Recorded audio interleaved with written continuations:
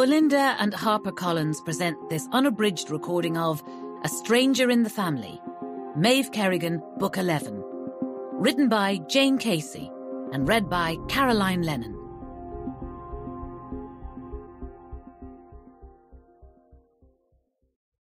Dedication For Julia Wisdom, with love. I have an habitual feeling of my real life having passed, and that I am leading a posthumous existence. John Keats's last letter, 30th of November, 1820. 1. Did you notice anything out of the ordinary? Afterwards, when the whole horror of it had been laid out, and their innocence, or rather, the degree to which they should feel guilty had been debated by people who knew them, and many more who didn't. It was the small, uneasy details that lingered in the mind. What went missing with her, and what did not? What happened during the holiday, a month earlier? The argument, two days before. The car with a broken number plate, and how many times it was seen near the house the tiny bare bedroom with blood on the floor. The visitors to the house that week. The letters before. The phone call after. The open door. The river. The bruises and scrapes. The way her brothers reacted, or did not. The things they said, or did not. The way her father cried. Her mother. Her mother her mother. But most of all, how long it was before anyone realized she was gone. 2. For some time now, Helena Marshall had been waking up every morning in a panic. It was instant. A punch of fear that struck before she was even aware that the day had begun. Today was no different. She peeled off her eye mask and blinked at the ceiling, at the light shade that probably needed dusting, and a smudge that had once been a mosquito in the corner, and the crack that wandered across the plaster, and a cobweb. The house was full of spiders because August was when they started preparing for cold weather. And it was an old house, with sash windows that were loose in their frames, and gaps in the floorboards and fireplaces in bedrooms, and the chimneys needed sweeping, now that she came to think about it. But the sweep had been so rude the last time he came. There was a notebook by her bed, with a pen, and she could start a list of jobs to do. Dust shade, remove cobweb, find new sweep. But it was so boring. And no one else noticed these things or did anything about them. It was always her job to sort out the house. And the children, and remember to buy school shoes. School shoes! That needed to go on the list that she wasn't making.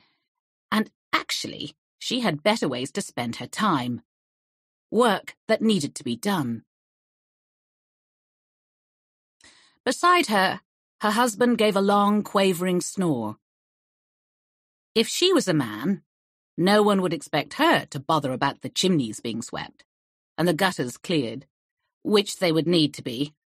There were thriving miniature rainforests in three or four places. And August had been so wet, and the brickwork would take any excuse to soak up damp, and present it to her in bouquets of dull grey blooms on the wallpaper. It was, she checked, peering in the half light, ten minutes past six. The sun had risen, in theory, but it was a dull day, and the forecast was for rain again.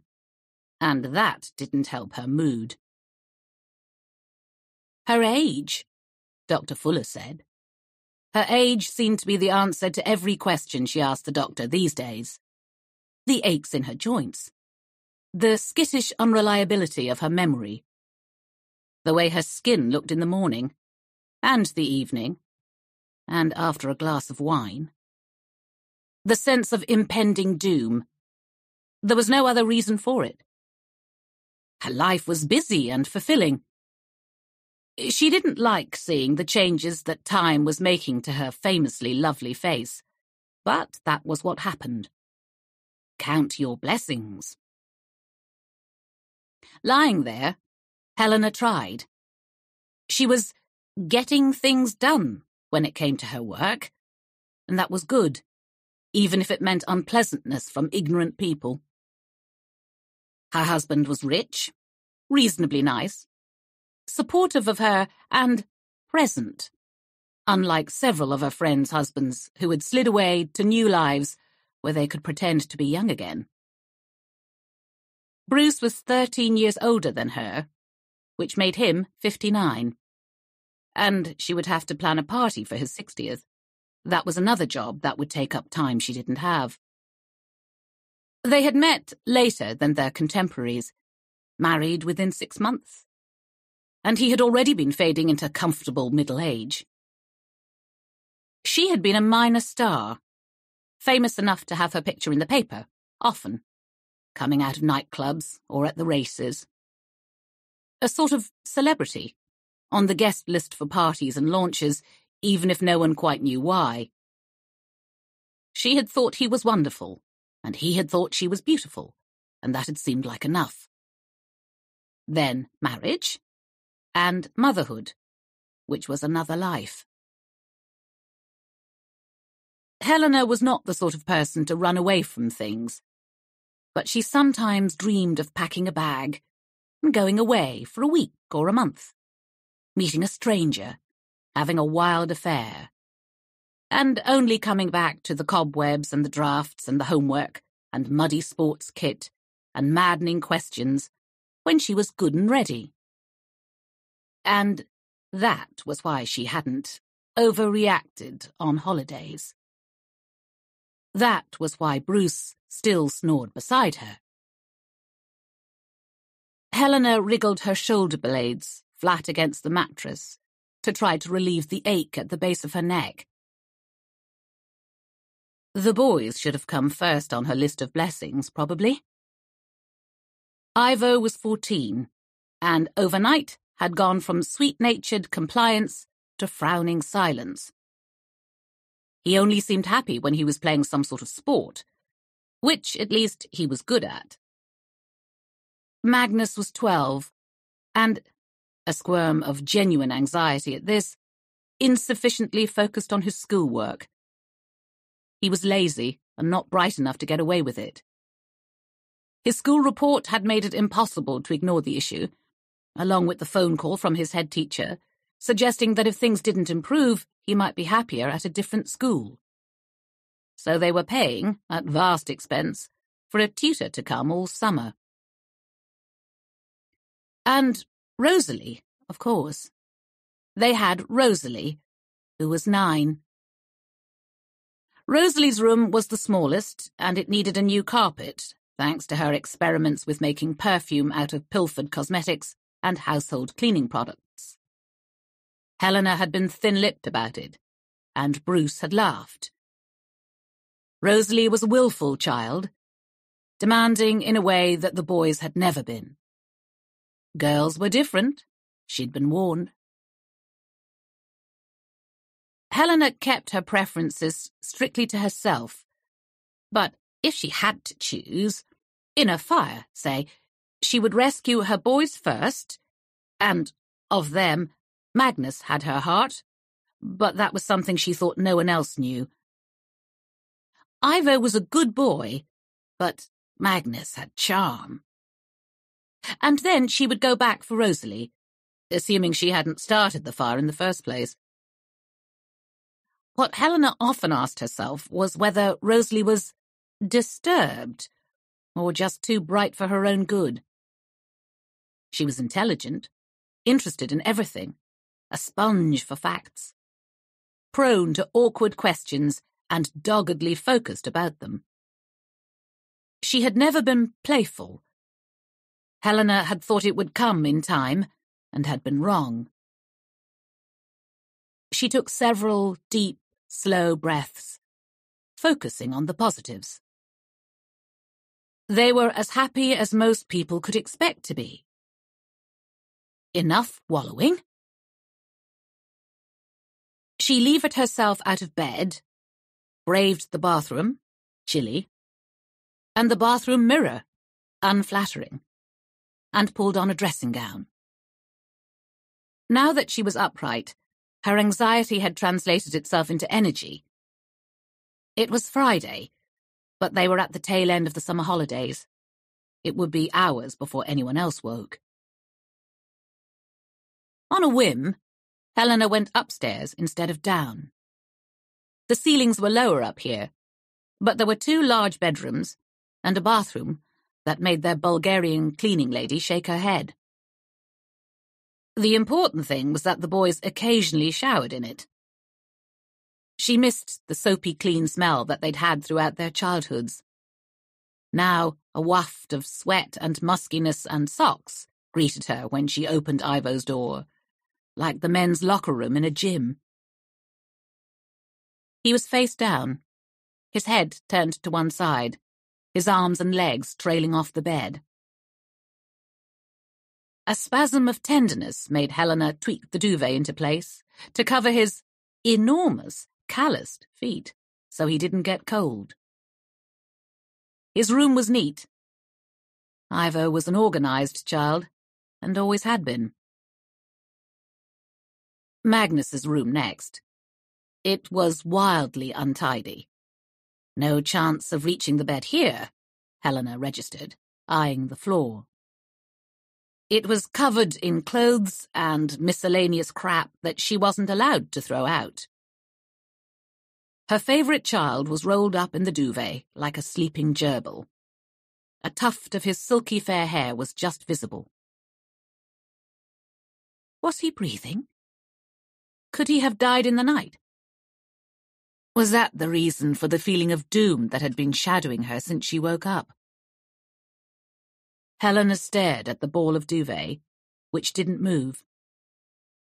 She was a new mother again, terrified of cot death. Surely it should rise and fall. Surely... Magnus shifted, and a low fart vibrated through the mattress. The porcelain delicate newborn was long gone.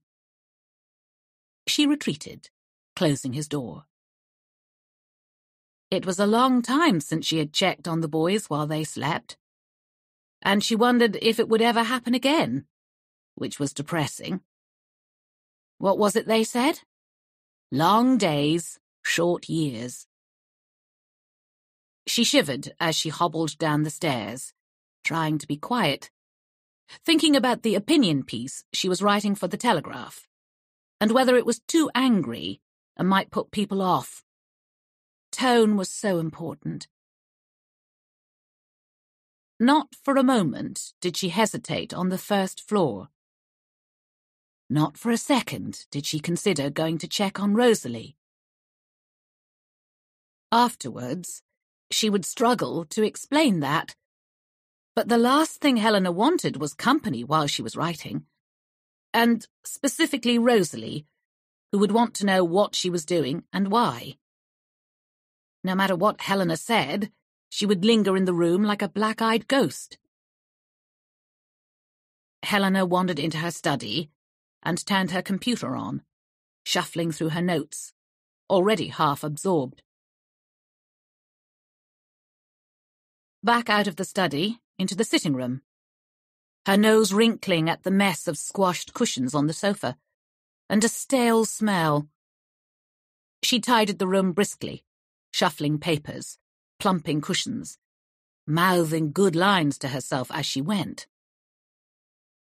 The supreme act of love, as a mother, is to give up a child to someone who can offer them more. Love isn't about blood, but care, kindness, and guidance.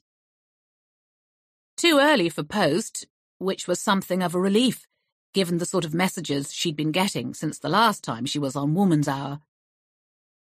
But she couldn't allow herself to be intimidated into silence. She went down the steps to the kitchen at the back of the house and filled the kettle. All of this mattered. That was the problem. Life and death, literally. Wishing things were different wouldn't help, and in the meantime, children were suffering. The best place for a child to be, Helena thought, was with a loving family. Producing a child didn't make you a mother, and a thin line of pale light ran down the edge of the back door. It wasn't properly closed. Helena had gone to bed before the boys and her husband.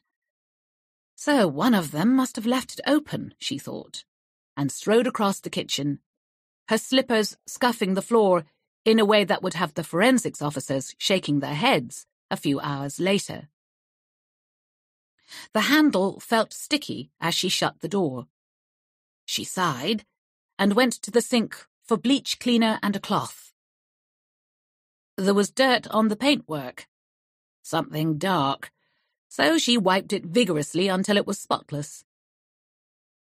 The key wasn't in the lock, or hanging on the hook where it lived, and Helena sighed again and went to make her tea. And she never, for one minute, thought that there was anything to worry about because she had been in practically every room of the house, and nothing was missing. 3. The Toyota Land Cruiser bumped up the track, the four-wheel drive barely coping with the heavy, rutted mud and large stones on the only access road to Windholt House. Heavy gates topped with barbed wire blocked the track every mile or so, with signs warning that this was private property. The fields on either side of the road were muddy and straggled with unkempt grass, since the sheep no longer cropped it. Their absence had left the land without a purpose, without life. The rain had been constant for days. The third gate sat in a giant puddle that made the driver swear as he splashed through it, dragged the gate open, drove through, stopped, got out again, and swung the gate closed. Easier with a passenger, he thought, and winced at that thought, too.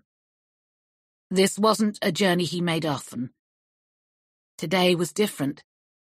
Today was an emergency. Tearing anxiety tightened his hands on the wheel and turned his stomach into a sea of acid. The letter was where he had flung it on the passenger seat. It had been waiting in the P.O. box he visited once a week. An innocent-looking white envelope with his name in familiar handwriting. I don't know when you will read this, but you will be too late. He stopped at the last gate. The rain seemed to gather force as he got out of the car, drumming on his head and shoulders. Now that he was nearly at the house, he was afraid of what he would find, and more afraid of what he might not find. At first glance, everything at the house looked as it should. The Land Rover was parked near the front door. A light in the hall made the windows glow softly. He hurried around the side of the house, the wind catching the breath from his body as he faced into it. In the yard, the kennel was empty. But that meant nothing.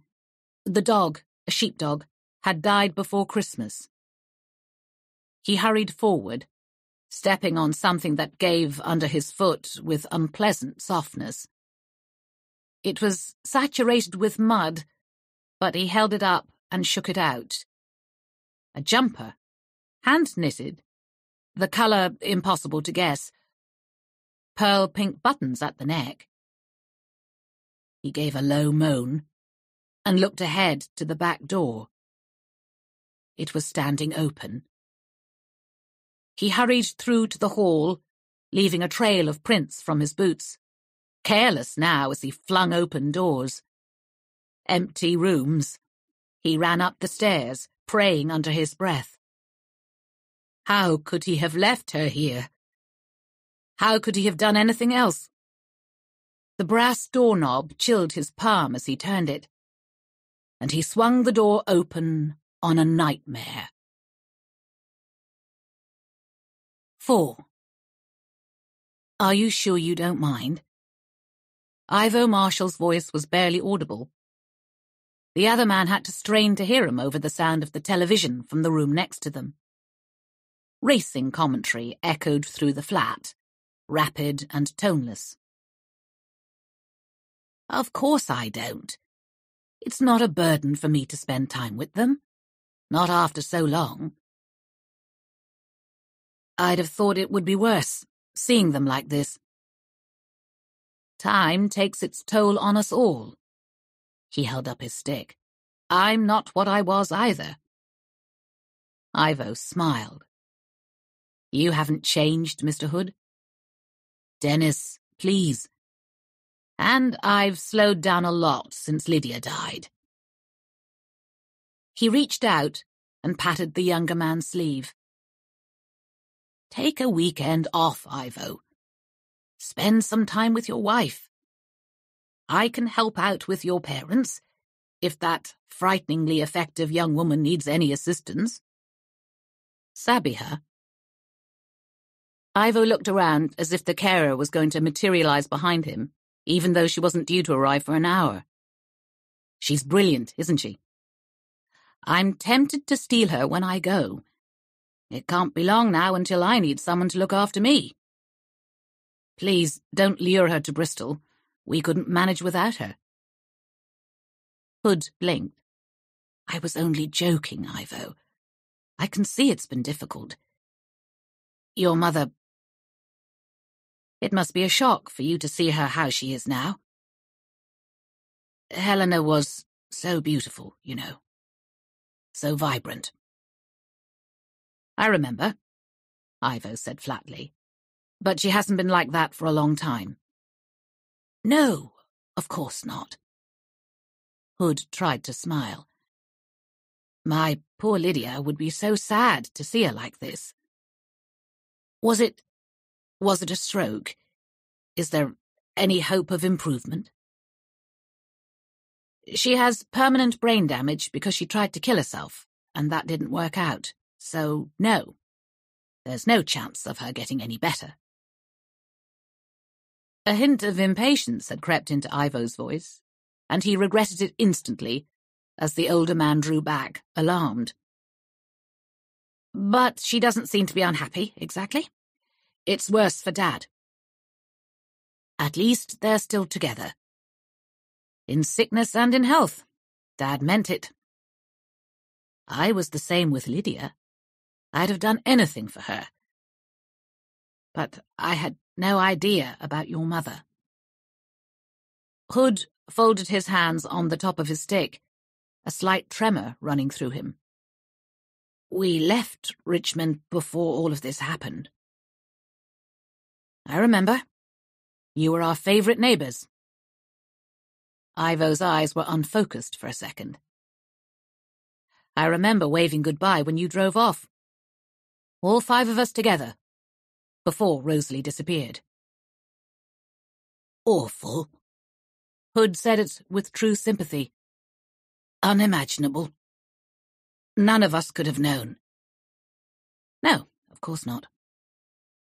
And Lydia and I didn't realize, you know.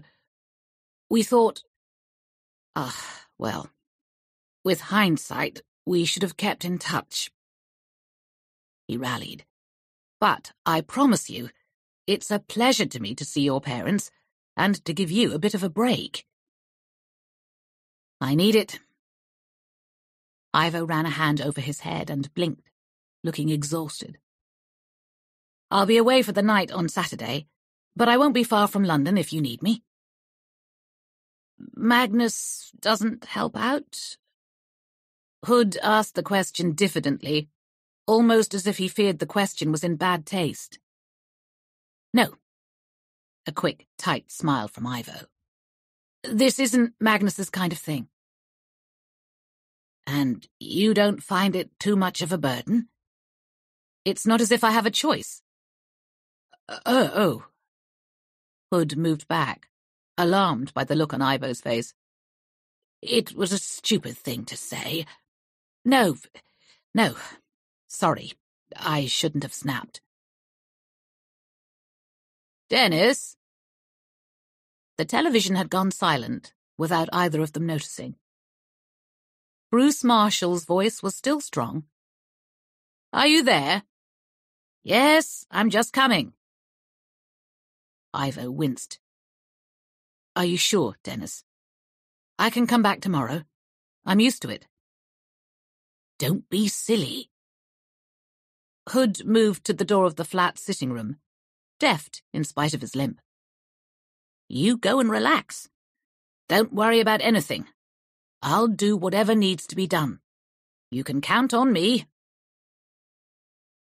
Ivo followed him into the sitting room, where his parents sat in armchairs on either side of a fireplace that didn't work, staring at a big, old-fashioned television. Horses galloped towards the camera in a foreshortened blur.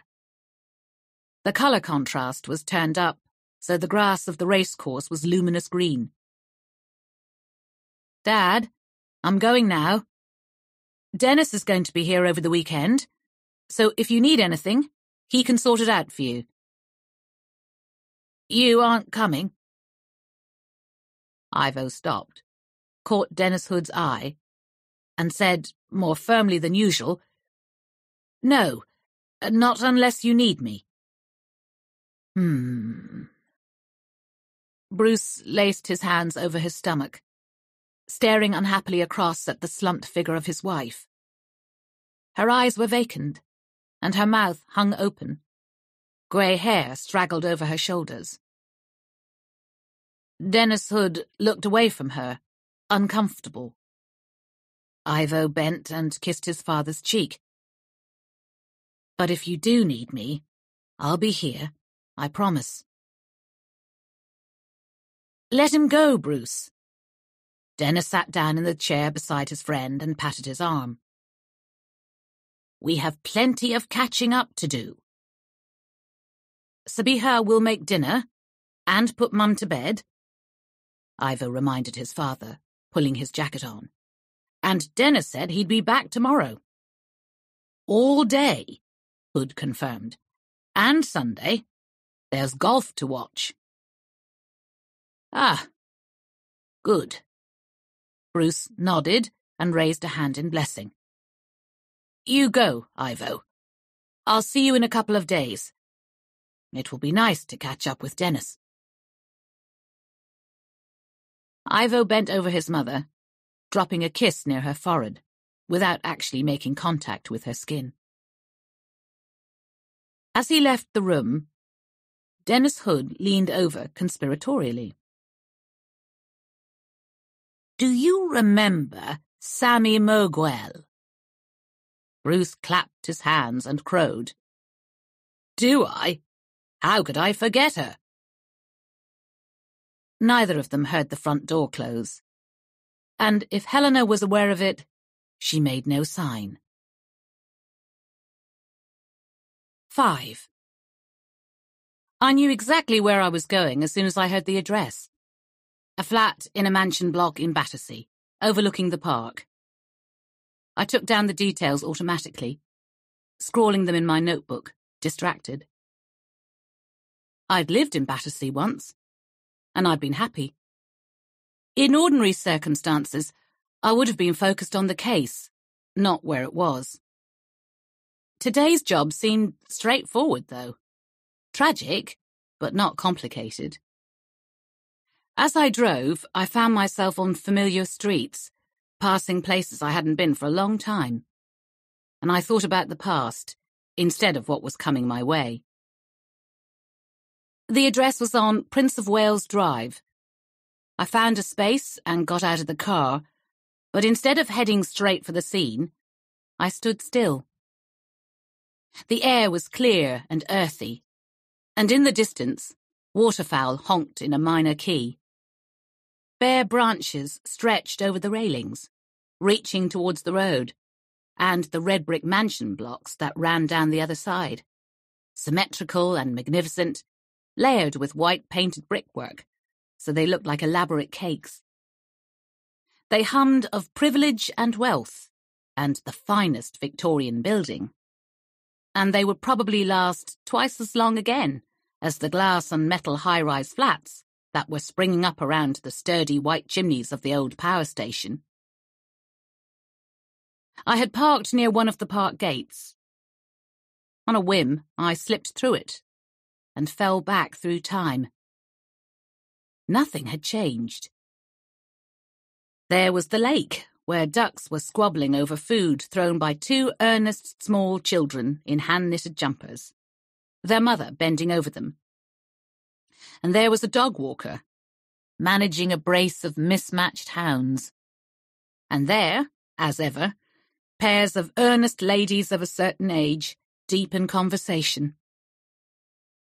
I kept up a brisk pace, and it was barely a detour, but I was lost in my memories for a self-indulgent minute or two. Until one of the less happy memories from that time resurfaced. A man who had watched me when I was in that very park, with every intention of causing me harm.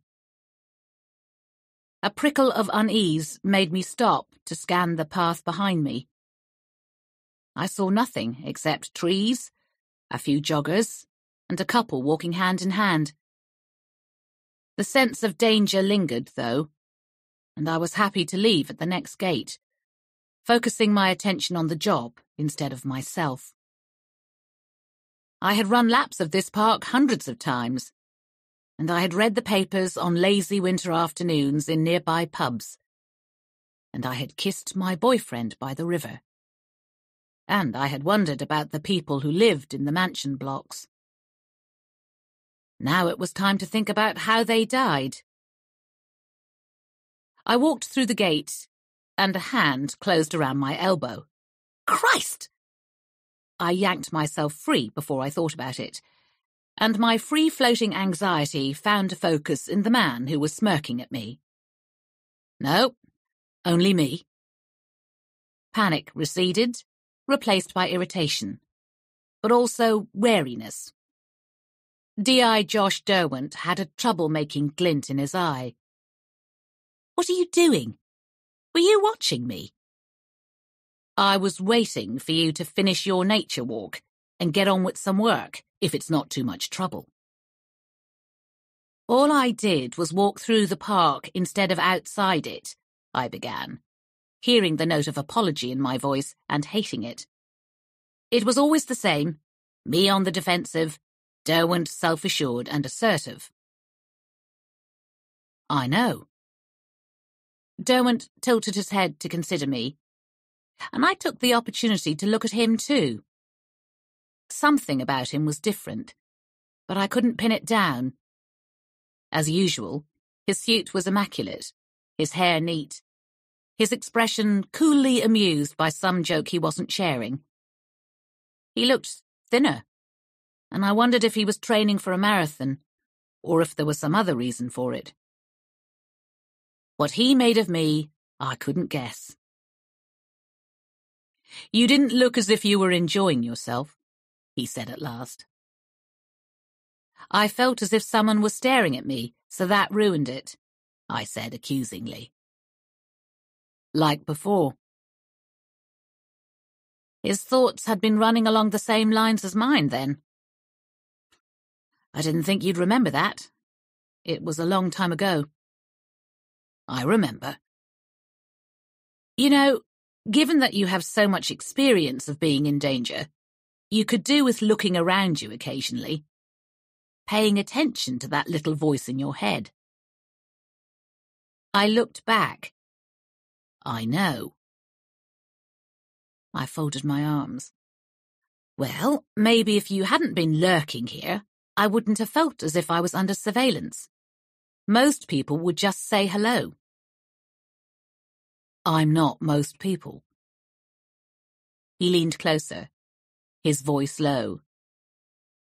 You know what I am.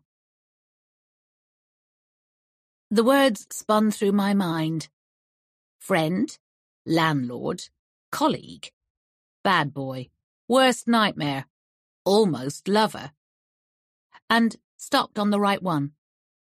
My boss. Exactly. He grinned. So, do you want to visit the scene or just skip it and go for a stroll? If anyone's holding things up, it's you. I slid past him. Let's go. He was smiling to himself as we walked towards Leinster Mansions. It was halfway along the road. A fine six-storey edifice, with a gathering of police vehicles and uniformed officers and forensic service vans in front of it. Outside the police tape stood a small cluster of gawkers, who seemed typical of the local community. Genteel elderly people with small dogs, ultra-fit runners, and a couple of men who might possibly have been drug dealers and would definitely have known where to score if you needed to. I ducked under the tape, showed my credentials to the officer who was on scene guard, and ran up the stairs to the second floor, aware of Derwent on my heels. The front door to the flat was open, revealing a narrow, dark hallway with a wheelchair folded against one wall. I stuck my head in and looked to the left, where there was the promise of daylight. A couple of paper-suited SOCOs were deep in conversation halfway along the hall. I recognized Kev Cox immediately. He was a bald, middle-aged man, good-natured and hard-working, a brilliant crime scene manager. Can we come in? Kev looked around and beamed. Maeve, I heard you were on your way. Just watch where you step. We're waiting for Dr. Early. What's the story? Derwent asked from over my shoulder. The main area of interest is at the end, in the master bedroom, Kev said. Working back from there, off this hallway, you have another bedroom, then a bathroom, then the kitchen, and last but not least, the living room. It's quite a big place. Swanky location. He pulled a face. A bit stuffy for me. We've already been told off for making too much noise on the balcony outside the living room. What were you doing? I asked. Don't cry for me, Argentina. He was one of the only people I'd ever met whose eyes actually twinkled when he laughed. You know I'm famous for my Evita impression. And you look so like her, Derwent said. Hilarious. Kev nodded towards the living room. Your colleague is in there.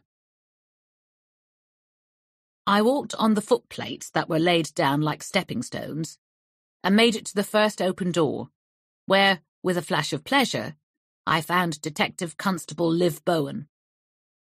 She had been back from maternity leave for three months, and every day I thanked my stars that she'd returned.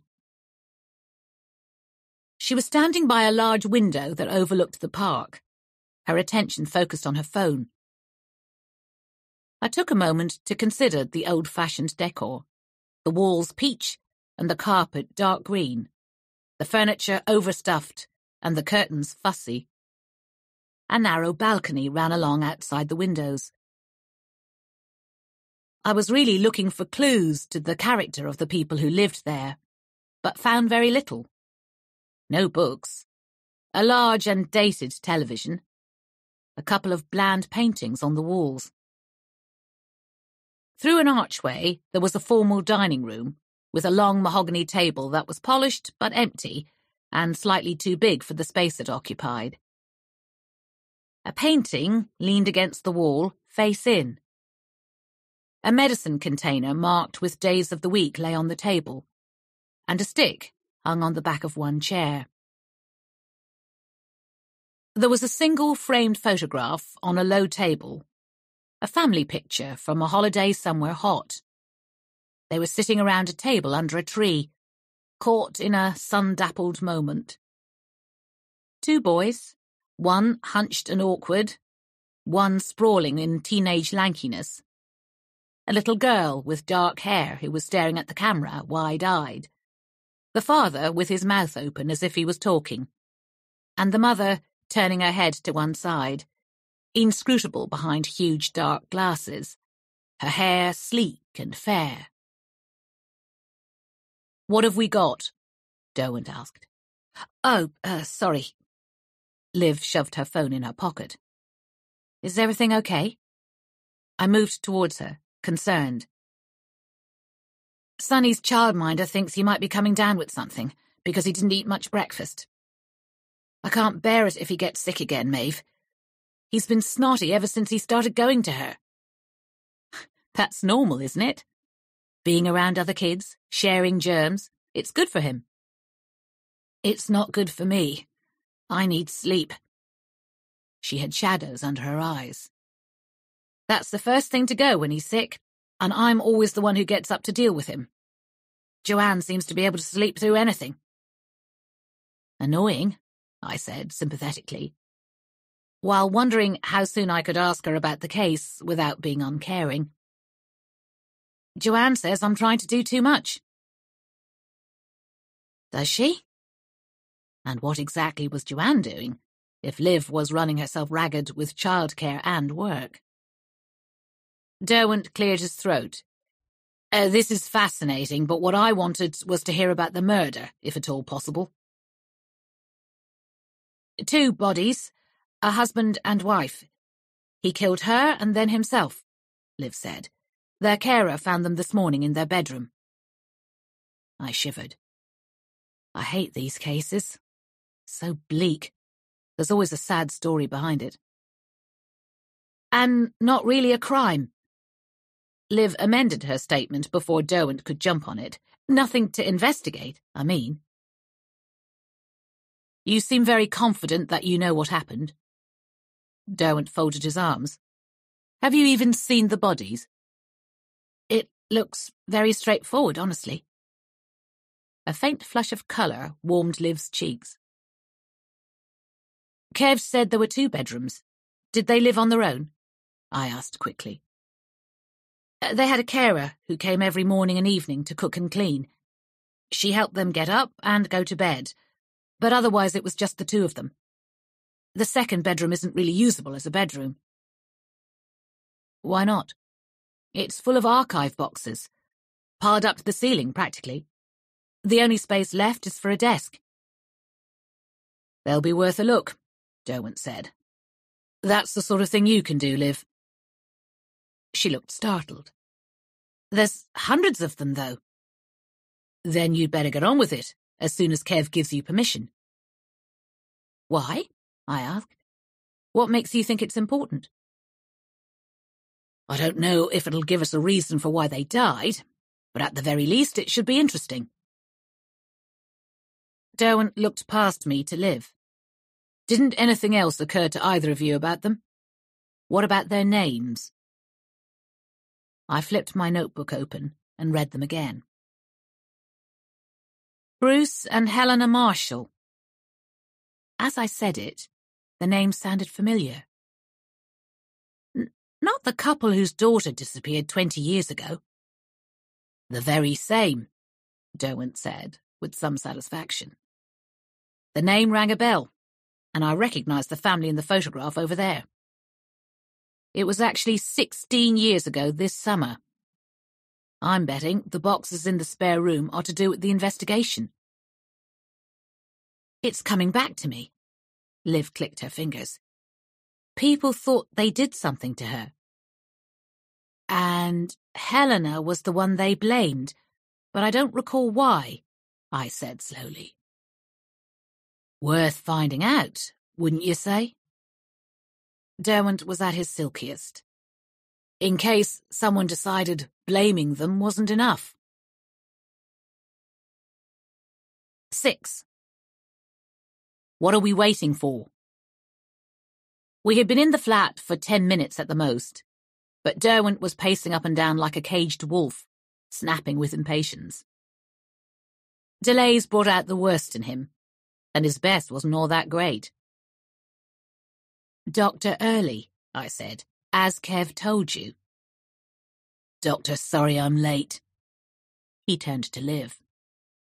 If the bedroom is out of bounds, why are we okay to stay in here and touch things? The bedroom is the only place that wasn't forensically compromised. I was the first one here, after the response officers, so I saw it before Kev got here. And you're allowed in here because he cleared this room already. Liv looked around. There wasn't much to check, he said, thanks to the carer. Sabiha Qureshi. She was in here first thing. Where is she? Can we talk to her? She had to go to her next clients. The agency couldn't provide cover for her. But we can talk to her later, Liv said quickly, as Derwent's face darkened. And I did run through the timeline with her. So, uh, what time did Sabiha leave last night? I asked. Seven. She came back at a quarter to eight this morning and let herself in, which was normal. She had a key. She was a bit surprised Bruce wasn't up already. He was usually having his breakfast when she got in. She just assumed he was resting and left them to sleep for a few minutes while she did some household jobs. Including cleaning. It smells of furniture polish in here. Yep.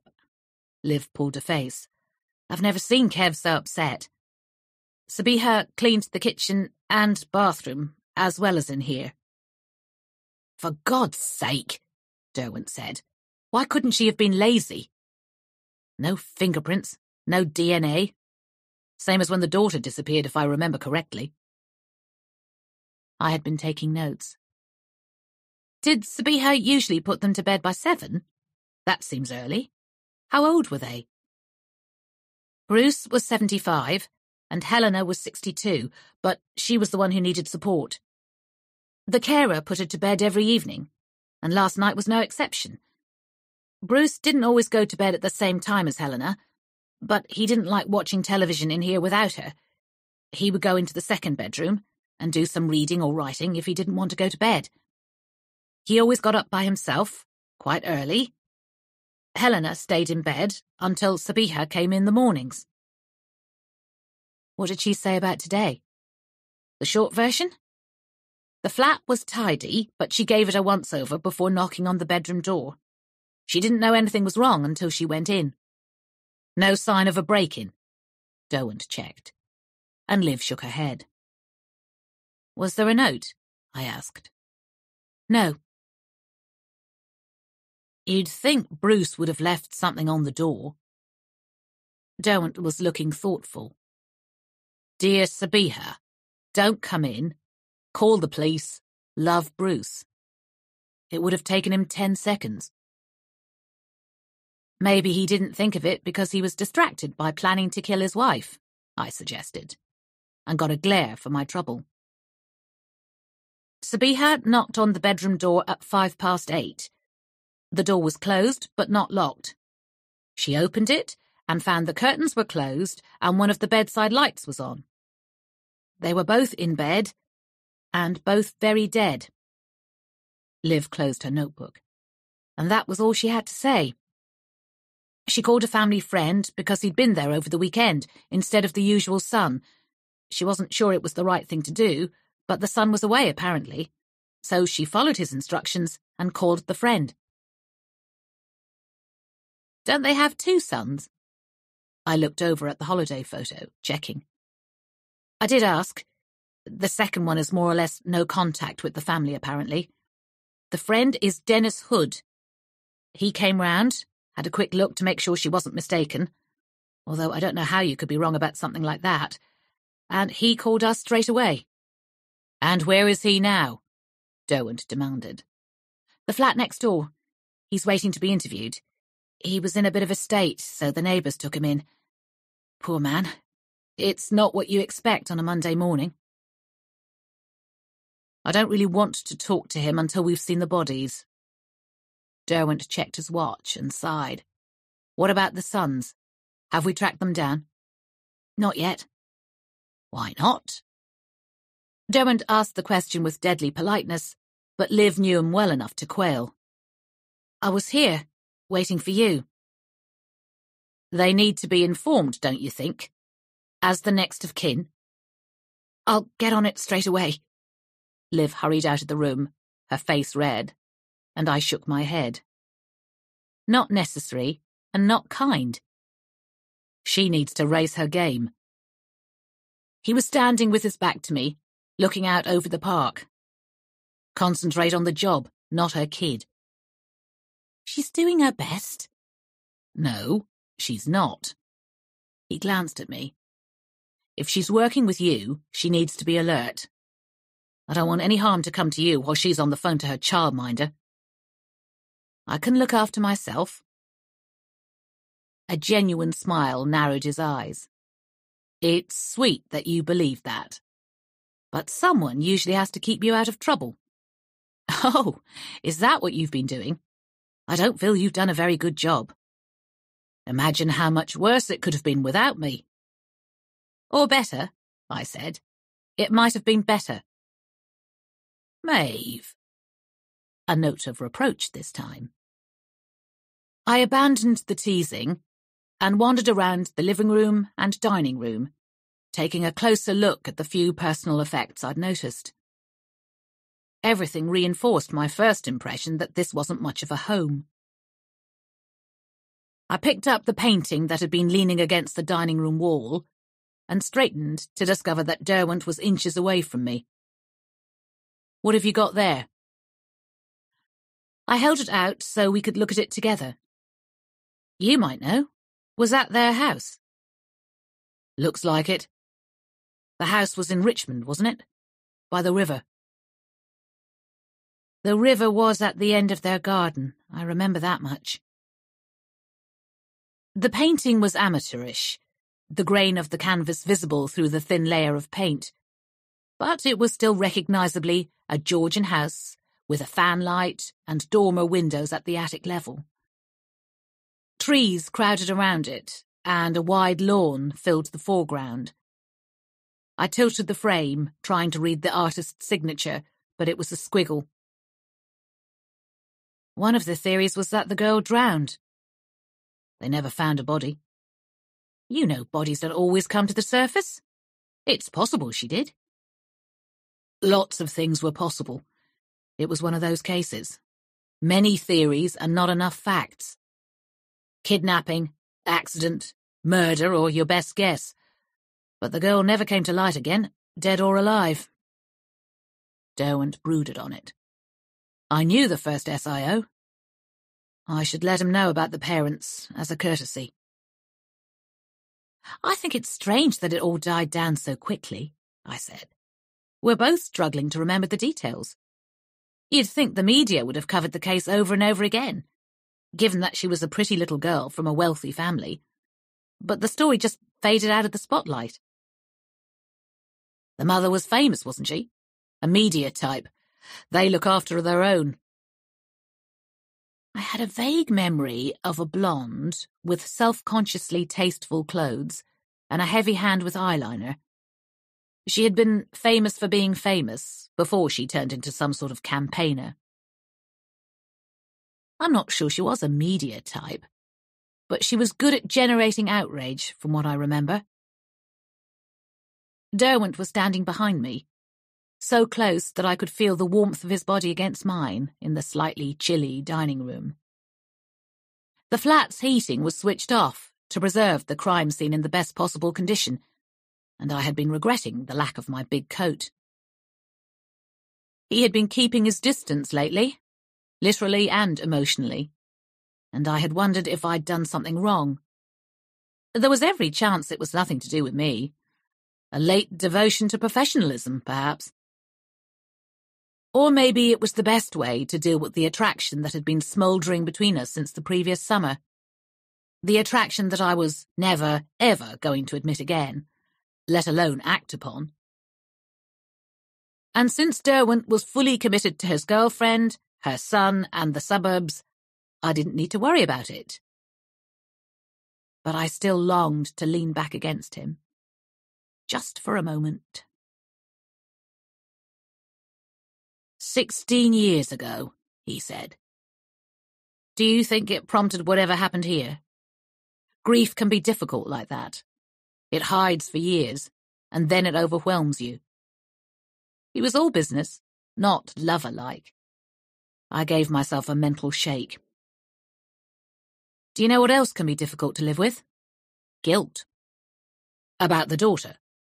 I'm just saying, There were rumours about what happened. Both of the parents were arrested at different times, weren't they?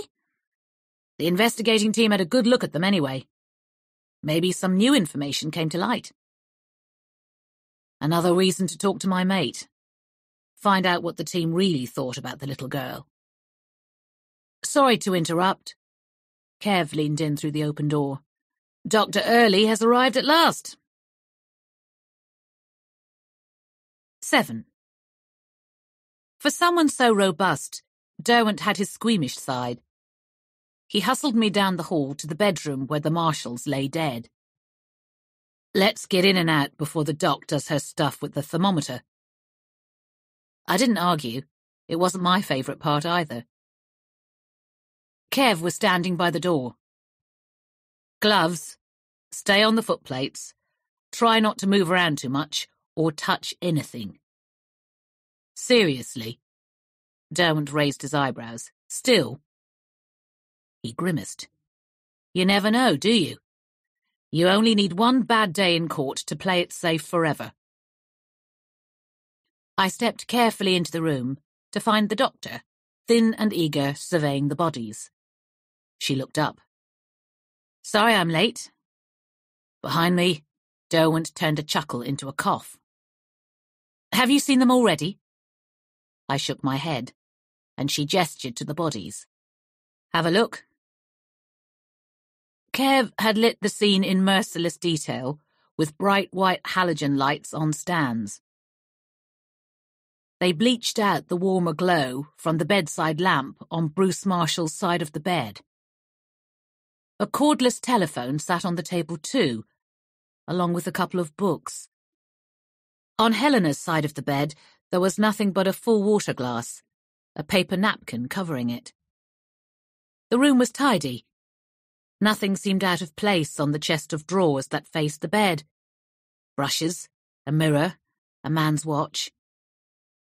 Cream carpet, cream walls, curtains striped in blue and green, the same old-fashioned style as the rest of the flat. It made me feel suffocated. The curtains stirred gently, moving in a draught. I drew the nearest curtain back with a gloved hand. The sash was raised a couple of inches, but there were stops on either side, so the window couldn't be opened any further.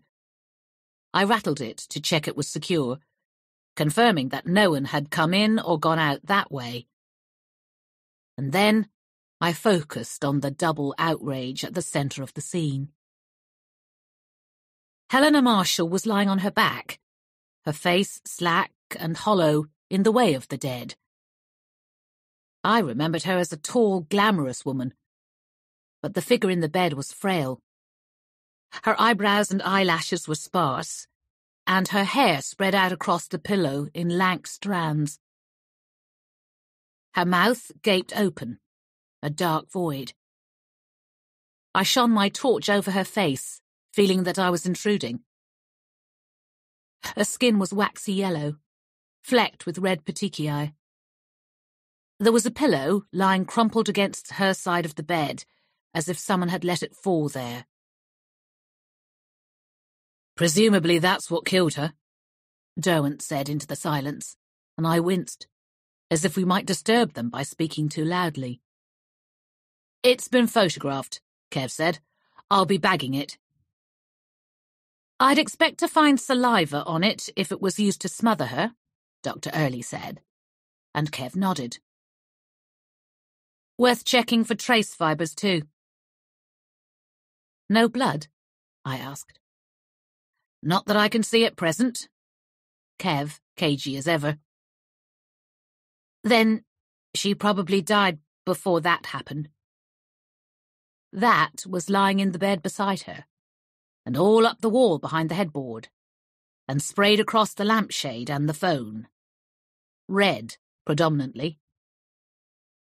The top of Bruce Marshall's head was a soft mass of blood and brain and pulverized bone, and his face was horribly distorted from the explosive force that had blown his skull apart.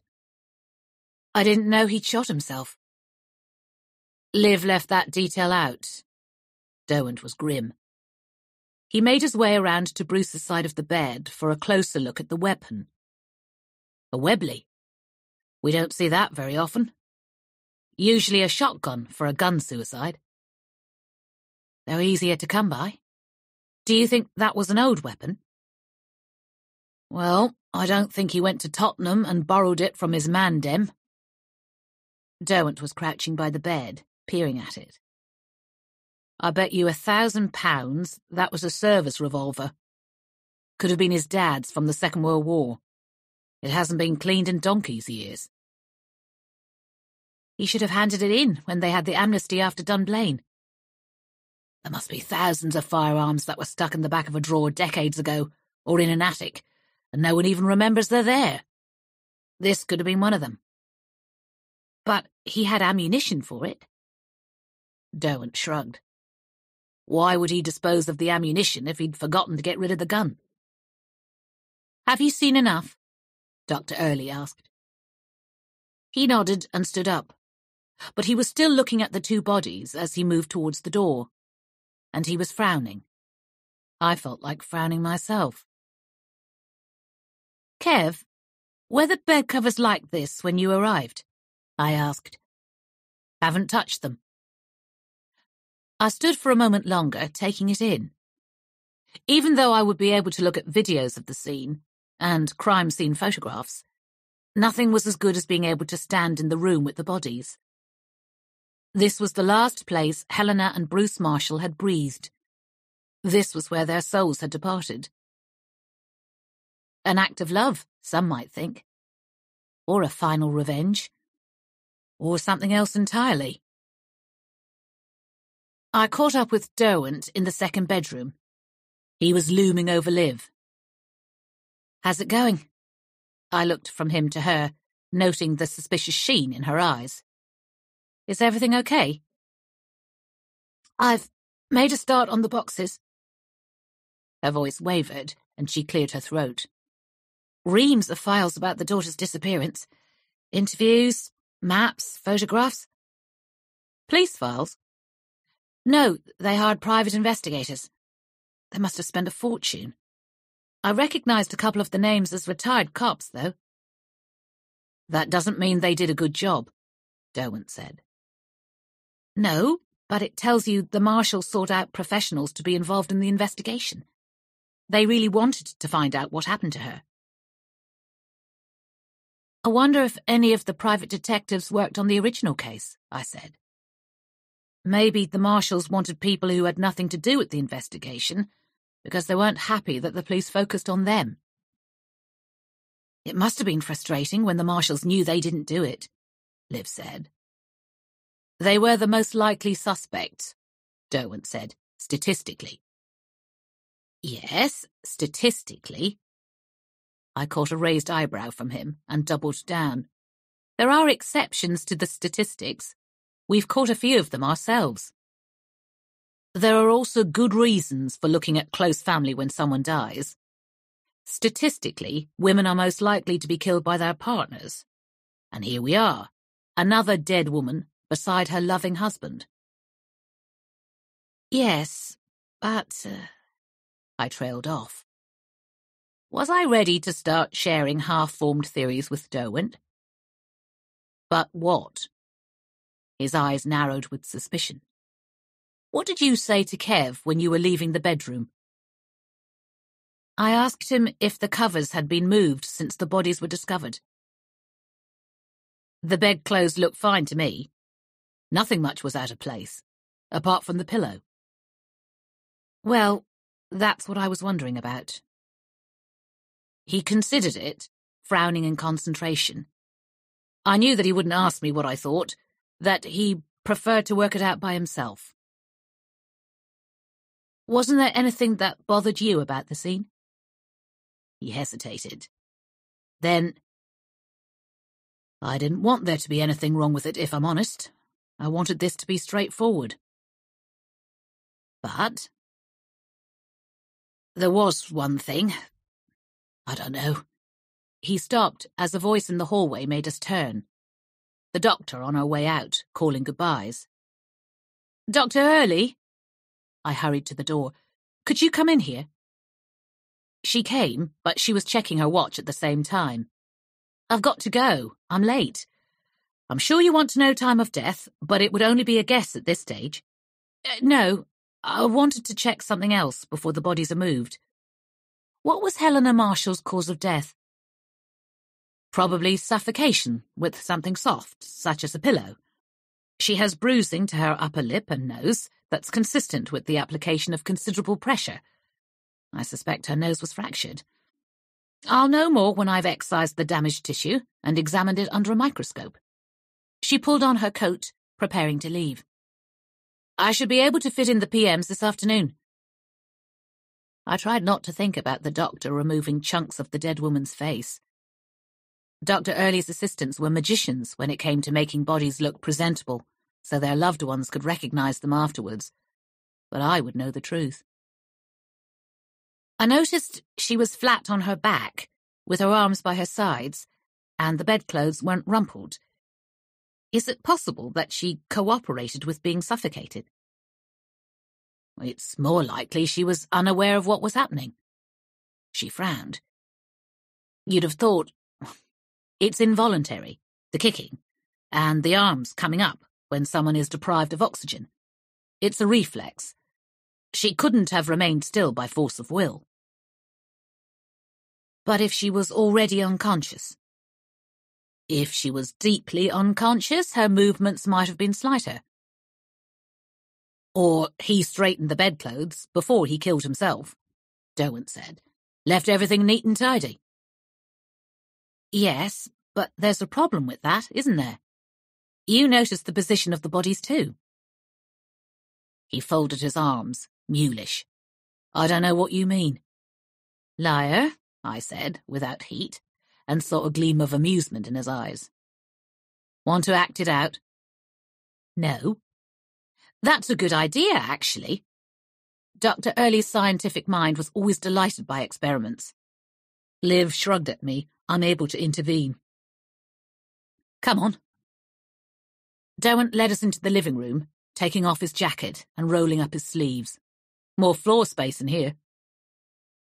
He lay down and patted the carpet beside him. You be Helena, Maeve. I'll be Bruce. No point in arguing. I sat on the floor and shuffled into position before lying back, my shoulder lined up with his. Closer, Dr. Early said, helpfully. The bed was narrow. We edged towards one another until our arms were pressed together. Helena had her hands by her sides, Liv pointed out. My knuckles brushed against Derwent's thigh as I moved into the right position, and I cringed, rigid with embarrassment.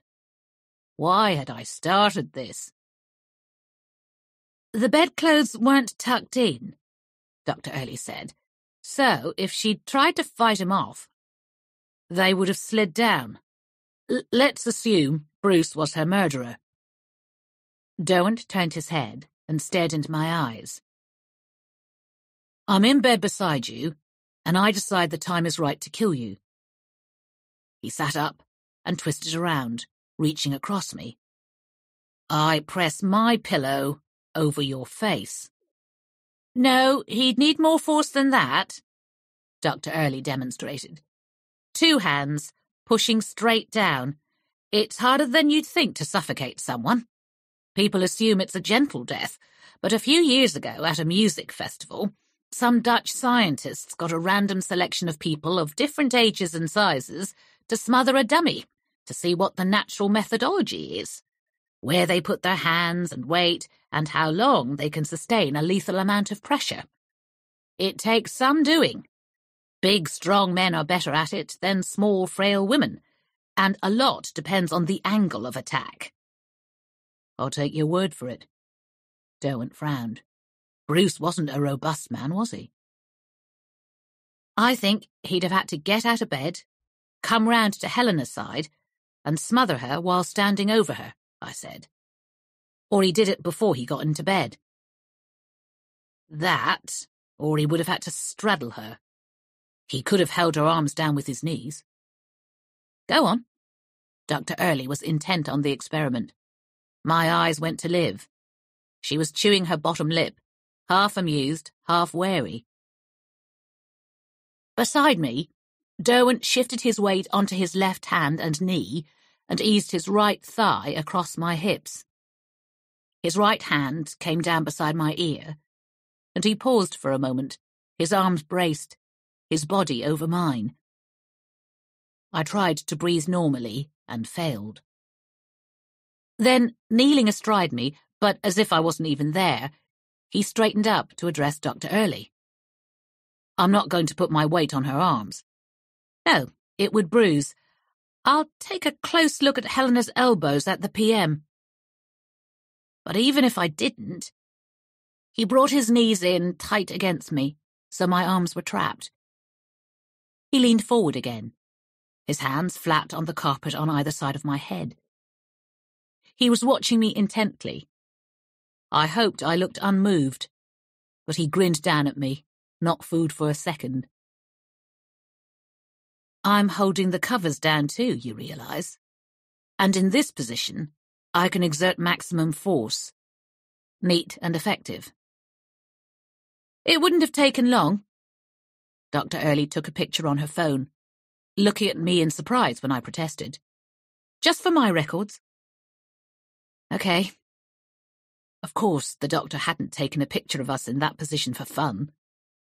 I regrouped. But whatever approach he took, he would have had to move from his side of the bed. And even if he was holding her arms down, her legs would have been free to move as she died.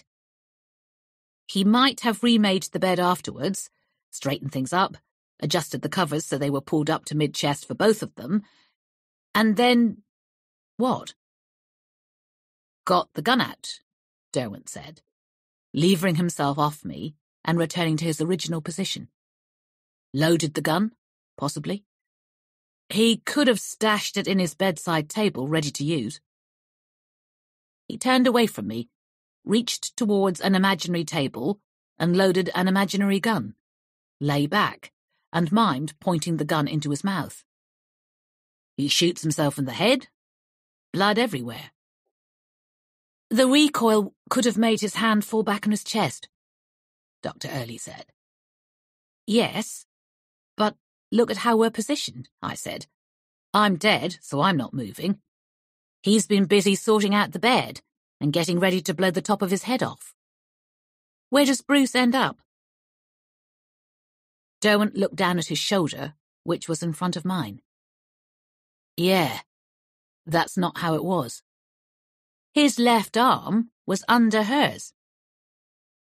So, he was the one who died first. Liv frowned. But the blood covered both of them. She had flecks of it all over her face. If he died first, the blood on her face should have been smeared by the pillow pressing down on it. His blood should have been all over the pillow too. And obviously, he couldn't kill her if he was dead. I didn't want to say it. I think they might both have been unconscious when they died, unable to fight back. It was staged, Derwent said softly. And I nodded. Not a murder-suicide after all. Just a straightforward double murder. 8. The stairwell was quiet, and I paused to notice the silence. The flats were solidly built, and the soundproofing seemed excellent, which was good for the residents, but bad for us. So far, no one seemed to have heard anything. Derwent swung out of the flat behind me as if someone was chasing him. Where are you going? To see Dennis Hood. He's been waiting for ages next door. On your own? Yeah, I think I can manage it by myself. He looked surprised, and for an unguarded moment, hurt. Then the mask snapped back into place. Maybe you can, and maybe you can't. Let's not assume anything. I made a small, helpless gesture. All right. Come with me if you like. I just... He stopped. I haven't been working with you for a while. And I enjoy it. so I thought I'd come along. Straightforward honesty from Derwent. It was more unsettling to me than any sarcasm or insinuation. I wondered if it was a trick or if he really meant it. And it was only when Dennis Hood was sitting in front of us, blank-eyed with shock, that I stopped thinking about it and came back to full attention. We had all refused the offer of tea, and the Marshalls' neighbour had retired, hurt, to her kitchen. I can't drink any more of it. Hood looked down at his hands, which were shaking. She's given me cup after cup of it. People don't know what to do or say in these situations. Tea is a way of providing comfort, I said. I just don't like it much. He was a slim man with cropped silver hair and a beard. And I wondered if the shock had aged him, or if he was always so frail. He looked lost in the large velvet-covered armchair. First of all, I'm so sorry. Were you friends with the Marshalls? For a long time. Decades. With Bruce, really. We're the same age. He gave a dry little laugh. We were. I should be used to this by now. Friends die off in handfuls when you reach this stage in life. So, you were close? At one time but I hadn't seen them in years. I had moved away, you see, with my wife, before Rosalie disappeared. When I lived near them, I was friends with Bruce, and I saw him regularly.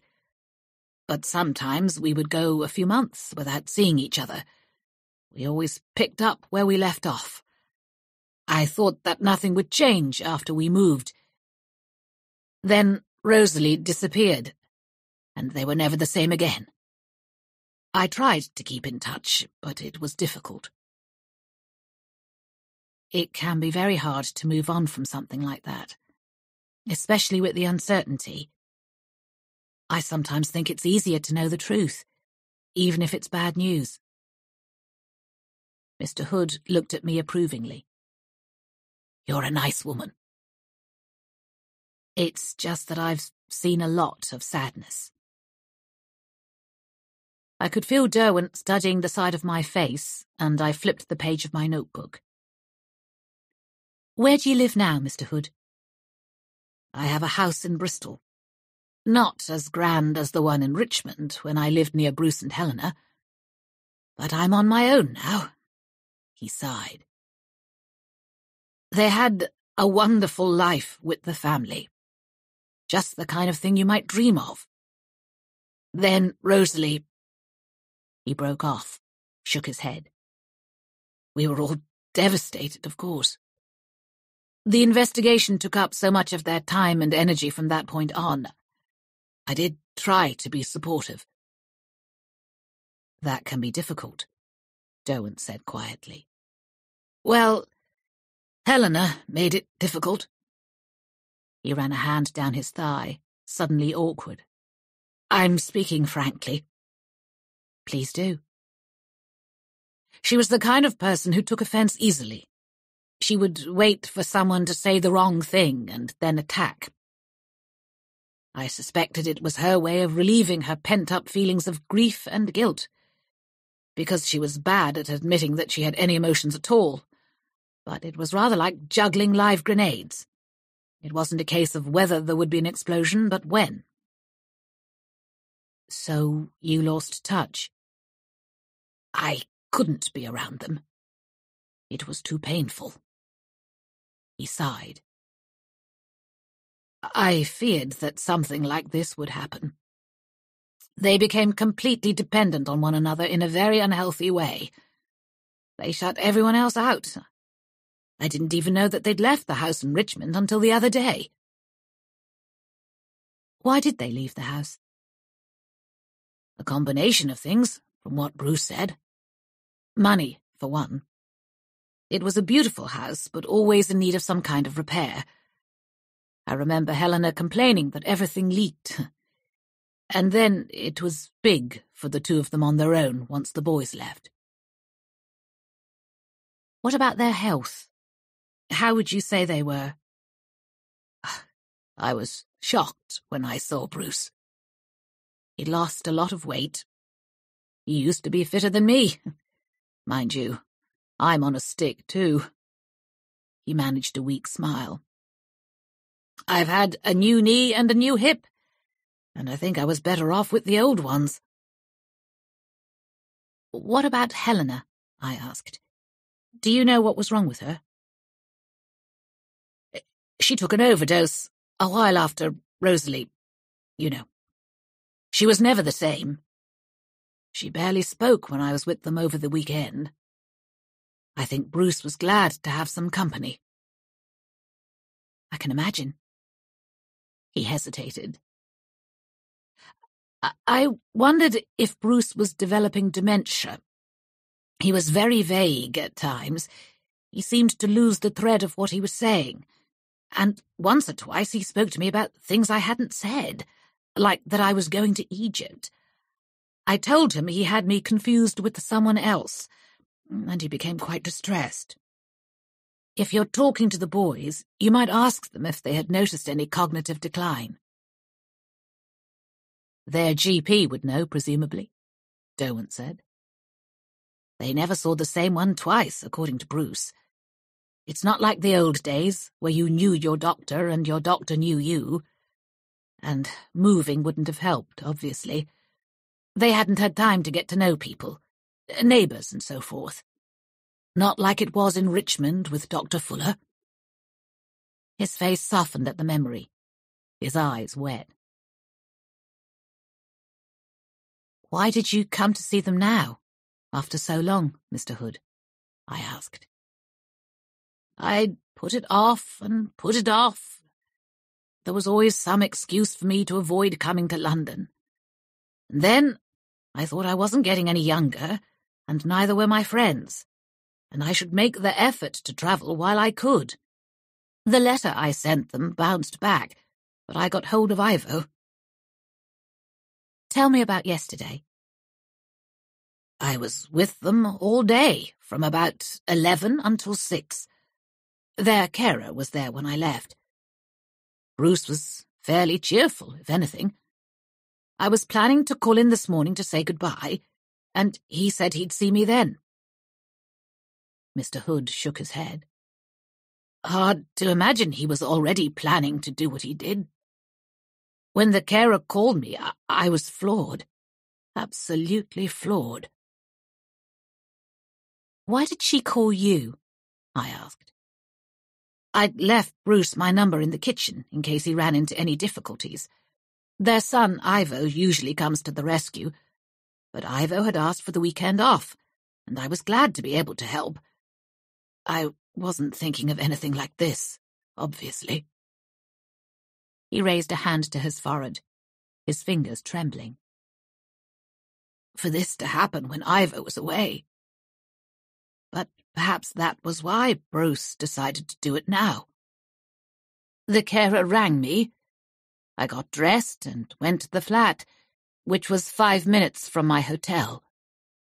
I had a quick look at the situation, called the police, and removed myself so I wasn't in the way.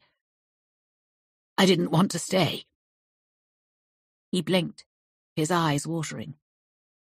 Bruce was a good friend, to lose him like that. And to see what he'd done to Helena. It was upsetting. He must have thought it was the best way out. I leaned back, my elbow brushing against Derwent's arm. Both of us jumped. I recovered to say, Would it surprise you to hear that we're treating it as a double murder, rather than a murder-suicide? What? Really? He looked stunned. Someone killed them? Heavens. Their poor boys. Who could possibly? But then, I was so upset to think of Bruce being in such terrible distress when I hadn't noticed. He was talking to himself more than to us. I mean, yes. Murder. My God. That changes everything. 9. Dennis Hood was right. A double murder did change everything. An hour after Derwent had called our boss, Detective Superintendent Una Burt, there were eight of us standing in the faded, chintzy living room. Dr. Early said it might take a while to get the lab results back so we can see if they were drugged, I explained. Why would you need to drug them? Pete Belcott looked around at our blank faces. They wouldn't have been difficult to overpower. Shut up, Pete, Derwent said. Just stop talking. Pete blinked, wounded. He was stocky, with heavily greased hair, and I had hated working with him since day one. Time and proximity had only made me sure I was right to dislike him. I was only saying, we heard what you were saying. If it was someone who knew them well, like a family member, they might have wanted to avoid a confrontation, I said. Or maybe the killer didn't want to leave anything to chance. Una frowned. Is it possible Mr. Marshall gave his wife an overdose and then killed himself? I don't want to commit major resources here unnecessarily. There's the position of the bodies, too, I said quickly, as Derwent's expression darkened. He didn't like being questioned, and particularly not by Una. The bodies could have been moved by whoever discovered them. This carer. And who else? Their friend? I spoke to the carer, Liv said, and she was adamant that neither of them had touched the bodies, except that Dennis Hood checked for a pulse in Helena's neck. He didn't bother with Bruce. Given that half his head was missing. Yes, thank you, Josh, have we spoken to Mr. Hood yet? Just now, I said. I sent him back to his hotel. Are you suggesting that we got this wrong, boss? Derwent asked. Hoping. The last thing I need is another complex investigation. So what's the plan? Her mouth thinned. He was passing it back to her to make the final decision on what we did, as was right and proper, given that she was his boss but we all knew there was really no choice about it. Treat it as a double homicide for now. Do you think the family background is significant? The missing daughter? It's worth assuming there's a connection. Most families never experience one major crime, let alone two. Little Rosalie Marshall, Una said, almost to herself. I don't remember that case, Georgia said and Vidya shook her head too. It dropped out of the headlines quickly, Derwent explained. The family didn't seek out publicity. That's unusual, isn't it? Colin blinked behind his heavy glasses. He was the sort of man who always looked as if his anorak was close at hand, even if he wasn't actually wearing it. Today, he was wearing it. The families are usually desperate for publicity. The Marshalls got the wrong sort of publicity, Una Burt said. The report started out sympathetic, and then the tone changed. There were circumstances that made the investigation focus on the parents, rather than widening the net. You can understand why they shunned the limelight after that. I'd like to find out what the investigating team made of them, Derwent said. I was planning to get in touch with the SIO. Yes, good, do that. She looked at me expectantly. I'm going to speak to the carer again. Who let her leave? Sorry. Liv's face was flaming. Liv didn't know there was any reason to keep her here, I said, defensive. But you did, Maeve. Una Burt was always one to put the boot in where she could. I knew the remark was intended to make Liv feel she'd fucked up. People depend on her, I'm not sure I'd have insisted. Burt registered the dissent with a twitch of one eyebrow and moved on. Colin, can you review whatever security there was here? CCTV, obviously. I noticed a couple of cameras in the hall downstairs. I've already been making a list. Of course you have. Her face softened. Una Burt lived for efficiency and people who kept their emotions neatly under wraps at work. And Colin was ideal in both respects. We need to speak to all the neighbours. Vidya and Georgia start on the top floor and work down. Pete, you start on the ground floor. You can meet in the middle. Pete would do far less than the two women and complain about it much more. Oh, uh, you can go with them, Liv, Una said casually. Along with his many undesirable attributes, Pete regularly questioned Liv about her partner Joanne and what they might do with one another, so I knew she liked to avoid him. She looked down at the floor and blinked furiously. I turned to Burt, ready to argue the point, but Derwent got there first. If Pete isn't capable of routine inquiries on his own at this point in his career, he's in the wrong job. Hey, Pete said in protest. Derwent ignored him. Liv can keep working through the spare bedroom. There's stacks of information, literally. He threw Liv his car keys. It's too much for you to take in one journey, so let's share it out between vehicles. Start with the first stack next to the door. It probably has the most recent material in it. I'll take that lot back to the Nick. She nodded, and I felt a glow of gratitude to Derwent for finding her a way out. I kept my face absolutely impassive, however. Una didn't like being bested, and she didn't like people taking Derwent's side over hers, and she didn't like me all that much. Recently, she had received her longed for promotion and permanent control of our team, so she was two full ranks above Derwent, and therefore entitled to demand respect. The trouble was that Derwent didn't do respect.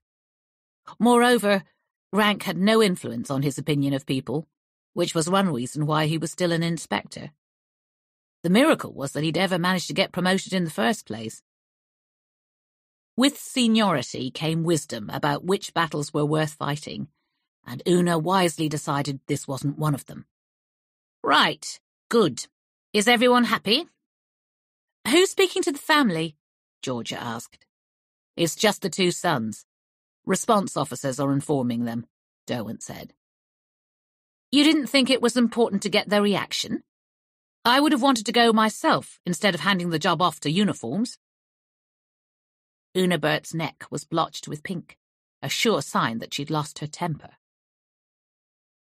I don't actually think it'll make the difference between a conviction and them going free if I'm not standing right in front of them when they hear the news. And the officers have body-worn cameras. We'll have a record of how they react if they don't know already. Then that's all right. Exactly what I thought. He held her gaze for a moment longer, then looked away.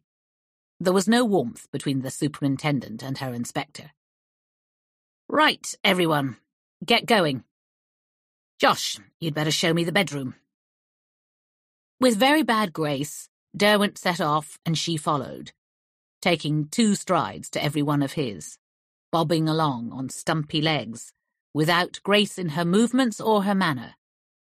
And yet, there was a part of me that respected her for her confidence. I wished I knew how she did it. The room emptied after Burt left, Georgia and Vidya with their heads together, Pete yawning as he went. Colin had slipped away first, on the hunt for his CCTV. Liv sat down in the chair on one side of the fireplace and buried her face in her hands. Are you all right? Sort of. Not really. I sat in the chair opposite her. What's up? Was it what Burt said to you? A bit. Liv ran her fingers under her eyes, smearing the tears away. She wasn't wrong. I didn't do a very good job when I got here. I missed loads of stuff, but I'm so tired, and I've got a headache. I have painkillers. I took some, an hour ago. She sniffed. I'm falling apart, Maeve. You're not. You're just exhausted. It's hard coming back to work. I thought I'd be happy. Two more tears streaked down her cheeks. I was so glad to be back. Was Josh giving you a hard time about it too? No, not at all. I, I thought he made you cry earlier, after we viewed the bodies. He was being nice. She rubbed at her cheeks. He told me to make Joanna do her share and blame him if she complains. He said I was important to the team. Relief made me smile. It'll get easier. I still don't think you did anything wrong. I lowered my voice even more. If I didn't know better, I'd think Una has it in for you. She wanted me to leave the team, so you're probably right. Because you can't work and be a mother. I had one eye on the doorway, in case Burt appeared unexpectedly. Apparently. Liv shrugged. That's the choice she made, I suppose. But I can tell you she disapproves like hell of mine. We all make choices. There's no such thing as the perfect life. Everyone has to sacrifice something, somewhere along the way. I sat back, shifting my weight in the chair. Thanks, Maeve. You know, I was thinking. She broke off. Are you even listening to me? I was pulling on a glove, preparing to delve down the side of the armchair between the cushion and the frame. I think I heard something. It rustled when I moved. Hang on. It was a piece of paper, lined, torn roughly from a notepad. On it, someone had scrawled a few words in pencil. BDK? Question mark. How? Question mark. Check dates. The last line was underlined twice, so hard that the pencil had dug through the paper. What's that? It was down the side of the chair. A note. Is it important? Liv was too good a police officer not to be interested instantly. Do you think it was hidden deliberately? I'd say it was pushed down so no one could see it. I snapped a picture of it with my phone. The writing looked urgent, as if it had been scribbled under great pressure. Liv came over to look at it as I went hunting for an evidence bag. Does it mean anything to you? I slipped it into the bag. No, not yet. But I'll work it out. 10. Is that all? Derwent tilted the scrap of paper inside the evidence bag, as if it might reveal some hidden message. I just thought it might be relevant. It's not exactly going to secure a conviction. He handed it back to me, and I pressed my lips together to stop myself from arguing with him. I have to go. I'm meeting the carer. I was glad to escape the flat, which was beginning to look like it was in the middle of a thorough burglary. Every drawer hung open, every cupboard door was ajar, and every surface was piled high with things that we had ferreted out to inspect. I'll come too. He hustled me towards the door, murmuring, if we stay, she'll find something shitty for me to do. She was Una Burt, who had spent a lot of time making it very clear that she wasn't going to interfere with how Derwent ran the investigation, and then proceeded to do exactly that. Superintendent Burt to you, I said, once we were out of range. She's not exactly wearing the promotion lightly. You are being careful with her, aren't you? He looked at me for a second with that unnerving focus. She can't get rid of me. I get results, and that makes her look good. She doesn't have to like me to know she needs me. Maybe, but play it safe. Worried about me? Frequently. He stretched, effortlessly arrogant. You'd miss me if I was gone. Is that a statement or a question? A statement but I want to hear you say it. Well, you can want. I'm not here to pander to your ego. That got a genuine grin from him, and he fell into step beside me easily as we walked down the road. The weak spring sunshine made the bare trees in the park gleam. Where are we meeting Sabiha? She has another client on Prince of Wales Drive. She should be free in a few minutes. I said I'd drive her to the next one so she can spare us 15 minutes. The poor woman doesn't seem to have much time to herself. All her clients are within walking distance of here, but only just, and she's on the move constantly. Crappy job, Derwent said.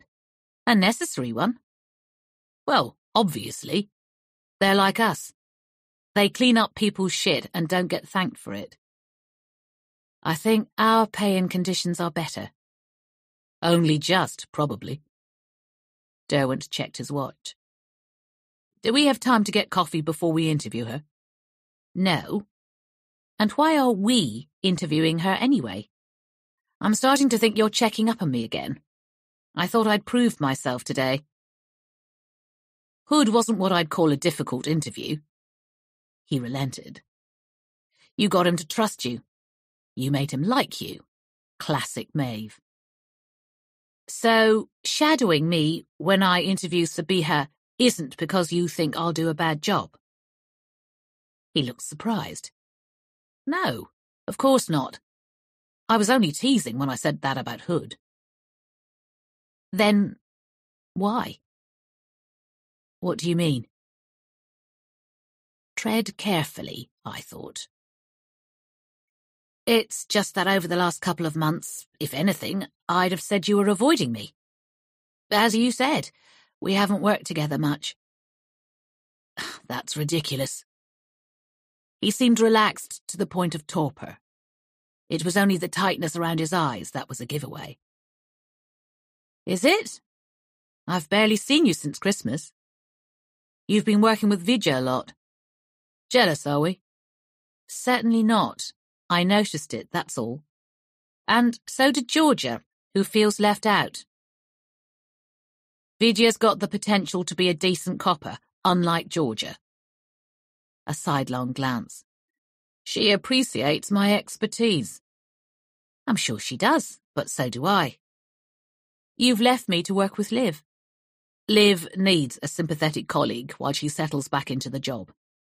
Yes, and Chris Pettifer needs what exactly? We don't have time to make a list of everything Chris needs. Well, he doesn't need me, I said. And as for Liv, she would be furious if she knew you were encouraging me to hold her hand. The best way to get her confidence back is to let her face the difficult situations head on, instead of protecting her from them. It's not that I don't want to help her, but she's got to feel she can cope on her own. That's not always easy, Maeve. He said it gently, but there was something in his tone that brought me up short. There was more going on here than I could understand. If I wanted him to be honest with me, I needed to risk being honest with him. Look, I know I sound whiny. It's just that I miss you when we aren't working together. His mouth tensed, but he said nothing. And I think you miss me too, which is why you're acting like my shadow now that we have the excuse to be together. I stood still, and he carried on for a couple of paces. Then slowly, reluctantly, came back to face me. But I don't understand why we need an excuse, Josh. It was after last summer. Last summer, I repeated, when we were undercover. We had been posing as a couple to catch a killer. You know what happened. Nothing. I said it quickly, and he raised his eyebrows. Not quite accurate, is it? I knew that I was blushing. Nothing that need trouble anyone. It troubled Melissa.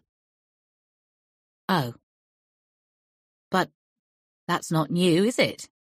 She's always been protective of you. Melissa had transformed Derwent into a family man, instead of the restless womanizer he had been when I first knew him. I assumed it had taken constant vigilance, at least in the early days of their relationship. Delicately pretty and gentle, she had been sweet to me, but with a touch of reserve that I recognized as a warning. Back off, he's mine. And until recently, I hadn't minded. Derwent gave me a rueful grin, knowing exactly what I meant. This was different, I suppose. The amount of time we spent together. And the circumstances. And how I was when I came back. I knew how he had been. Unhappy and unable to hide it. What happened? Did she make you promise not to work with me? She tried. I said no. I told her she couldn't control my job and how I do it. I let her call the shots in almost every other aspect of my life. I decide how often I see Luke, and I decide what happens at work. And other than that, she's in charge. Luke was Derwent's son, a self-possessed twenty-something who was the result of a teenage one-night stand. Melissa had not been pleased when he resurfaced, threatened by the new relationship Derwent was forming with him. Which was ridiculous, I had wanted to tell her. Derwent had been devoted to her since he met her and her son, Thomas. He had committed himself to making them happy. Whatever sacrifices that required him to make. She needed to learn to trust him, whatever she felt about me. I didn't care if she didn't like me much. It was nothing to do with me. But something Derwent had said stuck like a burr. If you're the one who decides what happens at work, it was your choice not to work with me. No. He looked around, then took a step closer, lowering his voice even though no one was near enough to hear us. Melissa got in touch with Una. She convinced her that you and I were on the verge of having an affair, if not actually over the side yet. She wanted you to be kicked off the team. I went hot and cold. She couldn't have. She did. And she didn't hold back.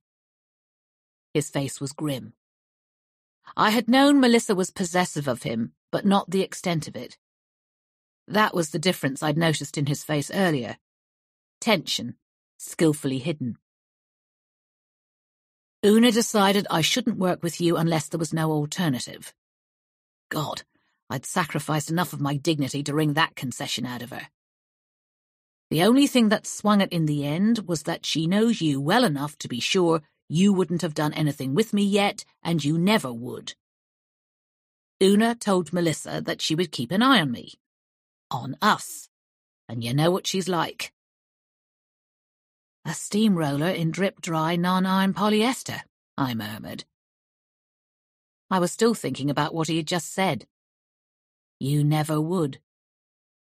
He hadn't left a pause for me to comment either way, probably deliberately.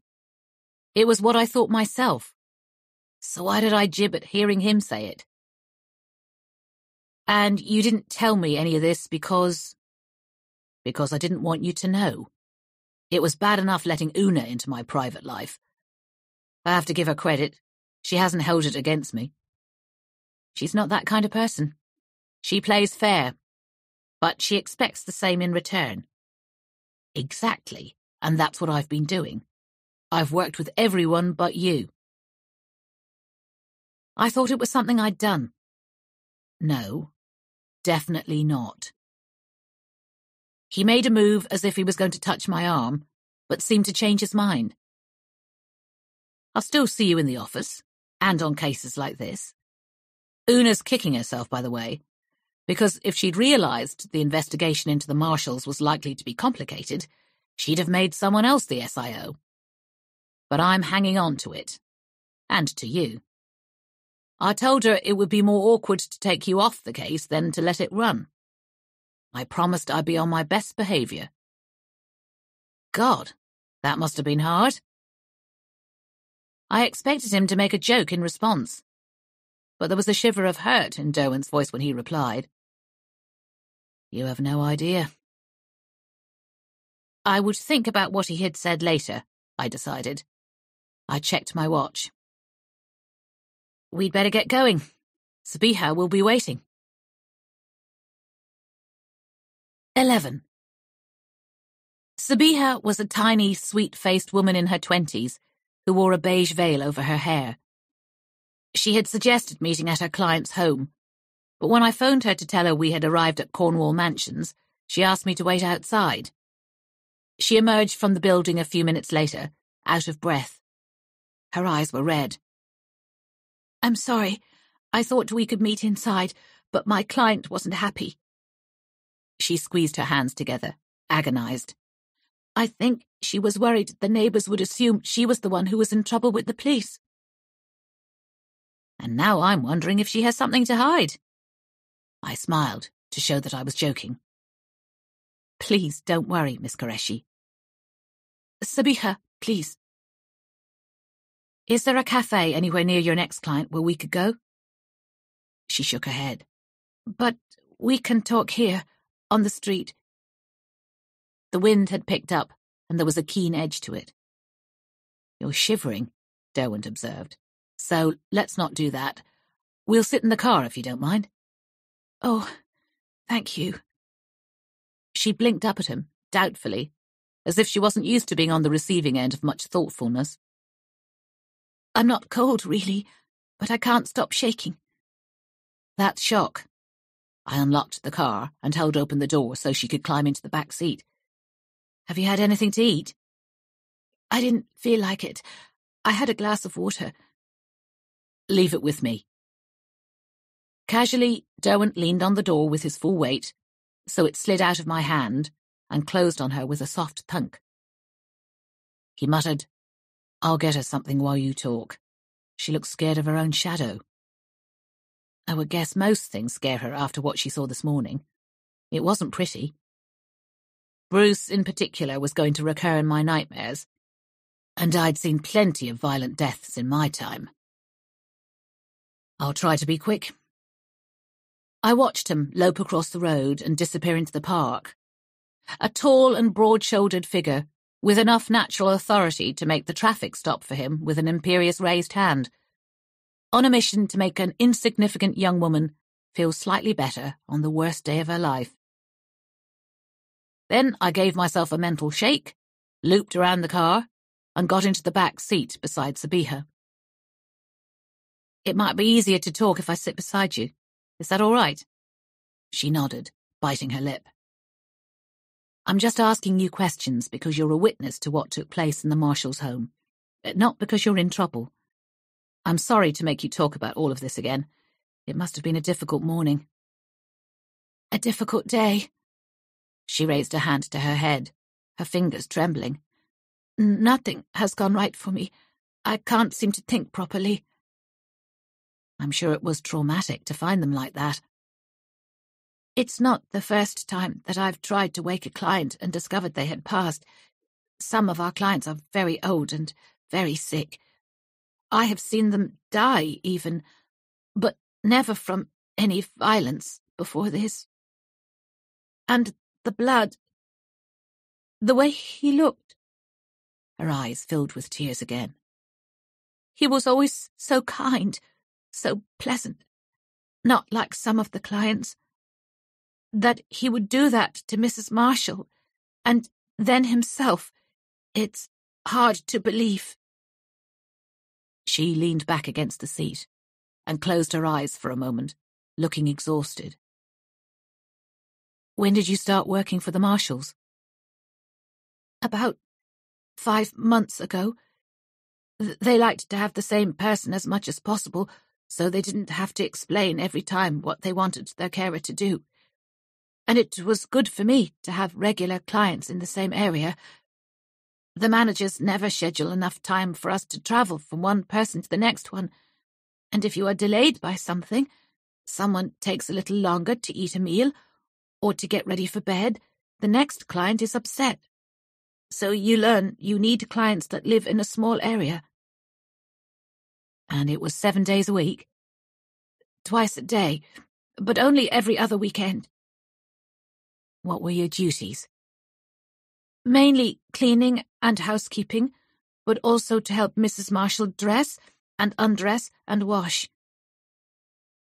Was she very unwell? She never spoke. A word here or there. She couldn't move very much, or hold small items or cutlery. She couldn't manage for herself. Mr. Marshall spoke for her if I asked her a question. She ate because he told her to. He was in charge. He was keeping her alive. Sabiha smiled, remembering. He said one day she would bloom again. And would she have recovered? It was permanent, her condition. Her brain was affected when she took an overdose. She had almost died, Ivo said. She said his name with a slightly different emphasis, lingering over the two syllables with tenderness that aroused my interest. What about Bruce? He was older than her. He needed a stick. He went for a walk every day in the park, though. What about his mind? Was he forgetful? Her brow furrowed. He was very careful not to forget things. He wrote everything down. Where? In a notebook. He kept it in his pocket. What did it look like? Small, red, lined paper, uh, a wire holding it together. I took a moment to translate that. Spiral bound.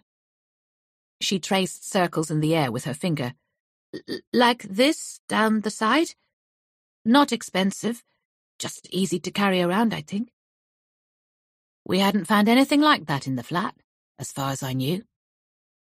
I took out my phone and opened the picture of the note I'd discovered down the side of the chair, zooming in so only a few letters were visible.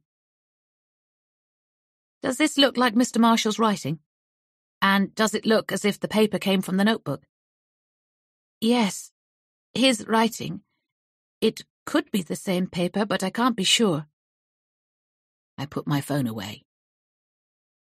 Now, I want you to think about this morning. Try to remember what it was like when you went into the flat first. Did you notice anything different? Anything unusual? N no, nothing. That's why I cleaned the other rooms. The trembling was back, I noted. The police who came were angry that I'd done it, but I would never have touched anything if I'd known. Her small hands were clenched into fists in her lap. There was a note in the kitchen with Mr. Hood's phone number. Ivo always came at weekends. I was glad he had a weekend off. And then, when I found them, I couldn't think. I just remembered that I was supposed to call Mr. Hood, and I did. And he came. I was sitting on the kitchen floor when he arrived, and I don't remember how I got there. I know what that's like, I said with sympathy. How did Mr. Hood get in? There's a key safe beside the door. He had the code. I looked up to see Derwent coming back to the car. He got into the front seat and handed a cardboard cup to Sabiha and another to me. She had tea, mine was coffee, and I felt myself reviving as I sipped it. Careful, it's hot, Derwent warned. Sabiha was gulping her tea down. It's sweet. I put two sugars in. You need it when you've had a shock. He passed a paper bag back to her. That's just a pastry, but it should make you feel better. I waited until she had finished it before I asked my next question, aware that I was pushing into difficult territory. What about in the Marshalls' bedroom? Did you notice anything unusual or out of place, aside from the Marshalls themselves? I didn't really see the bodies. I was trying not to look at them. I opened the door, and it smelt wrong, and it was too quiet, so I knew something bad had happened. And the light by the bed was on, which wasn't usual, so I looked for a moment, and then. then I looked away. What else? Try to remember the rest of the room. There was a pillow on the floor next to Mrs. Marshall's side of the bed. She dropped her chin to her chest. you'll be angry. We're never angry when someone tells us the truth. Derwent sounded as if he was more or less incapable of losing his temper, as unflappable as an air traffic controller. I picked up the pillow, only for a second. Then I realized I shouldn't touch anything, and I put it down again. How did you hold it? I asked. By one corner?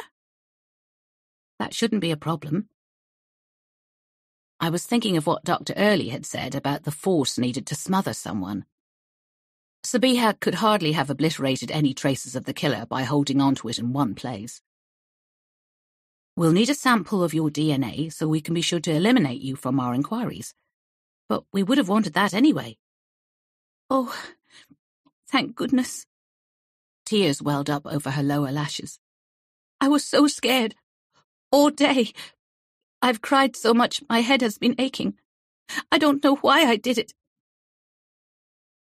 You said it was unusual for the lamp to be switched on in the morning. Was there anything else that was unusual? Was it normal for them to sleep with the windows open in their bedroom?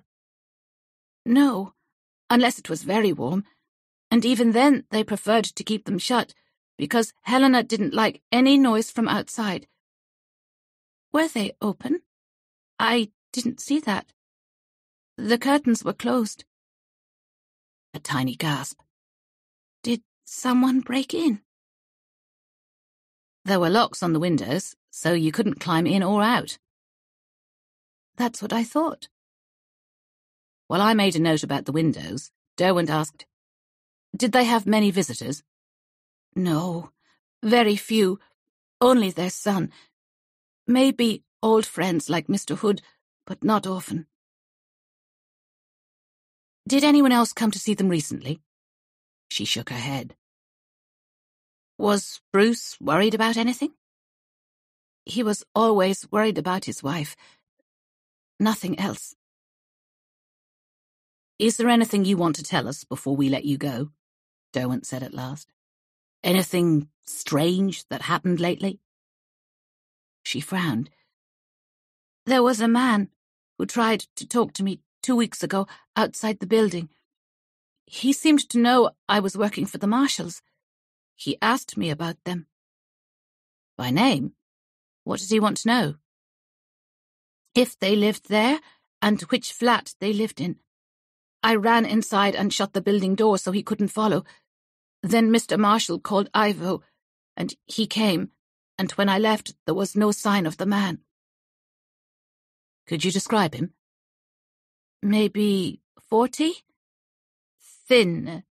He kept saying he was sorry to ask, sorry to bother me, sorry if I was upset, sorry to be a nuisance. He seemed shy, not angry. He seemed worried. He said he needed to find them. And would you recognize them if you saw them again? I think so, she said. I might. I left Derwent to go back to the crime scene, while I drove Sabiha to her next client. And I chatted to her about where she lived, and how long she had been in London, and what she wanted to do with her life.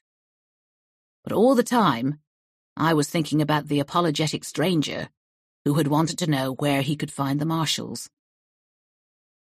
He didn't sound like the typical murderer if such a thing existed. But then, this wasn't a typical murder. 12. I came back to the crime scene after dropping Sabiha off and made it as far as the door of the building where Una Burt was lying in wait. Maeve, can you follow up with the sons?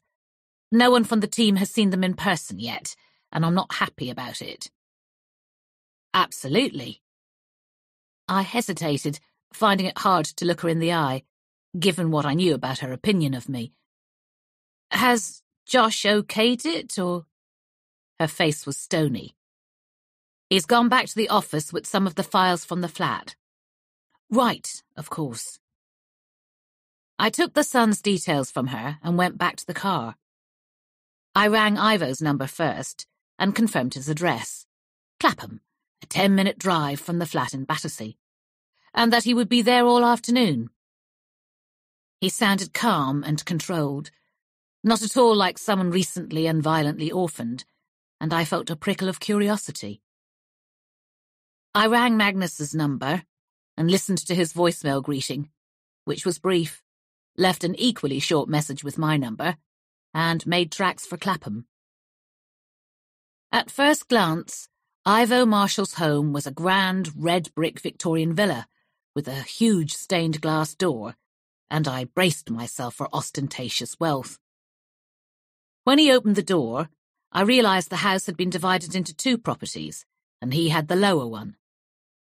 In contrast to the Victorian exterior, the flat looked modern, with pearl grey carpet, pale walls, and discreet recessed lighting all the way down the hall. Ivo Marshall himself was tall and well built, with light brown hair. He had a square jaw and a straight nose deeply conventional good looks that could be more or less attractive depending on the personality that went with them. Sergeant Kerrigan, thank you for coming. You must be so busy. It's very good of you to take the time. Instant warmth, instantly likable. I felt myself relaxing. Whatever our conversation involved, Ivo was the kind of person who would strive to make it easy for both of us, and I didn't encounter them too often in murder investigations. I could see why Sabiha might have had a crush on him. I'm sorry we couldn't get to see you earlier. I noticed he was barefoot and slid off my shoes. Oh, you don't mind? The carpet is new. We haven't accepted it will ever look dirty. He led the way down to the back of the flat, I caught glimpses of a sitting room with red painted bookshelves, a study with yellow walls, and a pair of bedrooms, one in tones of pale green, one pale blue. At the back of the hall, a short flight of stairs went down to the basement, which contained an enormous and very modern kitchen, where none of the appliances were visible, and everything was either black wood or gleaming brass. A mid-century dining table stood in front of a vast abstract oil painting, and a low, fleecy sofa that looked like a cloud faced the television.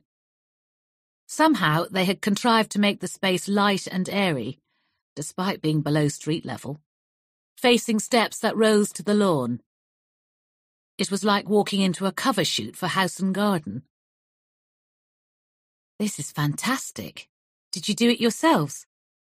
Yes, just finished it a couple of months ago. This flat was a wreck before, and the basement didn't exist. My wife is an architect. She designed the whole thing and project managed it. It's a way of showing clients what she can do. And you get to live in it. I didn't try to hide my envy. But I also got to live through two years of building work. Ivo's excellent manners extended to offering me a cup of tea or glass of water, or a drink of any kind, all of which I declined, despite being curious about where the fridge might be hiding in the inscrutable kitchen. I realized he was using politeness as a delaying tactic, warding off the moment when he would have to talk about his parents. I just have a few questions, Mr. Marshall. Where would you prefer to sit? Oh, yes, uh, sorry. He chose a chair that was clearly a Danish design classic, leaving the sofa to me. I perched on the edge, trying to maintain my dignity instead of sinking into it. What do you know about what happened? Um, the police, your colleagues, told me they were found dead this morning by their carer. He shrugged, uneasy. I understood there were suspicious circumstances, given that both of them were dead at the same time. They said there was a murder investigation, but they couldn't tell me anything more. Or wouldn't, I suppose. Do you know how your parents died? N no, they didn't say. He had folded his arms tightly, so he was hugging himself. They said that the bodies had been identified already. We'll be able to confirm it with DNA, but Sabiha was able to identify them, and Mr. Hood confirmed it. Hood, he was there, was he? Sabiha called him. Ivo nodded and smiled, although a muscle spasm in his cheek ruined the effect. The one weekend I have off in years, and this happens. Do you think it's significant that you weren't in charge this weekend? You mean, do I think Dad took the opportunity to kill my mother? I'm assuming that's what happened. The muscle spasm was worse now. There were aspects of the crime scene that made us question whether that was what happened. He frowned. She couldn't have done anything to him, if that's what you're thinking. She was almost completely helpless. If he was pretending that he didn't know how they had died, I couldn't spot it. I gather her poor health wasn't a recent development. No, she'd been in that state for years. So you can't possibly suspect her, can you? I left that one unanswered. At the moment, we're keeping an open mind about what happened. But it's suspicious. No doubt about that, I'm afraid. They both died violently. Violently? It looks as if your mother was suffocated and your father was shot. Shot? Ivo's voice cracked. Did he have a gun? A, a shotgun? He, used to go shooting with friends, but I don't remember him having a gun. No, a handgun. What? A, a pistol? N no, they're illegal, aren't they? Was your father the sort of person who would have obeyed the law and handed in a gun? even if it had some sentimental significance? It's an old gun, then? It's possible he decided to hold on to it, I suppose. He was a private sort of person. I'd never have gone through his belongings without his permission. He paused, gathering his thoughts. He was shot. Where? In their bedroom, he was in bed. I meant... He raised a hand and gestured at his body. It was a headshot. Pure shock in his face. Poor Sabiha. Walking in on that. I'm glad Hood was around to help her. He's a capable sort of person. The Hoods were good friends, but they hadn't been in touch with my parents for a long time. So long that he wrote to the old house to try to find them. How long is it since your parents moved into the flat? Must be three years. I blinked. I assumed it was more recent. They didn't seem to have moved much in. They didn't have much left. They sold the Richmond house and most of the contents, but they'd borrowed so much against it that they only had a small amount to live on. It must have been possible to find somewhere cheaper to buy. They didn't buy it. The flat is a loan from a friend of my mother's. It belonged to her godmother, and she didn't need it when she inherited it. My parents paid rent, but it was a really tiny amount. Where did their money go? I think there was less of it than they pretended even when things were going well but they spent a fortune on medical bills and other expenses in the last few years. Because of your mother? Not just that. He swallowed, looking down. My sister disappeared. Rosalie. Oh, of course you know. I know what happened, but I don't know the details, I said. And he sighed. There isn't much to tell you. She disappeared from our house one night sixteen years ago, and no one ever saw her again. No one knows where she went or what happened to her. She was only nine, and it broke my mother's heart. I understand Helena took an overdose. A little while later, yeah. She lived, but only just. She was brain damaged. She wound up in hospital for months and months. Ivo shook his head, as if he was trying to get rid of the memory of that time. Just disappeared. Like Rosalie. And even though Mum came back, she wasn't the same. We lost both of them. She needed help with basic tasks, is that right? She couldn't do anything, and she never got better. Ivo ran a hand over his face, wincing. We got angry with her, my brother and I. We were used to her sorting our lives out. We didn't like her being ill. Suddenly, she needed looking after, and no one had any time for us.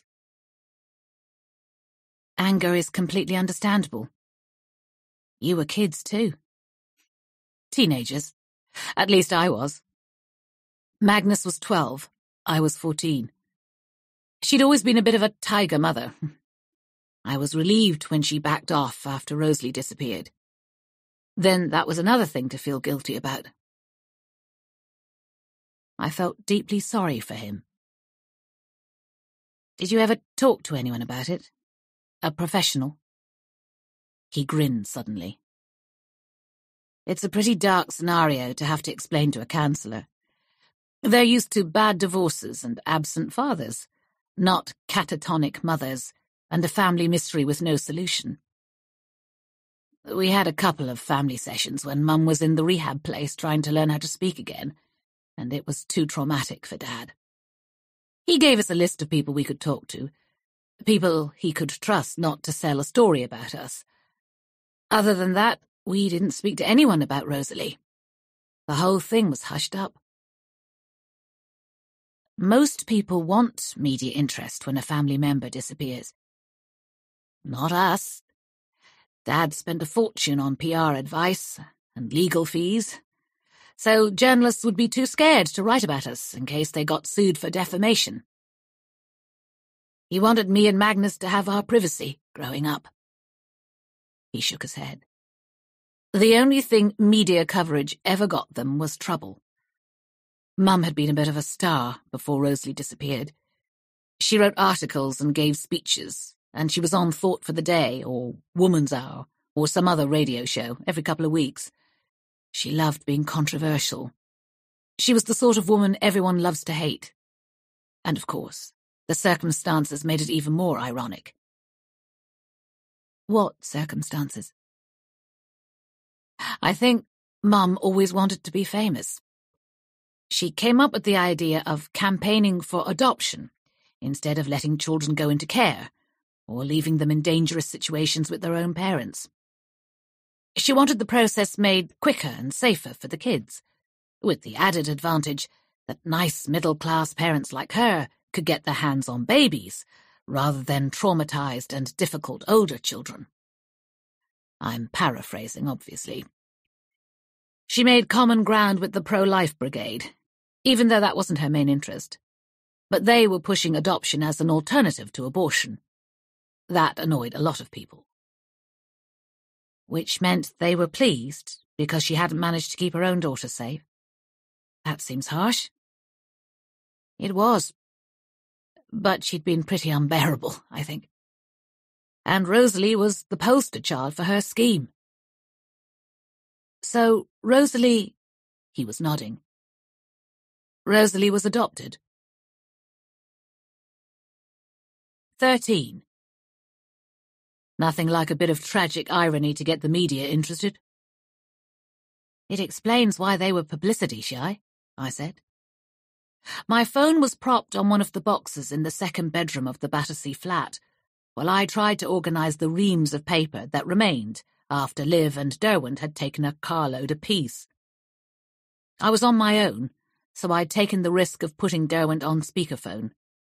You can imagine, after the second or third think piece about it, they started to feel attacked. That, and the fact that they were suspects. Adopting a kid is difficult. Maybe they struggled with her. Ivo said he thought the reality of having Rosalie was a shock to his mother. She sold an idealized vision of herself as a parent through her media work, but it was hard, at times, from what he remembered. You think they were responsible for her disappearance? I don't know enough about it. I levered the lid off a box and sighed at the sight of a stack of newspaper clippings. They used a cutting service. That costs a fair bit. Medical bills, lawyers, a PR company, private detectives. I'm beginning to see why they had no money left. I had already explained to Derwent how they had come to live in the flat. Or they were being blackmailed. I paused. Is that just a guess? Wild speculation. That's pretty much all we have at the moment. Have you found anything interesting in the boxes you took away? As if I'm going to bother reading any of it, Derwent said cheerfully. I have you for that. And Liv? If she has time. I'll try to get her to do some more interesting tasks, so she gets the love back for the job and feels appreciated. I don't want to tie her up with boring old background reading. I'll leave that for you. Oh, thanks very much. You don't want anyone to think I'm playing favourites, Maeve, do you? Derwent's voice was soft, too sweet to be sincere. I rolled my eyes as I lifted another box off the pile in front of me. You wouldn't. What did Ivo say about his parents' marriage? Before Rosalie disappeared, they were a pretty impressive partnership. He made the money and facilitated her work, and she kept the house running smoothly. They had nannies, but at the time Rosalie disappeared, there was just a tutor for his brother, part-time, and various other members of staff who came and went. A cleaner, a gardener. The brothers helped with Rosalie if Helena wasn't available. Did they mind having to look after their little sister? Ivo said not. He seems like the type who just does what needs to be done and doesn't complain. After Helena's overdose, Bruce gave up work to look after her. It was a total change of lifestyle, but Bruce was devoted to her. Ivo thought the way he behaved towards Helena was him taking his vows seriously, you know, in sickness and in health. Or Bruce felt guilty about murdering Rosalie, which was the reason Helena OD'd, and he wanted to stop Helena from telling anyone what he'd done, so he made her totally dependent on him. I stopped leafing through a file for a second. That's dark, even for you. But a possibility, nevertheless. Well, Ivo didn't think of it. He made sure he was available to help whenever they needed it. That must have been a huge commitment. Yes, but he didn't seem to question that either. I think the family was in a state of crisis from the moment that Rosalie disappeared. They were fighting fires all the time. They didn't have time or space for introspection. What about this man who accosted Sabiha two weeks ago? Did Ivo tell you anything about him? Yes and no. He didn't get to talk to him. The guy ran away as soon as he caught sight of Ivo. He disappeared through the park. Ivo couldn't give me a proper description of him either. It was drizzling by the time he arrived, and the man had his hood up. But Here's an interesting thing that I don't think Ivo clocked. He definitely recognized Ivo because he took to his heels. Ivo could have been anyone walking down the street, but our mystery man knew exactly who he was and didn't want to hang around to chat. That fits with him asking Sabiha about the Marshalls by name. Maybe he wanted to talk to the parents, but he didn't fancy an argument with their grown-up son. If he recognized Ivo, presumably Ivo would have recognized him. Very possibly. And he didn't want to be recognized. I also thought that. Because he was up to no good. I think we can assume that was the case. So, we need to find this man. Any ideas? Not so far. He yawned. I'm trying to get hold of my mate who investigated Rosalie's disappearance. What about Magnus? I've left him some voicemails, but he hasn't replied. I never listened to your voicemails either. Did Ivo tell you anything useful about him? Magnus didn't help with the parents at all. He seemed to be no contact with the whole family. Ivo said Magnus went his own way. What does that mean? I think we'll have to ask Magnus that. Ask Magnus what? I almost dislocated something as I whipped around to face the man who was standing in the doorway. He was in his twenties, and fair, with the kind of thin skin that flushed easily. He looked enough like his brother that it didn't take much guesswork to identify him. But unlike his brother, he gave every impression of someone who didn't mind being rude at all.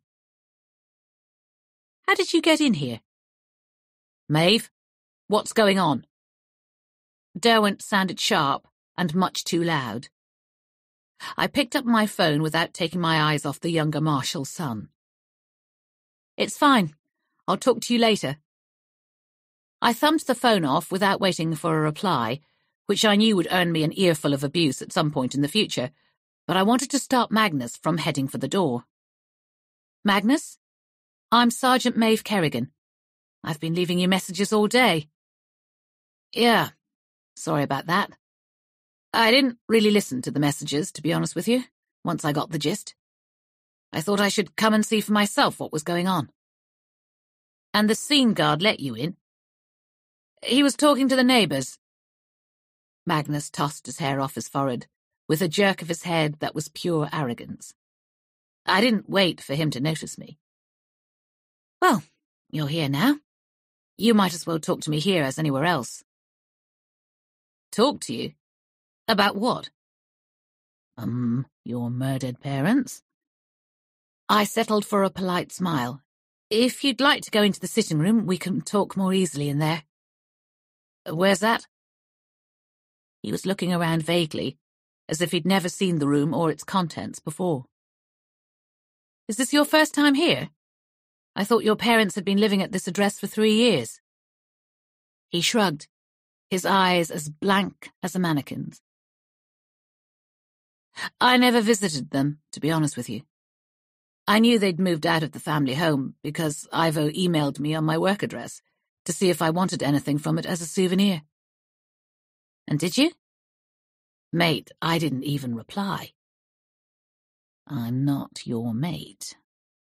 I moved towards the door. The sitting room is on your right, past the kitchen.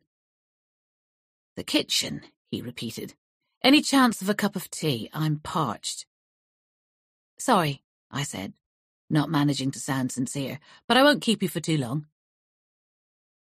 He prowled around the sitting room, peering out of the windows at the shadowy trees. Nice place.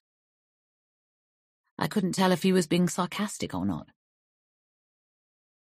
Why did you avoid seeing your parents? Not just my parents, the whole family. I wanted a break from them. They were, what's the buzzword that therapists use? Toxic. In what way? He was crouching, turning the picture frame around to inspect the painting I'd found that morning. Jesus, look at that. I haven't seen this in years. I wonder why they kept it and nothing else. Who painted it? My nanny, believe it or not. He glanced at me with a wry expression that made me like him a fraction more. Sadie, her name was. Like the song. You mean the Beatles song? Sexy Sadie? I raised my eyebrows. And was she? He pretended to be horrified. I was a child. She was just the face I looked for in the crowd when I came out of school but I remember my mother saying it was appropriate. I was forming dark suspicions about why Sadie might have left. It's a pretty picture. He gave a bark of laughter. it's shit, beautiful. You can call me Sergeant Kerrigan, I said, unmoved. I had worked with Derwent for too long to be flustered by someone calling me beautiful. Maybe they were sentimentally attached to the picture. Dad? Sentimentality is not his thing. Or it wasn't, I should say. Mum wouldn't have cared. He looked around, wrinkling his nose. There were decent paintings they might have kept. They had a Duncan Grant that was all right, and a very underwhelming Augustus John, but it would have been worth a bit. You sound as if you know your art. I studied it. Now I work for an auction house. That must be interesting. Getting your hands on amazing paintings and treasures. He laughed. It's not Sotheby's. It's a small specialist outfit. You won't have heard of it. Rafe and Gunter. He was right. I hadn't heard of it. Ivo said your parents ran out of money. Presumably the paintings were sold. Not in the open market, I'd have known. But a discreet private sale, sure. As long as the dealer is respectable and the sale is recorded, it doesn't have to be turned into a song and dance. Why did you say your family was toxic? He sat down and slung one leg across the other.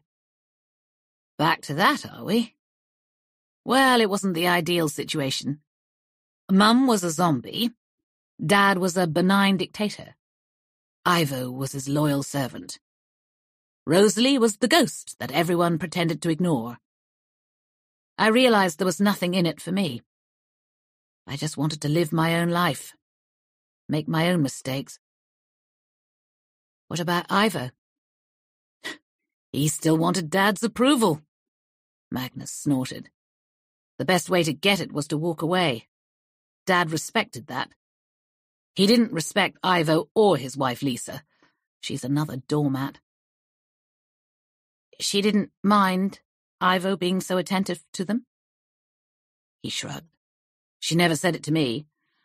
But she doesn't like me. And you don't like her. I don't think about her enough to have an opinion.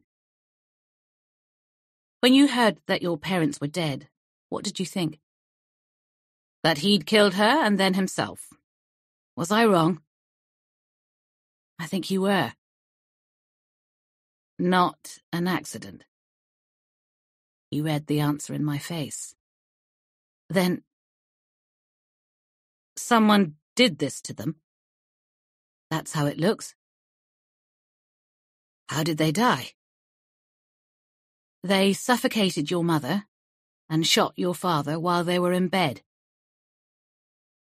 He got to his feet, his shock propulsive and unfeigned. Shot him. Where's the bedroom? You can't go in there. It's sealed in case there needs to be further forensic work. Anyway, it's not very pleasant. Did he own a handgun? Did he, bollocks? Magnus sneered. And then, as something occurred to him, his face dropped. At least, I, I don't know. An old Webley? Yes. Then, yes. I, I saw it once. It was in a box on top of a glass-fronted bookcase in Dad's study, and I thought it was a Christmas present. I climbed up and knocked the box down, which cracked the glass in the bookcase. No way to hide it. You must have been in trouble. I got the spanking of my life. I must have been ten, eleven, something like that. Was there ammunition with it? He closed his eyes, frowning. Um, yes. I remember having to hunt around on the carpet for the bullets. I think there were six or seven. Where did he get it? He didn't tell me. It could have belonged to his father, though, I suppose. And who else would have known he had a gun? No idea. Didn't Ivo come across it when he was helping them to move in here? He said not. Frank incredulity on Magnus's face. And you believed him? He seemed to be telling the truth. I was aware that I sounded uncertain. Well, that's Ivo's trick. People take him at face value and assume he's a good guy. Magnus shook his head slowly. But I'd have thought someone like you would know better. 14. Unhelpful to the last, Magnus declined the opportunity to help me carry some boxes of papers out to the car. He did confirm, with a quick look around the flat, that most of the furniture hadn't been in his family home. This stuff is grim. They had better taste than that. So everything was sold? I suppose so. Dad would have minded that a lot. I doubt Mum would have noticed or cared. But before she became ill, she was proud of the house. Did you know they had run out of money? They couldn't hide it. Dad gave up work to look after Mum, and they spent a fortune on doctors and the like. No holidays, no new cars, no presents at Christmas. Their standard of living plummeted. Was that why you decided there was no point in staying in touch with them? It was a rude question, but I was under no illusion that Magnus and I were ever going to be friends. No, it wasn't. I never wanted a penny from them, and I wouldn't have taken it if they'd offered it. He picked up his coat. I left the family because it was broken, and it was breaking me. They were selfish people, and they got worse once they had an excuse to look for sympathy. Ivo seems to have felt some obligation to let them use him, but I didn't. They were adults and they made their own choices. They didn't choose to lose Rosalie. He looked at me for a moment, his eyes cold. Didn't they? Do you think they were involved? I don't know. I've never known. He pulled the coat on. And now, I suppose I'll never find out. The flat seemed to vibrate with his anger and distress long after he'd gone.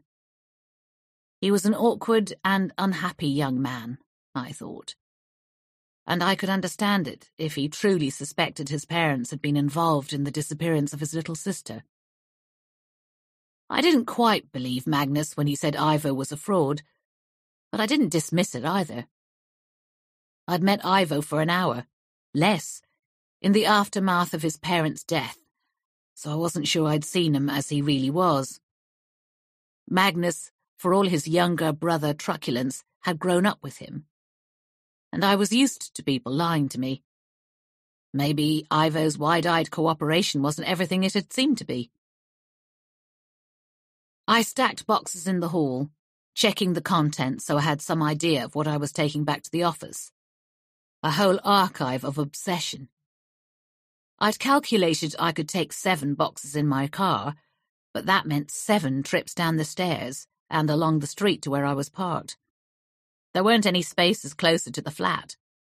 I did three trips before I needed a break, not so much because I was tired, but because the special constable on scene guard duty annoyed me. He was young, soft and red-faced, and seemed to feel he was entitled to comment on what I was doing every time I passed him. Got your hands full there, love. Put your back into it. Get it done in no time. What you need to do is put one under each arm. Half as many trips. You know, you could help, I snapped in the end. I've got a job to do here. Is that the job you were doing when you let the victim's son walk into the crime scene unannounced? I don't know what you're talking about. You were chatting to the neighbours. He looked wounded. I was reassuring them that they were safe. You don't know that they're safe. And I wasn't safe since you weren't doing the very basic job of watching who was entering the premises. It could have been anyone who walked past you. It could have been the killer. Magnus had caught me unawares and I didn't like it. Sorry. He swallowed, his eyes wide. I thought he was about 22 and now he was terrified. I went back into the flat for a glass of water and some much-needed time out. On the fourth trip, the special constable was silent as I stalked past him. It was a shame that I'd broken him, because although I didn't know it, I was about to need him. As I levered the main door open and stepped out into the night, I saw a man leaning into a car down the street, then straightening up to examine something he had retrieved from it. I took a moment to realize it was my car he had been searching, which meant that he had broken into it. My initial reaction was outrage. My second was interest. It wasn't my car, after all, but a job car, and he was peering at a file he had liberated from one of the boxes. He hadn't noticed me yet, and I took the opportunity to note every detail of his appearance. He had fine dark hair that was sparse on top and straggled over his collar, a weak jaw, thin limbs, and sloping shoulders. Inoffensive was the word that occurred to me first, along with the suspicion that it was an image he cultivated. I guessed he was a journalist, getting a different angle on the double murder story that would merit a couple of paragraphs in the newspapers the following day. Una Burt believed in press releases that were low on detail and big on jargon, so even the most gothic crimes sounded tedious. If he'd worked out who the Marshalls were, and their connection with Rosalie, this guy had already done better than most of his colleagues. Finding the family files on Rosalie's disappearance would be a major scoop. I put down the box I was holding and ducked back into the building, calling up the stairs to the constable. In as few words as possible, I explained to him about the man outside and that I needed him to secure the building at the front door. But I thought I was supposed to guard this crime scene. That's what you told me to do. And now I'm telling you to take charge of the building's security. What about you? Why can't you do it? Panic edged his words. I'm going to tackle the man who broke into my car. But he could be armed. If you're worried, call for backup, I hissed, thoroughly irritated. But I've dealt with worse. What if he's there as a distraction, and someone's real intention is to gain access to the crime scene while we're both engaged with him? This possibility had obviously not occurred to him. He goggled at me, silent. So, would you mind coming down to the hall and keeping an eye on the box of papers and the building and on me? Uh, I'm not sure. He was fingering his radio nervously.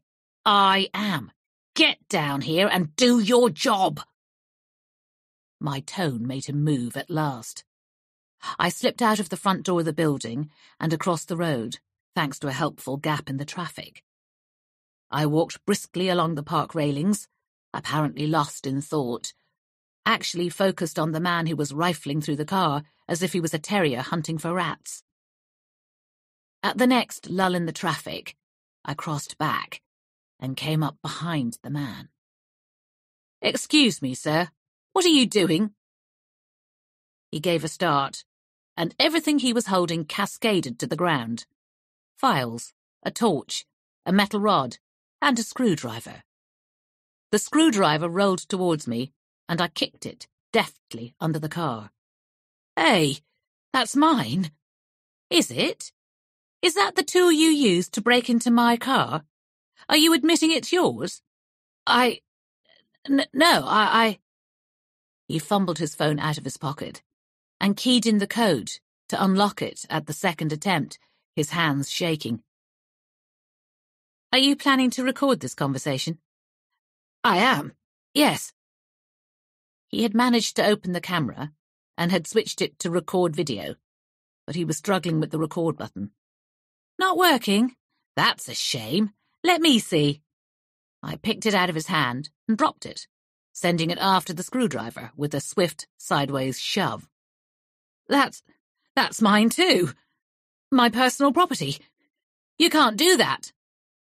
It was an accident, I said, my eyes wide with innocence. I'll get it back for you before we go to the Nick. To the.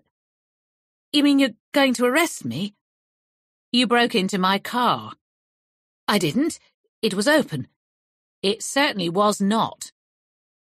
I wobbled the window of the passenger door. And this wasn't loose when I left it. and you just admitted the tool I found was yours.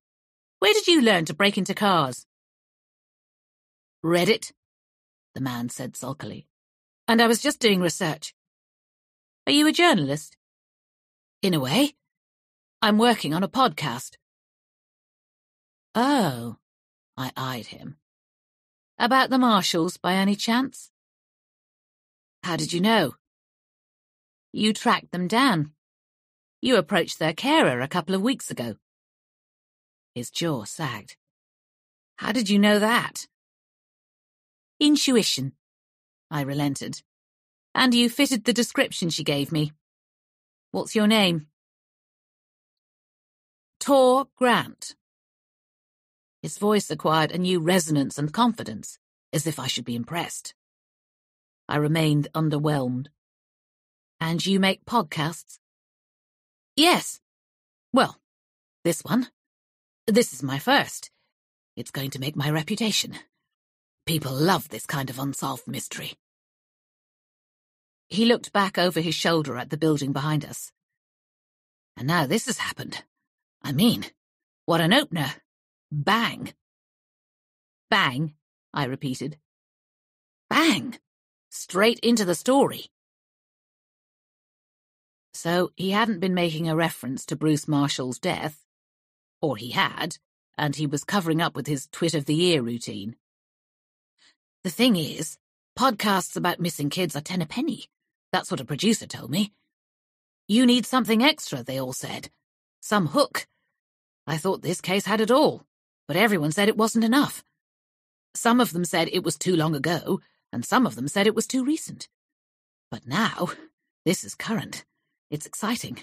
It opens the whole story up.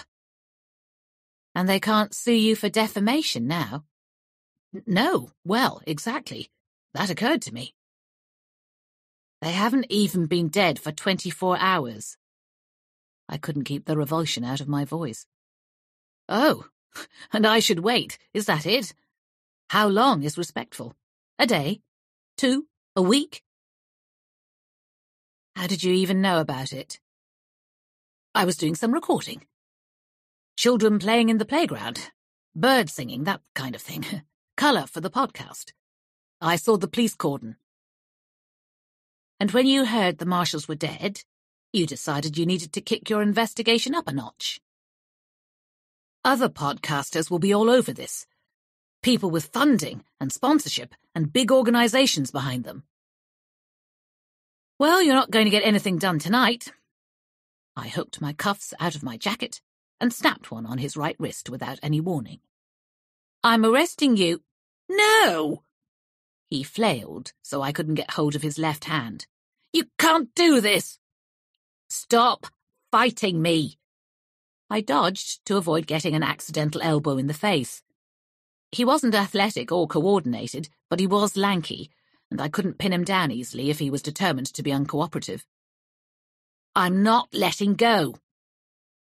He threw his head back and yelled, Help! Police brutality! Help!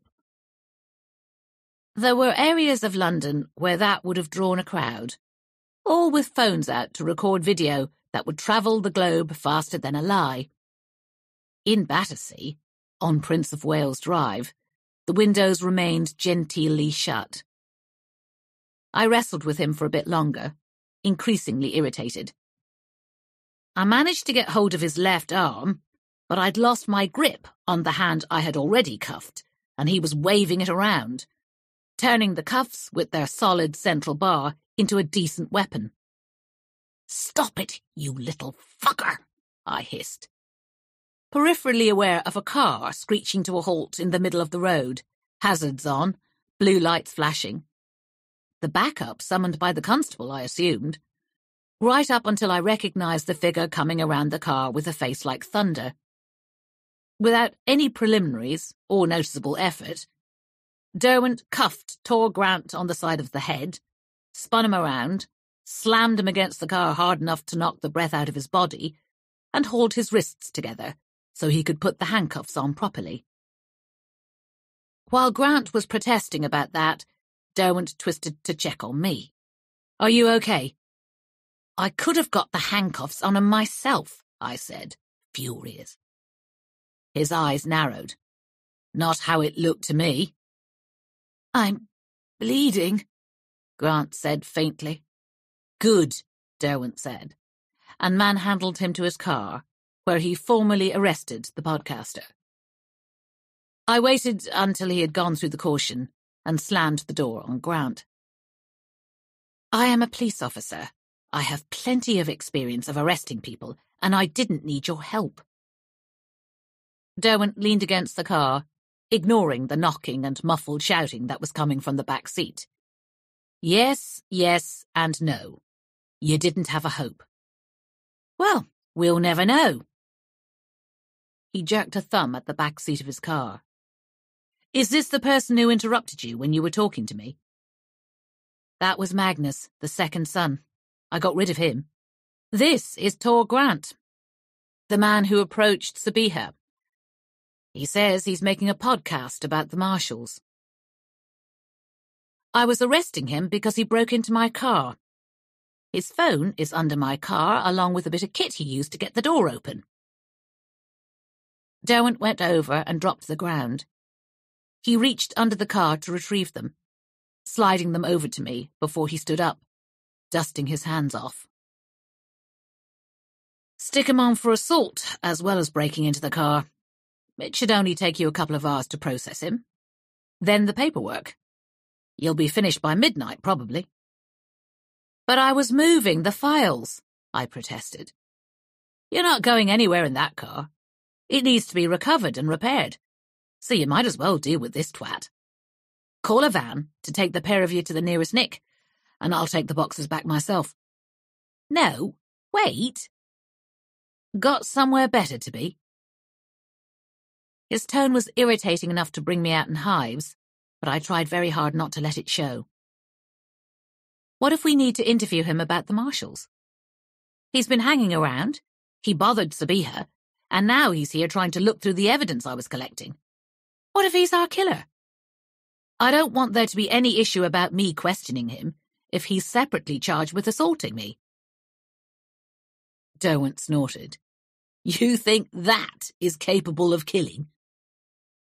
I think I don't want to assume he isn't, I said evenly. Look, hand him over to the local CID once you get him booked in. I'll call their skipper and let them know. They can interview him about the car and the assault. At the moment, I just want him out of the way. They can drop the assault charge in the morning. You're not really hurt, are you?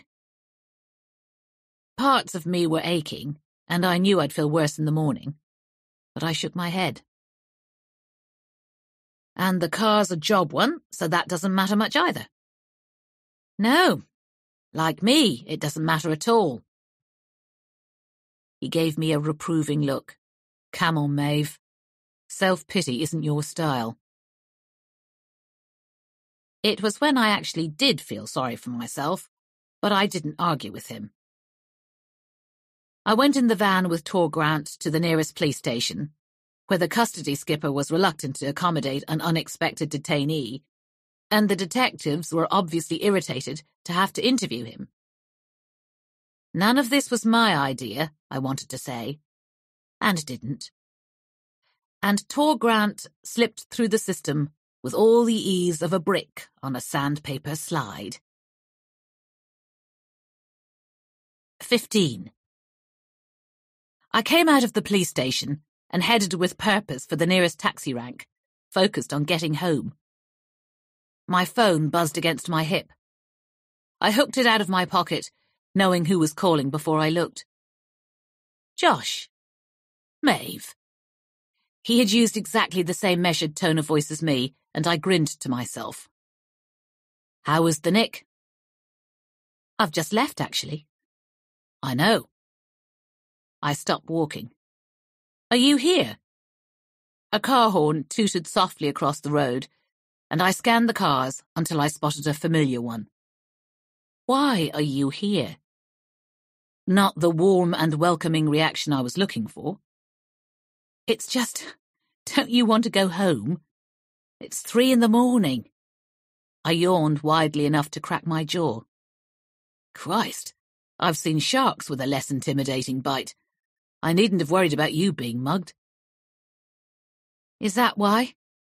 His car window was closed, and the streetlight was reflecting off it so I couldn't see him. You were worried about me? Just checking up on you. You did get a bit of a going over from Grant. Oh. I was surprised and warmed by his thoughtfulness. I took the boxes from your car back to the office. Then I thought I'd come back to see how you were getting on. I didn't think you'd be out for a while. Only the six hours this time. I was lucky. I'm going to get a taxi home. I'll drive you. It's completely the wrong direction for you. I know where it is. He sounded amused. It was his flat, after all, and I was only renting it from him. Are you sure? Maeve, get into the car. He ended the call. I ran across the road, caught between embarrassment and a sudden unexpected happiness that I didn't choose to analyze too closely. Well? Well, what? The first couple of minutes of the journey had passed in silence, and I was relaxed, almost sleepy, my body slack against the seat. Derwent's question made me literally sit up. Did Tor Grant say anything interesting? What was he looking for in the boxes? He didn't say specifically. He said it was too good an opportunity to pass up. I yawned. He said a lot of other things.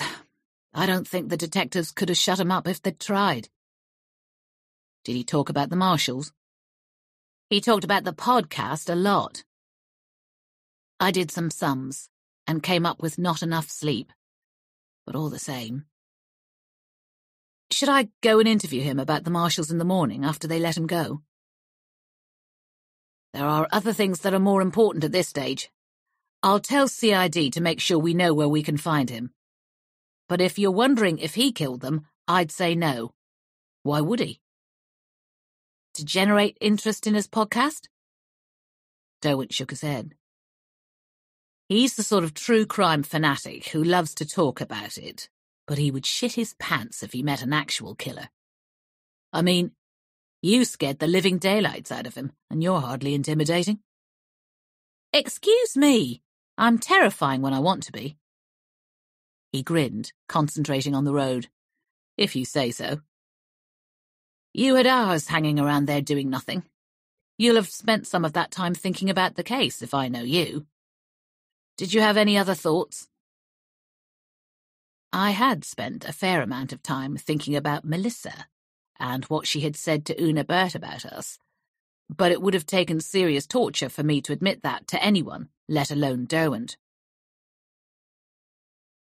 The scrap of paper I found down the side of Bruce's chair bothers me. Go on. It must have been something he wanted to remember, and presumably the shorthand made sense to him. BDK has to mean something, and it relates to an important date. Maybe when Rosalie went missing? So... So, what if he was aware that he was developing dementia? What if it was a reminder to him to look up the date his daughter disappeared? And the shock of forgetting such an important event pushed him into taking action. By killing his wife. Yeah, that's what I meant. He was frowning. We ruled it out because of the way the bodies were lying. I know, but I was wondering if we saw what we wanted to see. I said it in a small voice and got a swift glance from Derwent. You think it suits me to make this into a bigger case than it seemed at first? Why? Um, I squirmed. You don't like being told what to do? And this is one way of getting around Una Burt's rule about us not working together. You said as much yourself.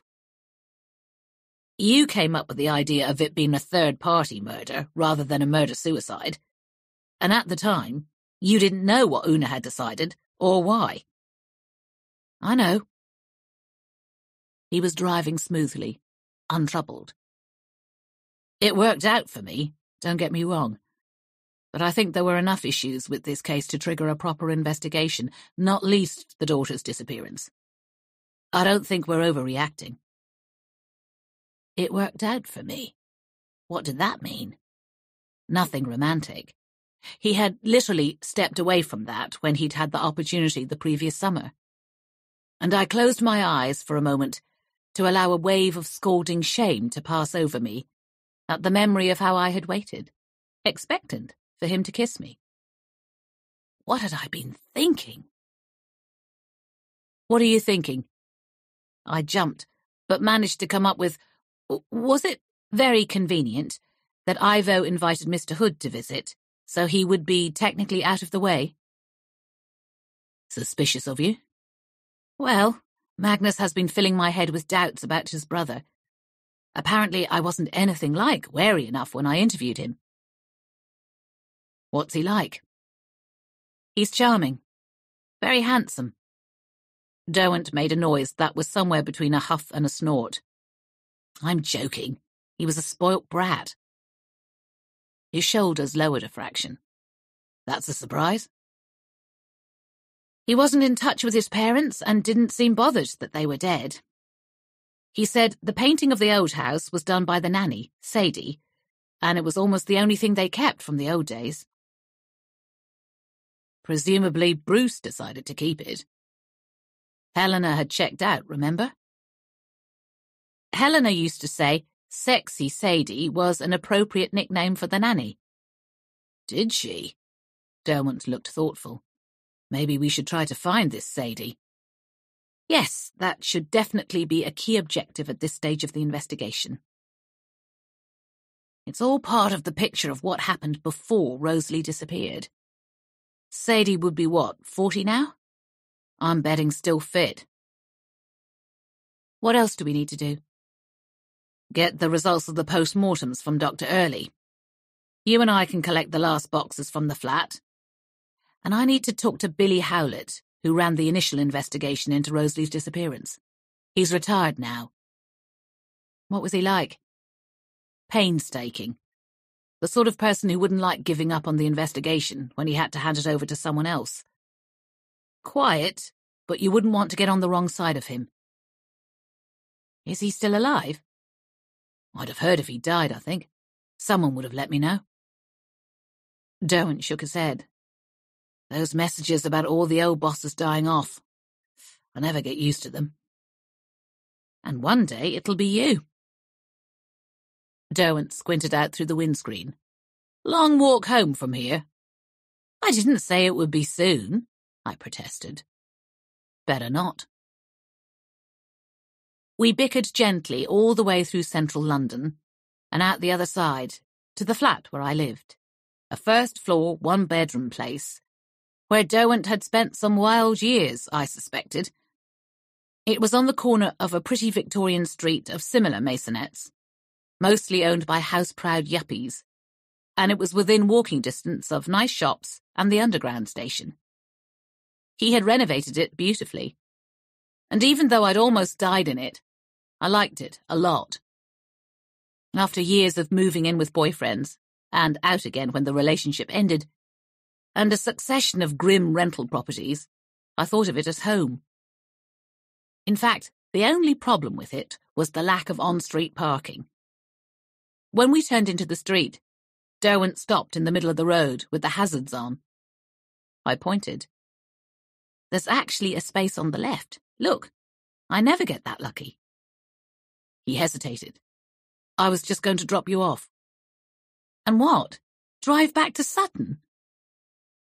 He was living a long way south of the river, not far from where I'd grown up, and my parents still lived, so close, in fact, that they looked after Melissa's son Thomas from time to time. It's hardly worth it. If we're going to Battersea together in a few hours, we might as well start from here. I'm heading back to the office. I can sleep there. I've got a toothbrush and a change of clothes. I can lend you a toothbrush. You can have the sofa. I nudged him. I'll even let you use the washing machine if you ask nicely. The quick cycle has saved me from a laundry crisis more than once. Better not. He said it with the kind of decision that I recognized. He'd made up his mind. and I shouldn't have pushed further, but I found myself saying what came into my head. Because you'd get in trouble with Melissa for staying with me. A glower. Because it's not a good idea. And that was all I was getting. I put a hand on the door handle. Are you picking me up in the morning? No. I'll see you at the flat in Battersea at nine. He revved the engine. Go on, see what some beauty sleep can do for you. Nothing much, I imagine. I was hurt and embarrassed, but trying not to show it. If I'd got a taxi home, I would have had to make my own way to Battersea too, but somehow this was different. I got out, thanked him, and closed the car door. He waited while I took out my keys and let myself into the flat. Which was exactly the kind of thing he would do, in case I was murdered on my doorstep and he missed it. Then he drove off with a brief wave. What else had I expected? I trudged up the stairs, feeling lonely for the first time in a long time. All very well for him to blame Una Bird, but I had a suspicion that wasn't the whole story. Derwent had been avoiding me for his own reasons. I just didn't know what they were. 16. Derwent had told me to be at the flat in Battersea at 9, which meant he would be there by 8.45 at the latest. I arrived 10 minutes before that, with two coffees and two bacon sandwiches. I leaned against the railings, enjoying the morning air, and the bird song from the park, and the feeling of superiority that came from being on time. I'd put some colour in my cheeks with the help of the blusher my mother had given me for Christmas, along with a meaningful look. I was feeling surprisingly well, which was adrenaline, and also anticipation. The thought tripped me up. Anticipation of what? Spending the day with Derwent, came the truthful answer, which was pathetic. Oh, yes. And what if he rings you to tell you he's not coming, and you can handle clearing out the flat on your own? Needled a mean little voice in my head. What if he's thought better of spending time with you, like he did last night? I wouldn't mind, I thought, knowing it was a lie. I took out my phone to check that I hadn't missed the soft hum of a message delivering bad news. So I was staring at the screen, like a teenager with a crush, the mean voice observed, when he strolled up, his hands in his pockets. What's this? Breakfast. I handed him his coffee and sandwich. Lifesaver. I thought we'd need it. I watched him wolfing the food down. He had shaved with care, and his suit was immaculate. But nothing could hide that he was hollow-eyed with fatigue. How are you feeling? He said it around a mouthful of sandwich. Perfunctory, that was the word. Fine. How did you sleep? A grimace. I managed a couple of hours on the sofa in the break room. Well, you did have an alternative. Keep it normal, keep it light. I wanted to see how he would react, so I could work out how he really felt about what had happened, and by extension, how he felt about me. He ate the last of the sandwich and looked at me. Are you nearly finished? Not yet? Well, do you mind getting on with it? I just don't eat like a starving Labrador. Oh, sure. You're too much of a lady for that. Unless you're really hungry, in which case all bets are off. He sounded as if he was thinking about something completely different. Any news on Tor Grant? They've let him go. They got an address for us. It'll be a shame if he turns out to be our killer after all. I said it as a joke, but Derwent looked gloomy. That could still happen. Is it the lack of sleep, Josh? Or is something else making you grumpy? Instead of answering, he walked away towards the building. I scrambled to gather up the empty cups and the remains of my breakfast, then dropped the lot in the bin on my way. He was holding the door open for me, which was something. I waited in the hallway, letting him take the lead. All the little tricks were coming back to me. The techniques I had learned to deal with him in the years when he was relentlessly rude and confrontational. Nothing to do with me or something I'd done. My thoughts were interrupted by a door opening as we started up the stairs. You there! Are you the police? A big man, stooping over a stick. He had a white beard and white hair, which gave him an immediate touch of the old St. Nick's. But the red in his face was high blood pressure rather than jolliness. Derwent came back down two steps. Yes, sir. What can we do for you? I wanted to complain about the noise. We're conducting a murder investigation, sir. Unfortunately, it does involve a certain amount of coming and going. The man was oblivious to the tone of reproach that Derwent reserved for members of the public who had transgressed. It's been intolerable. You're right over our heads, you know. People dropping things, dragging things, tramping around on the balcony. Totally inconsiderate. Sorry about that, Derwent said, not sounding it. We'll be finishing up shortly. I hope so. Can't concentrate on the wireless. You must have very good hearing, I said, and he threw back his head like an old elephant. Got these new hearing aids. Didn't want them, but they talked me into it. Now I can hear everything. Marvellous. He turned to face away from us, and I thought he was going back into his flat. But he barked, Say something quietly, and I'll tell you what it was. Not even looking. Go on. I didn't dare catch Derwent's eye. Twinkle, twinkle, little star. How I wonder what you are, he finished, triumphant, working his way back around. You see, I leave them in because they're fiddly little things, so sometimes I get woken up during the night. Did that happen the night before last? I asked. Early yesterday morning. He shook his head, irritable. That was it. I was wide awake. What time? Five, it must have been. Do you know what woke you? Could it have been a gunshot? He considered the question. No. Thumping and banging. From eight or so, there was a lot of coming and going, which was you lot.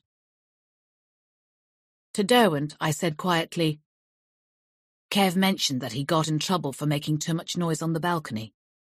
That's the worst place for it, the man said. Sounds like a herd of bullocks trampling around. Could I ask your name, sir? I asked. Hartley Goring. I'm in flat three. Mr. Goring, did you ever hear anything that was unusual or suspicious from upstairs? Arguments? Odd sounds?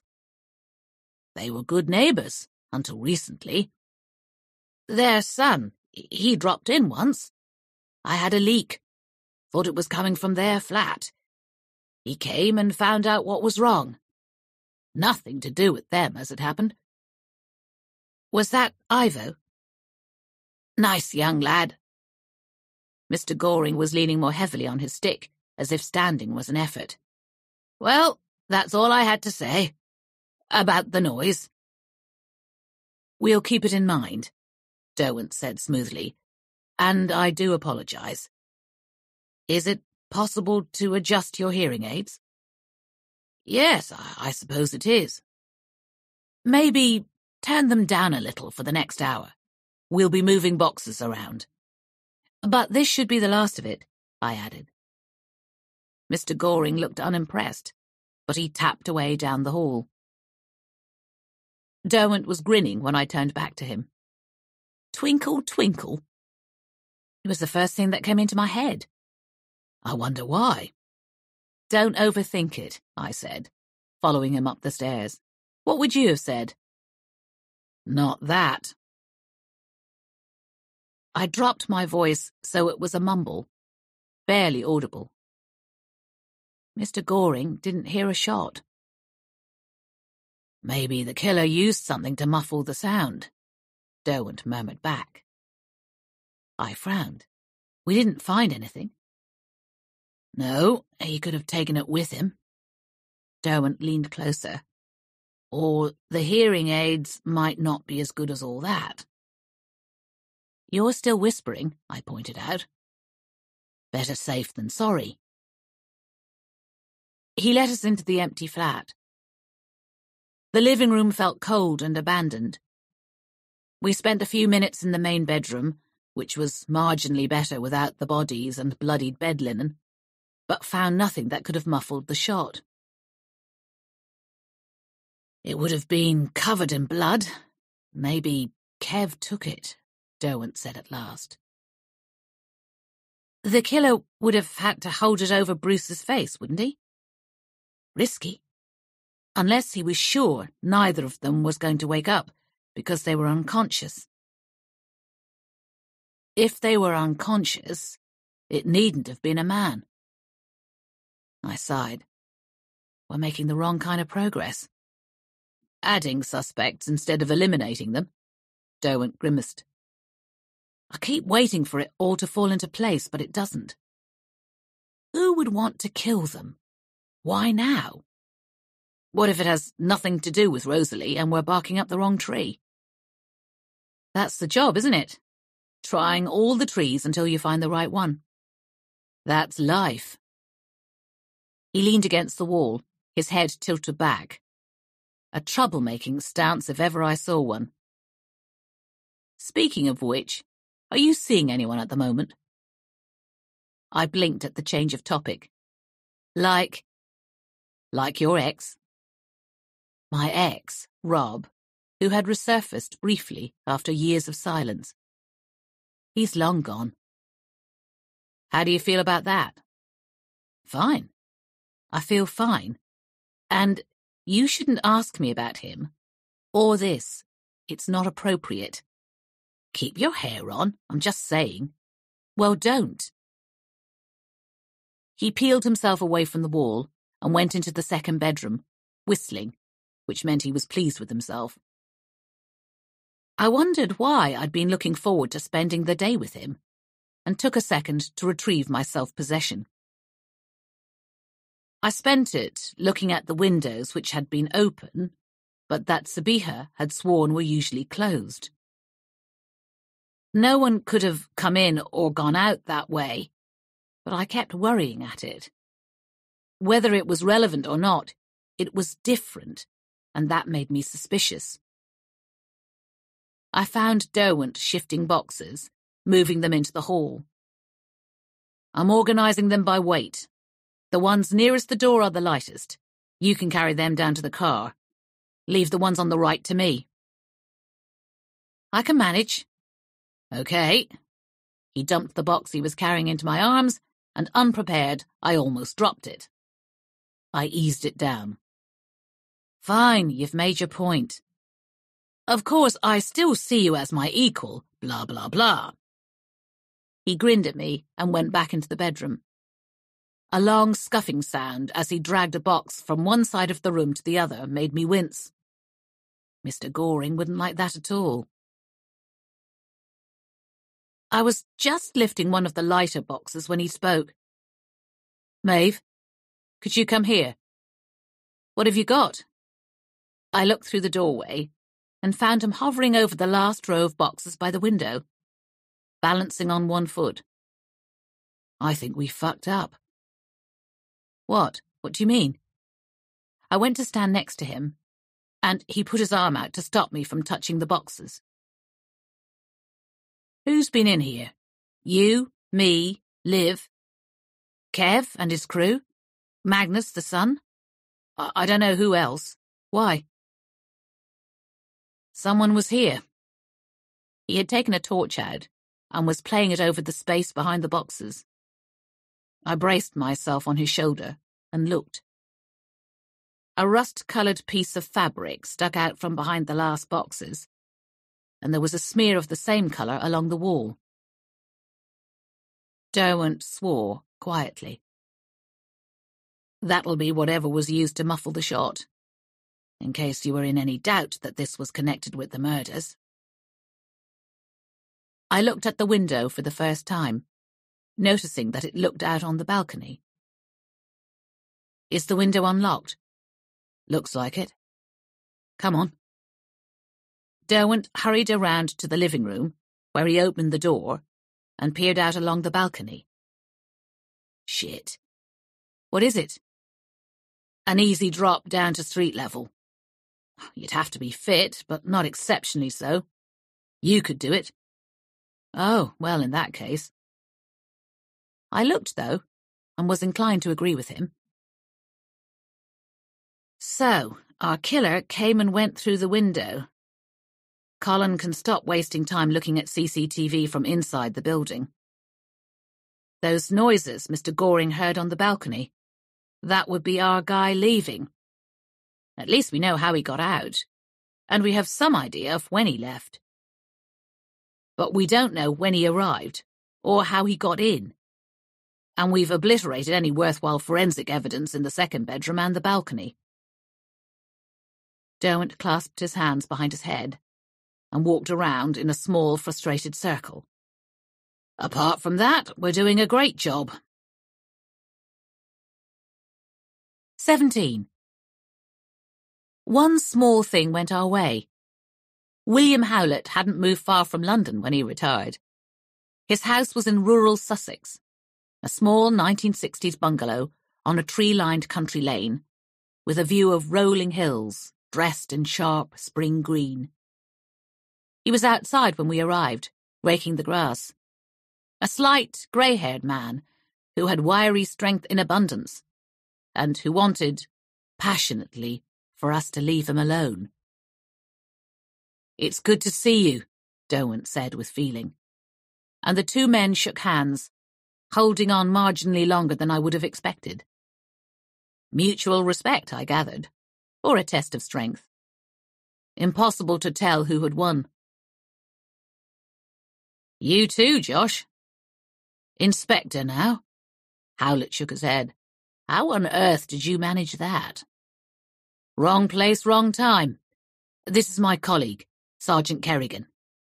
Ah, he nodded to me. An understated man, Derwent had told me in the car on the way there. Old school, but he's not old. He would have been the type who joined young and did his thirty and retired to enjoy the pension while he was in his fifties. Don't make the mistake of thinking he was a card index kind of detective. He retired in 2016.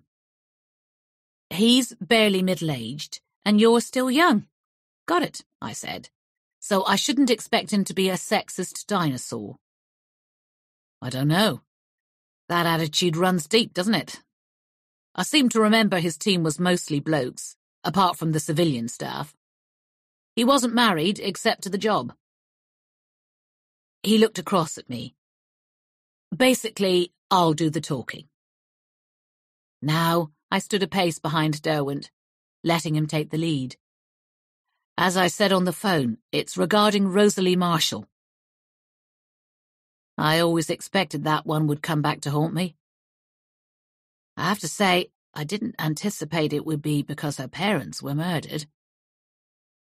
He had a quiet voice just above a mumble, and a distracted manner, which I thought had probably misled more than a few criminals in his time. There's no doubt about that, I suppose. They were both murdered. No doubt at all. Not now that we had found the cushion used to muffle the gun. That's a shame. A very great shame. He dusted off his hands. Come into the house. I'll make tea. The kitchen was small, but very clean, and looked modern, with a polka-dotted blind at the window, and shiny red cupboards that didn't seem to fit with what I knew of Howlett. It was a happy space, light-hearted. Do you live here on your own? I asked. Uh, no, with my wife. I'm sorry she's not here, but she's out volunteering at the local school this morning. When did you get married? Derwent was looking startled. A couple of years ago, I thought I'd never marry. Then I met Sheila. He smiled, and I saw the warmth that had been missing from his manner before. Never too late to be happy. Good for you. Derwent clapped him on the shoulder. And are you married, Josh? Not yet. There was an odd undertone to his voice. Marry Melissa. I hadn't even thought of that. I'd been so sure that Derwent wasn't happy with her. Just like every other woman since the dawn of time, the mean voice in my head informed me. Not that you've made it to other woman status. Maybe I only saw what I wanted to see. I tuned out of the do you remember conversation that Derwent and Howlett were having, following in silence as the retired superintendent put mugs on a tray and carried them into a sunny living room. A wedding photograph stood on a side table. Howlett in a suit with a rose pinned to his lapel, smiling widely as he held hands with a beaming, dark-haired woman in pale pink. The picture was a million miles away from misery and missing children, and I understood why Bill Howlett had picked a time when his wife would be out, and why he had chosen to put off talking about the Marshalls until he couldn't avoid it any longer. Howlett sat in an armchair that looked comfortably worn, crossing his legs and holding his hands up in front of his mouth, the fingers interlaced. Why don't you begin? In a few brief sentences, Derwent outlined what had happened. The bodies, the causes of death, the room full of boxes, and the balcony. Our current assumption is that it was something to do with Rosalie's disappearance, there doesn't seem to be any other reason why two frail and elderly people would be murdered in their beds. You've ruled out burglary? He murmured it as if it was hardly worth floating the idea. The pathologist thinks they were drugged with chloroform before they were killed, which is unusual for a burglary. And they didn't have many possessions anymore, I said. There was nothing to steal. Interesting. Chloroform? They're doing more tests, but it looks like it. The pathologist said it's easy enough to make it if you know how. Hmm. They were well off, you know, when I knew them. At least, that was how it looked to an outsider like me. Big house, staff, the kids went to private schools, and no one had a real job. What did the sons say about that? The same. The parents had run out of money. Nothing to inherit, Derwent said. Nothing to fight over. I smiled. Magnus could start a fight in an empty room. That's also interesting, Howlett said. He was a nice boy. A little wild, perhaps. He was devastated when his little sister disappeared. And Ivo? He was older, of course, a teenager. He was more closed off, but certainly upset. Derwent leaned forward, his elbows on his knees. You got the first impression of the case before the waters got too muddy to be able to see anything. You must have had your own theories about what happened. Howlett considered it for a moment. Well, you know how she disappeared. A cool August night. No windows left open downstairs. No doors unlocked, according to the Marshalls. No sign of a break-in. Helena Marshall was first to get up that morning and went downstairs without checking on Rosalie, though she did visit the bedrooms of her other two children. They were asleep. Why did she leave Rosalie out? Derwent asked. She didn't want to wake her up. He shrugged. Nothing to say that was a lie. Rosalie was usually the first one down in the morning, everyone agreed. And sometimes she would make herself breakfast.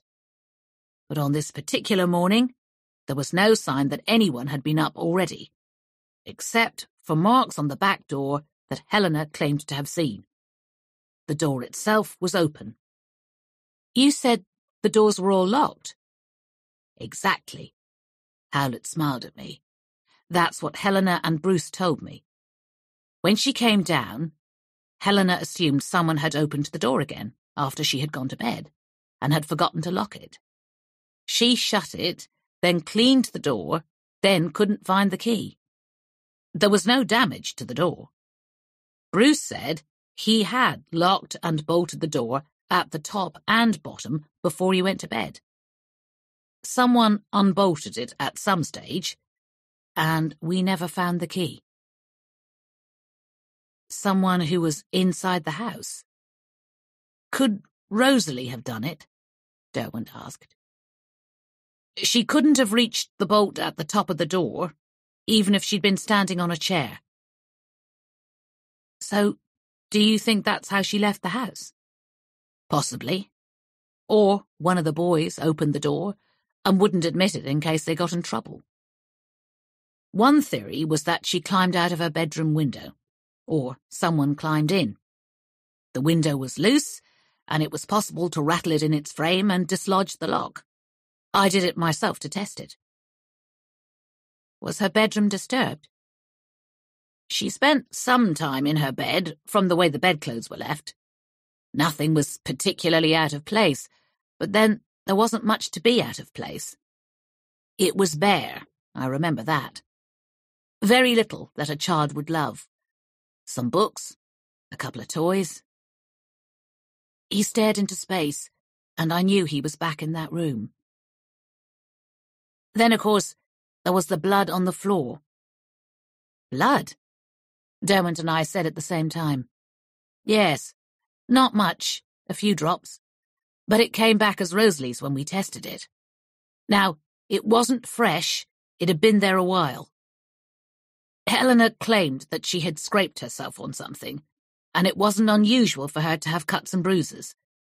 She said she was a clumsy child. If a parent said that to me in an investigation, I'd think it was a red flag, I said. Indeed, Howlett's voice was quiet, but the way he spoke, slowly, halfway to a drawl, made me sit up and mind my manners. I noticed Derwent was smirking to himself. I didn't take it for granted that she was telling the truth. But I spoke to a lot of people who knew Rosalie. Teachers, her nanny, her siblings. And they all agreed that Rosalie was careless and dreamy, she was one of those kids who wants to climb trees but falls out of them. No sense, and no idea of what her limits might be. She sounds brilliant, Derwent said, and Howlett smiled. By the end of my time on the investigation, I felt as if I knew her. She was bright and imaginative and fun.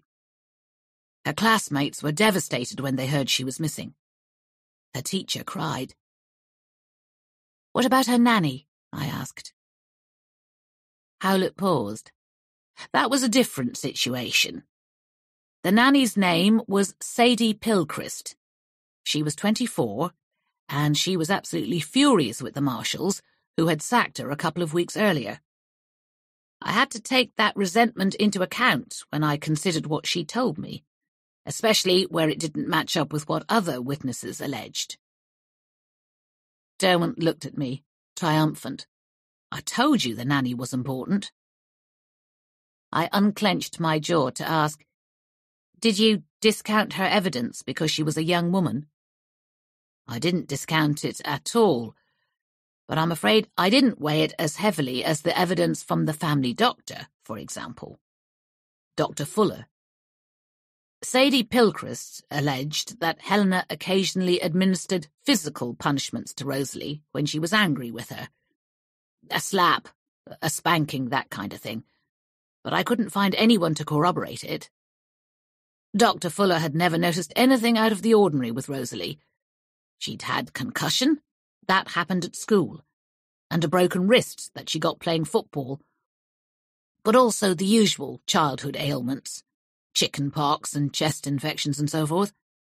Dr. Fuller was horrified when I asked about violence in the home, but couldn't recall any evidence to support the allegation, and the boys flat out denied it. They might not have said anything if they were scared of Helena too, I protested. Sadie was almost certainly sleeping with Bruce Marshall. And she was sacked after the family holiday that year in France, Howlett said, with the air of someone playing a winning hand. She wouldn't admit it to me, and Bruce denied it, but the boys both told me. Halfway through the holiday, there was a huge argument between the adults, and Sadie cried a lot, and then she went home. After that, Helena was doing all the childcare. Were Bruce and Helena getting on then, at the time Rosalie disappeared? He grimaced at Derwent. They had patched things up, but no. I'd say there was little love and no trust between them. They supported each other during the investigation, and then Helena overdosed, and after that she was totally dependent on him. Was Sadie ever a suspect in Rosalie's disappearance? Derwent asked. She had an alibi for the night in question. If she had wanted revenge on Helena, I think she would have gone to the papers and revealed what she was like behind closed doors. Helena was just famous enough for them to have done a story about it. She didn't need Rosalie to be missing. Why didn't she do a tell-all after Rosalie disappeared? I asked. It seemed like an obvious earner for her in the circumstances. She did. They got it spiked.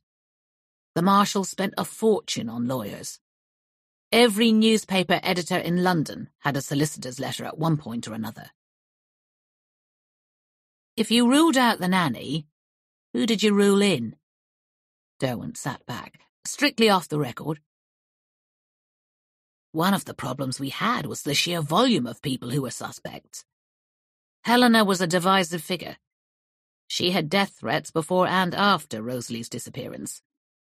Bruce had business interests that annoyed animal rights campaigners. Investigating that took up a huge amount of time and money, and it got us nowhere. They had anonymous letters.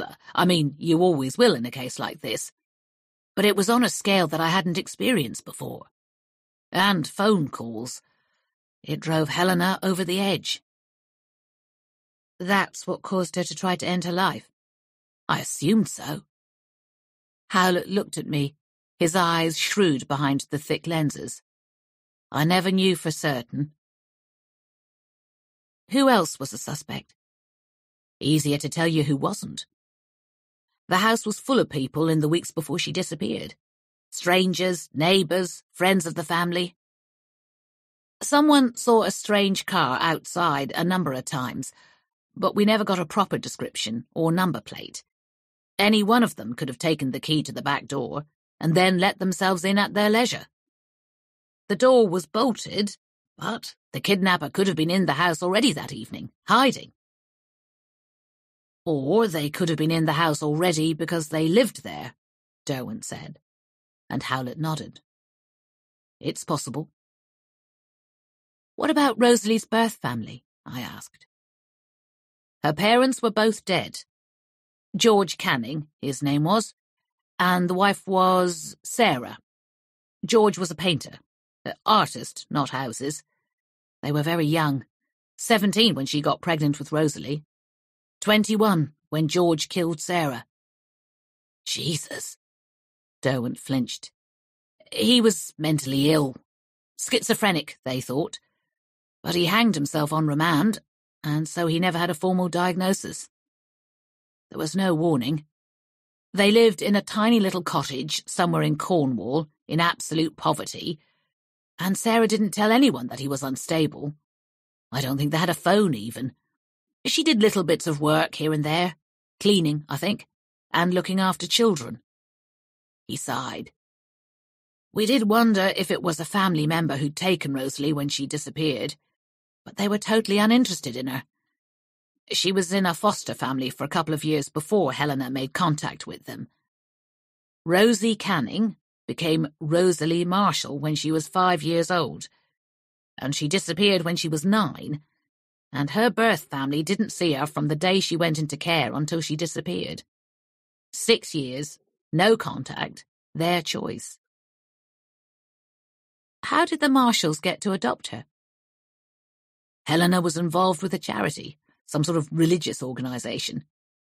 She wanted a little girl, not a baby, because a baby was too much work, and she jumped the queue to adopt Rosalie.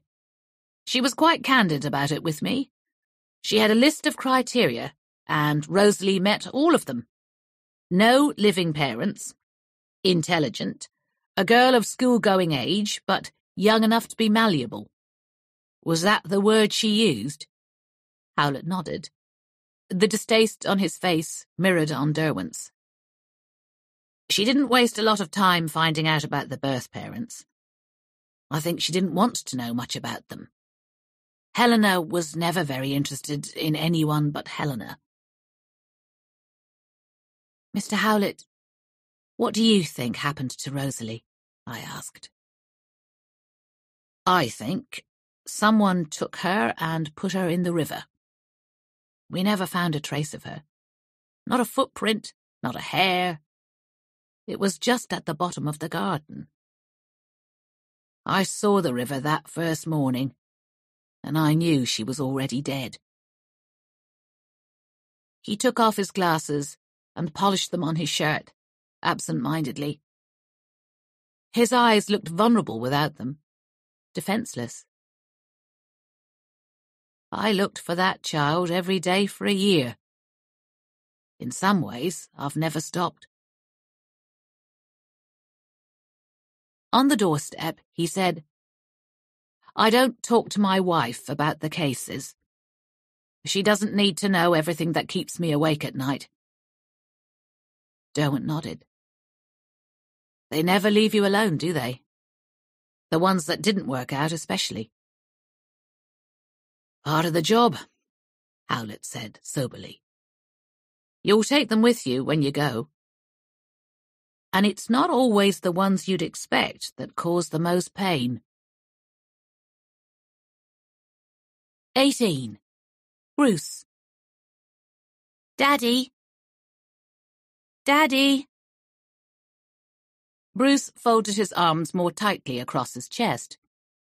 He was leaning back in his padded desk chair, congratulating himself, not for the first time, on establishing that he needed an office at home, and that the furnishing of the office must be left to him. He had spent a lot of time and a considerable amount of money on the oxblood leather chair that had made Helena shudder. It's vile. It's comfortable. For my back, Bruce had added quickly, thinking, for my naps. And it had proved to be a loyal companion when he was in his study, reading papers and making calls. Bruce did, of course, make calls, but they were largely to friends to arrange golf outings, which counted as work because that was how he made the right impression on the right people, who then invited him to be on the right boards and chair the right committees. He had a carefully cultivated reputation for being reasonable and not asking the difficult questions that could derail ambitious business plans. He didn't like to look the gift horses in the mouth too closely. Not with two sons in private school, and every prospect that little Rosalie would be the same. Even though he had tried hinting to Helena that it wasn't quite as important for her. It wasn't that she was adopted, and therefore didn't deserve the expenditure, he had explained, but more that the boys needed to meet the right people. And through them, Rosalie would meet the right people. Helena had been furious. It's a hostage to fortune, and every journalist will ask me about it quite rightly. Do you want me to look like a fool? So he'd backed off. But he hadn't given up. Bruce was a practical man, and he didn't feel that girls repaid their education in the way that a son might. They had other things to offer. He cherished a vision of himself walking Rosalie down the aisle, her face obscured with a cloud of white lace which was convenient because, try as he might, He couldn't imagine her looking like anything other than a black-eyed urchin. Daddy! Daddy! She was sitting outside the closed door to the study, and she would sit there until the door opened, or Helena found her and shooed her away. She was quiet enough, just that insistent repetition of Daddy every few seconds, which was enough to drive a less patient man insane. Every so often, a piece of paper would slide slowly under the door, with a scuffing sound that always seemed sinister. My story, Rosalie would tell him. Or, A letter to you, Daddy. Or, A drawing I just wanted to do, and I think it's quite like what I imagined. He rarely looked at them properly, truth be told. Little grubby scraps of paper went on the fire when it was lit, and in a drawer when it was the summer. He appreciated it in a way. No matter what he gave Ivo and Magnus, it was the wrong thing the wrong brand of cricket bat, the wrong type of trainers, the wrong game for their infernal computers. But throw a box of crayons in Rosalie's direction, and her peaky little face lit up as if he'd given her diamonds and rubies. A shout came from outside, somewhere in the garden. He swiveled in the chair to look out of the window. There, Ivo, running backwards in defiance of gravity and wisdom, all his focus on the cricket ball that was arcing towards him. There was a lovely inevitability in the way the ball curved into Ivo's outstretched palms, a pure moment of grace as he took it from the air. But he'd had to hustle to get it. Oh, well done, Bruce murmured, imagining himself at Lord's on a sunny day. I say. Good. That's it. Back to me.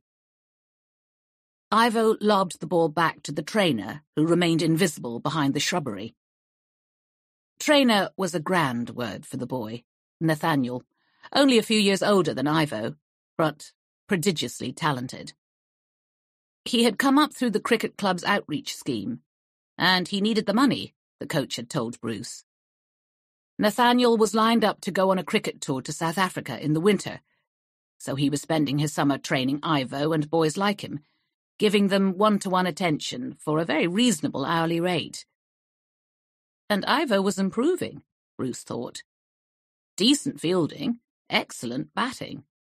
Not an all-rounder, unlike Nathaniel, but you hardly ever got that. He'd put in the hours down at the nets, dogged and determined, and that was Ivo for you. He'd break his heart, striving to be excellent before he'd admit defeat.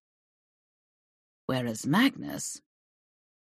Daddy, please, Daddy, I want to show you my story. Rosalie, Daddy's working, Bruce barked, sounding more annoyed than he really was. She wouldn't dare to open the door, and he was managing to ignore her quite well. And there was Ivo again, racing to an imaginary boundary. He was good, Bruce thought, and he could be even better. And Lord's wasn't an impossible dream. It had to happen for some parents. Why not him? Why not me was the philosophy that had taken him this far through life. It was a useful means of eliminating self-doubt if you were weighing up whether to go for a job or not and it was a very good way to avoid the nagging concern that you'd gone a long way on privilege alone. Would he have achieved as much if his parents hadn't been wealthy? Perhaps not. But since he couldn't do anything to change that, why not enjoy the benefits? The guilt wasn't his when it was sheer luck that he'd been born in the right circumstances. Everyone was entitled to ride their luck. Daddy, when will you be finished work? Daddy? Daddy? She sounded as if she was close to tears, and Bruce clenched his fists in irritation. Not for some time, darling. Go and play. I did play, and I did writing. Now I want to show you. It's about Medusa, With the snakes. From my book. She was obsessed with a book he had given her on Greek and Roman myths, something he'd seen in a bookshop window and picked up on a whim. Magnus had given up on it after flicking through the pictures, and Helena had told him it was too old for Rosalie, but she had fallen in love with it. She had read it for weeks now, lying on the landing on her front, breathing heavily as she worked her way through the stories lost in other worlds. It had led to awkward questions about Leda and Zeus, and what exactly he had done when he was pretending to be a swan. Bruce tried to remember the story of Medusa. Pretty much sex-free, he thought. Like his marriage. Better not think about that. Go and show Mummy. Bruce pulled a face at his own audacity. This was the dance that two working parents did, even when they were both working at home. Working. That was what Helena called it, but it was largely writing long screeds for her blog. Horrible word.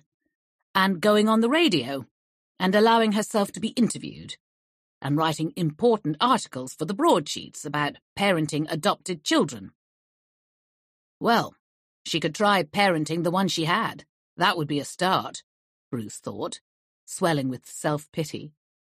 Where was Helena? This had all been a lot easier when Sadie was around. Sadie. He shut his eyes. He had been stupid, of course, about how he handled it. But Helena had overreacted, and he had let her, because it was easier than arguing, or trying to explain. It had ruined the holiday for him. For all of them, actually. Rosalie crying all night, her little voice hoarse from it. The child was hollow with grief. Ivo and Magnus unable to look him in the eye. Helena rigid with disapproval and rage. And no Sadie. He was surprised by how much he missed her, there and at home. Her smile, her gleaming tanned limbs as she arced into the swimming pool, her laugh, her very round, very full breasts, generously displayed in skimpy sundresses. He wasn't stupid enough to ask Helena if she had got around to replacing Sadie yet. That didn't mean he couldn't encourage her to get on with it.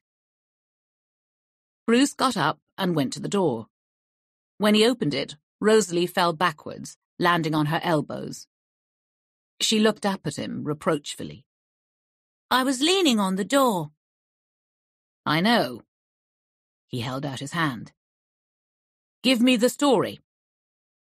Her eyes widened, and then she scrabbled for it, so eager he almost laughed. He skimmed through it, murmuring, Oh, very good. And that's a nice phrase, at intervals. Taking in very little of it, but it did seem to be nicely expressed, spelling and handwriting aside. Really, Rosalie, this is excellent. Is it? She hadn't looked away from his face since he started reading, focused on every nuance of his expression. You've excelled yourself. He handed it back to her. Now go and show Mummy. She said she's busy. Bruce smiled. Don't take no for an answer. She'll be so pleased when she finally reads it. Like you. Absolutely like me. He pretended to steal her nose, which he wasn't good at, and she laughed dutifully, and a little too loudly, as she always did. And Bruce closed the study door on her with the comfortable feeling that he had killed two birds with one rather clever stone. He would reward himself, he decided, with a little nap. Helena. If she was honest, and Helena always tried to be honest, she had been nervous about the interview. The publication wasn't one of her usual sources of commissions, and that was something she was determined to change, even though, politically, she doubted that she would see eye to eye with the editor, But of course, that didn't matter. What mattered was the message about adoption. Helena was confident, as ever, that she could win this journalist over, but she didn't expect it to be effortless. I hope you'll be fair, Helena said. I'm always fair. An easy reply. Instant, questionably sincere. He was lean and whippy, with dark hair that flopped over his forehead, and small round glasses, and he wore a white shirt with the sleeves rolled up to reveal a few inches of tan forearm. Muscular intellectual was so strongly Helena's type that she felt slightly weak. I read your profile of that racehorse trainer. He raised his eyebrows, amused. Reading up on me? Of course. Forewarned is forearmed. She refused to be embarrassed about it, even if he was suggesting she should be. He had presumably done his homework on her, too. You gave him a hard time. Not as hard as he gives his horses. He has a job to do. And he does it a certain way. The journalist shrugged. All I did was describe it. I can't help it if it doesn't read well to most ordinary people. I don't want to look like a bitch, Helena said, holding his gaze. He laughed, holding his hands up.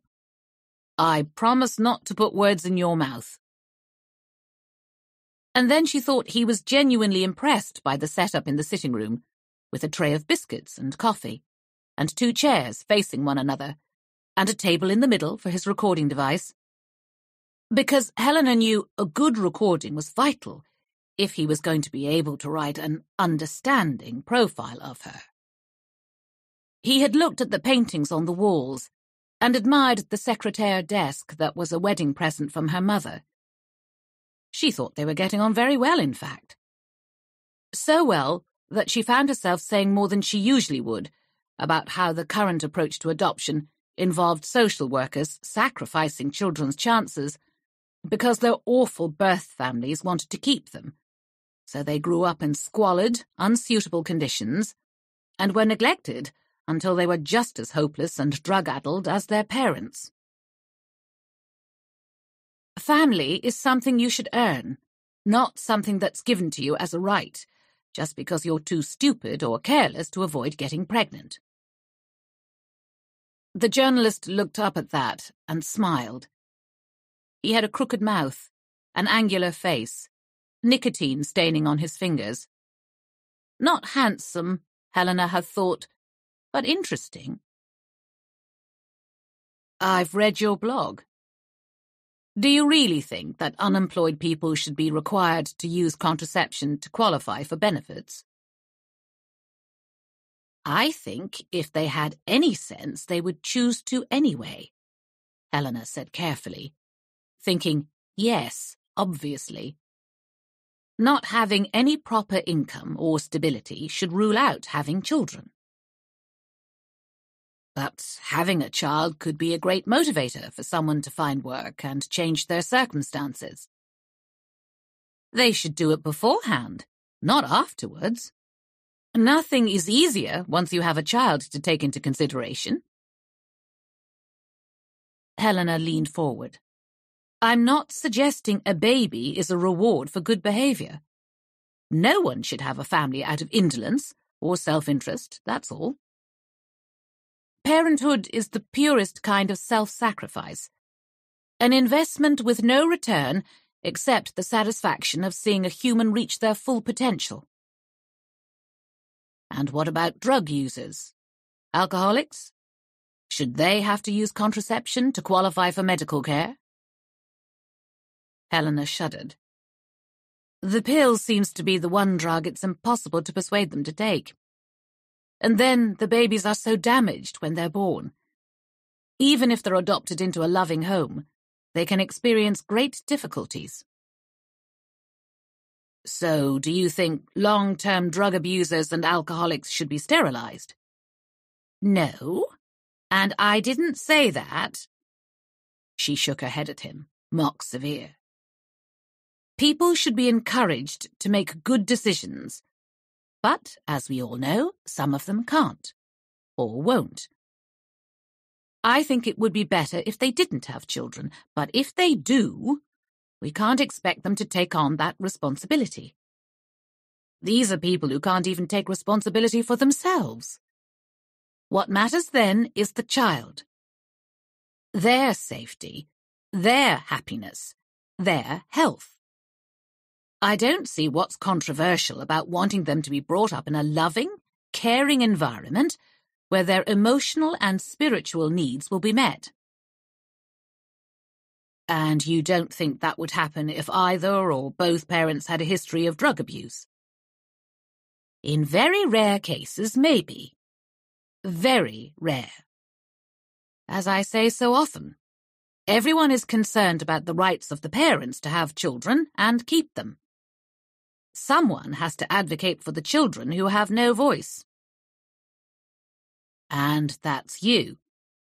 Another warmer smile. He was definitely attractive, Helena decided. She bowed her head. I would rather not.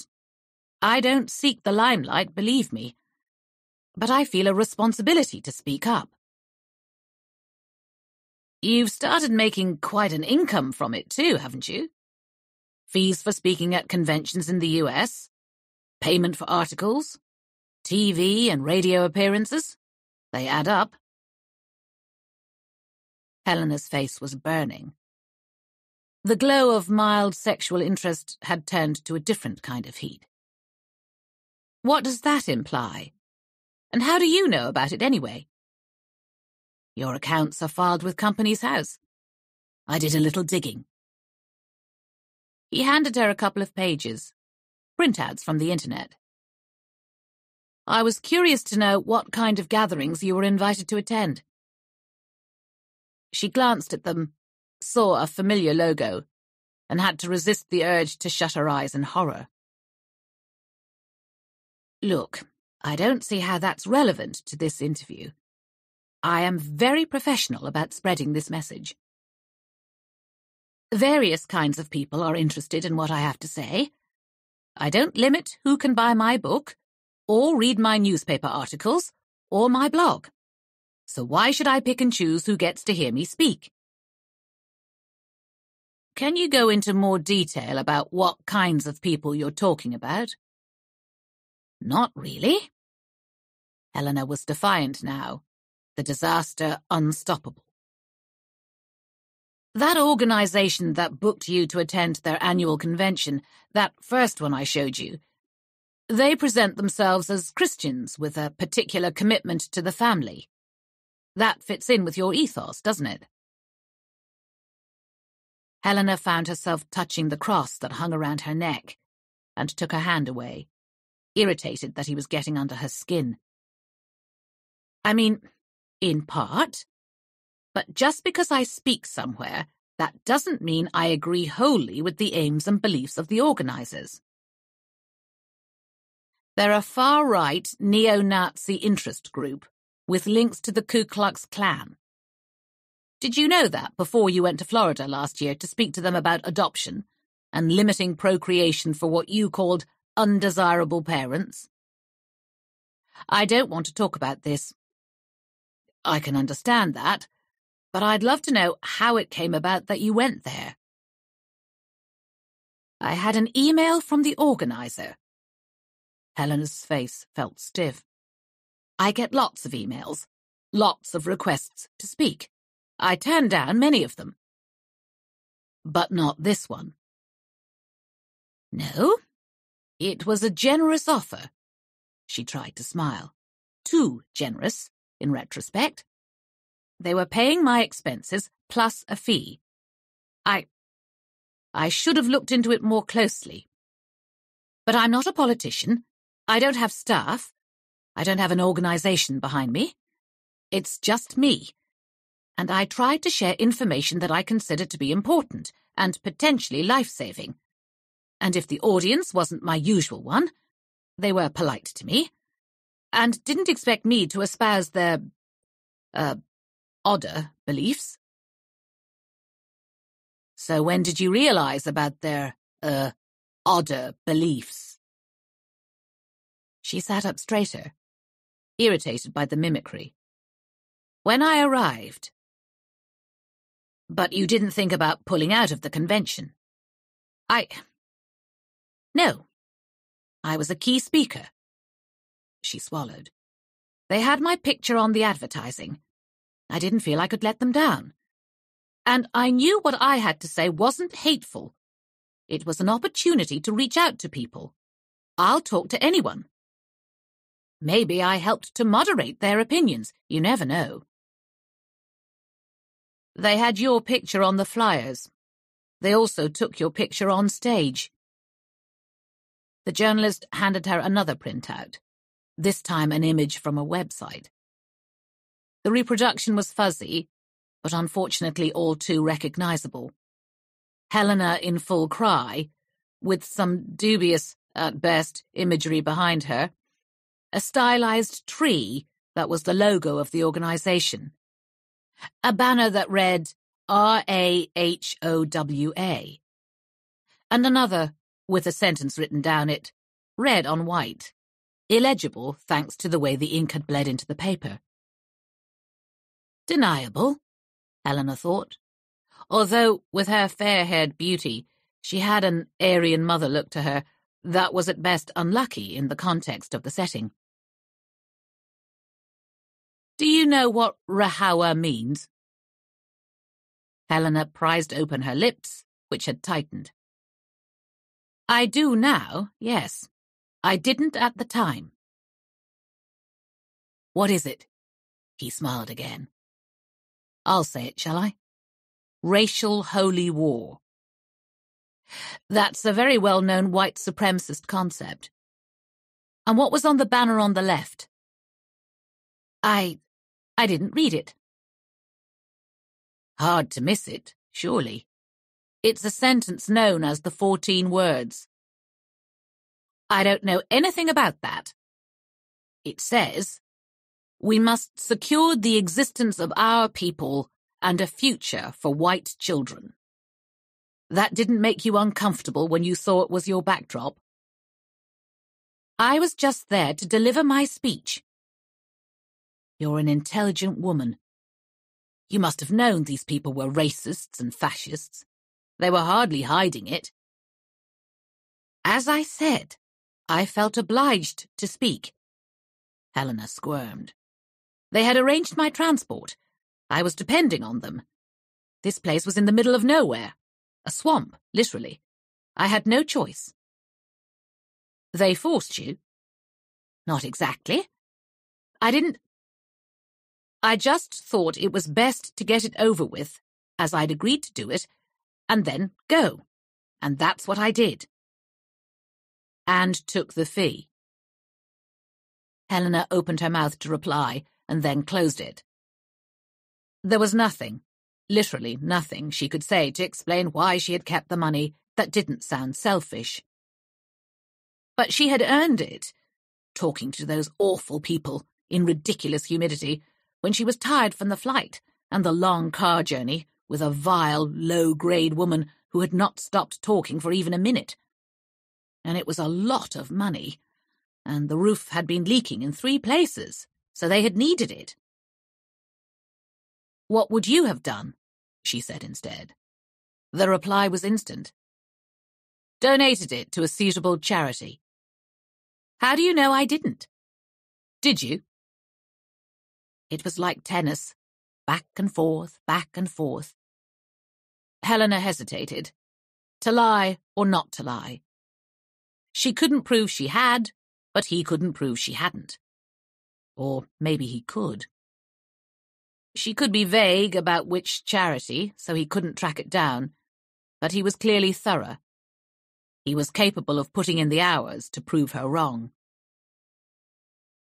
The silence was heavy, Helena met the journalist's eyes, which were warm, inviting her to laugh, inviting her to admit that she'd been wrong, but she would never do it again, she promised. Or maybe he liked her. Maybe he was getting a frisson out of this. A Cary Grant and Katharine Hepburn moment, where arguing led to mutual admiration. Helena couldn't read him at all, and for once she didn't know what to do. Flirt? Argue? Deny everything? Cry? All of the options sounded equally awful. For a mad moment, she imagined herself leaning across, putting her hand on his knee. Let's forget about the interview. Let's settle this argument another way. A clatter at the door made her jump, and she exclaimed, irritated. Mummy! The hoarse little voice, the aftermath of tonsillitis that had afflicted Rosalie since they came back from their holidays. It made her sound like a forty-a-day smoker. Not now, darling!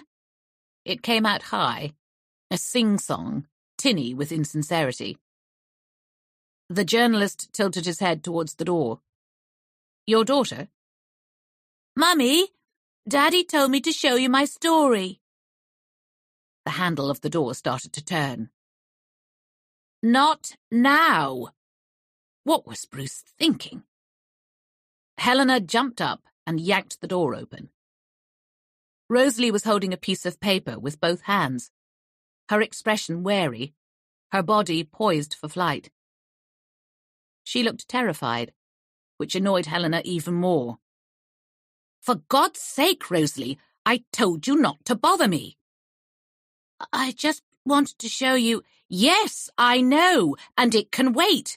It's hardly urgent. I'm busy. Helena was shaking. It was a reaction to the stress of the interview more than anger. A bitter whiff made her clamp her arms against her sides. She had sweated through the top she was wearing.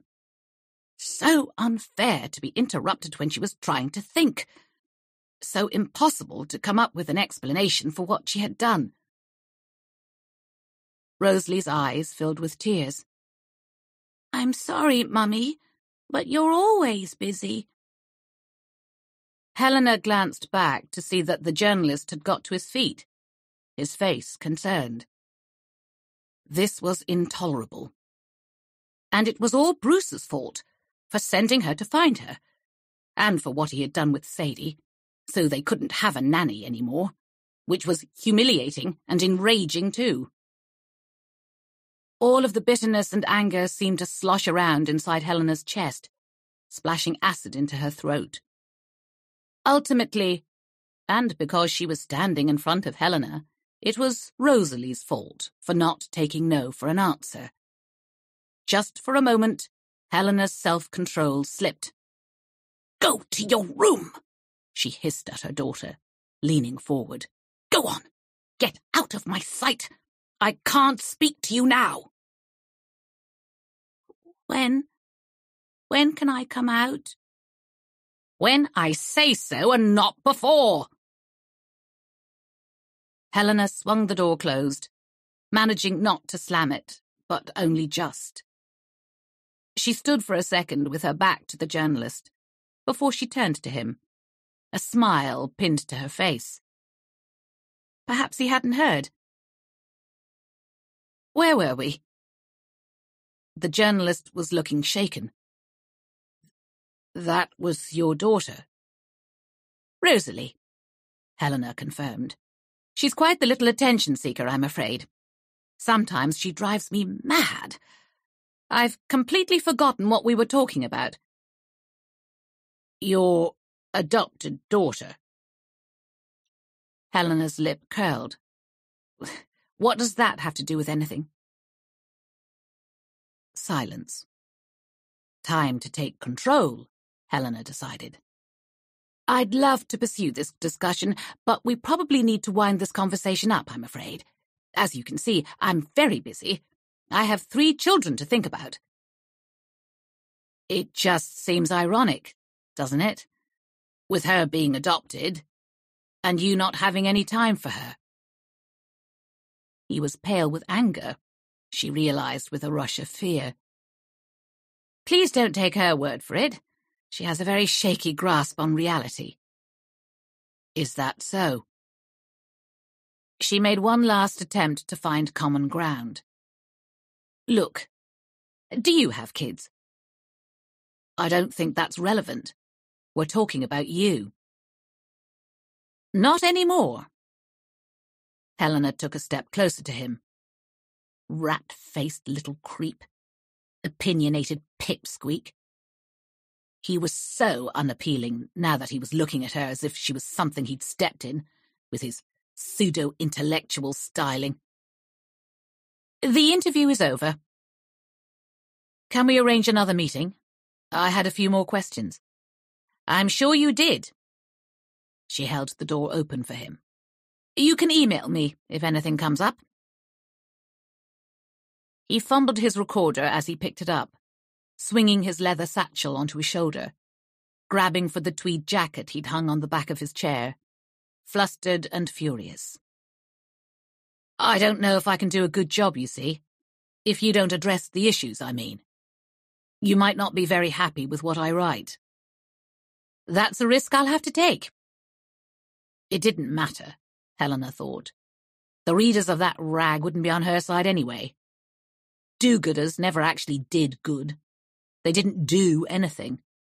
They just patted themselves on the back for being wonderful. Could I go to the toilet before I leave? Pathetic. The lavatory is at the top of the stairs, on the right. Mum! Mum! Ivo hit me! Magnus, shouting for her from the garden.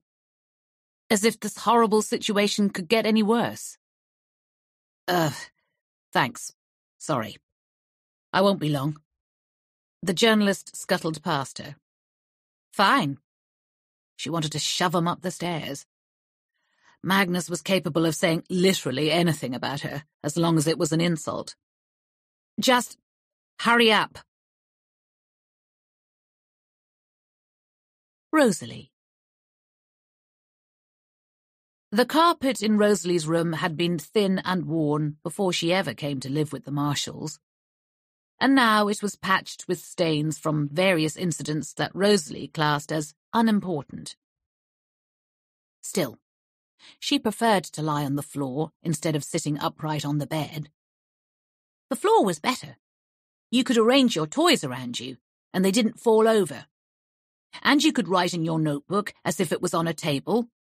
Whereas on the bed, it was too soft, or you had to write on your knee.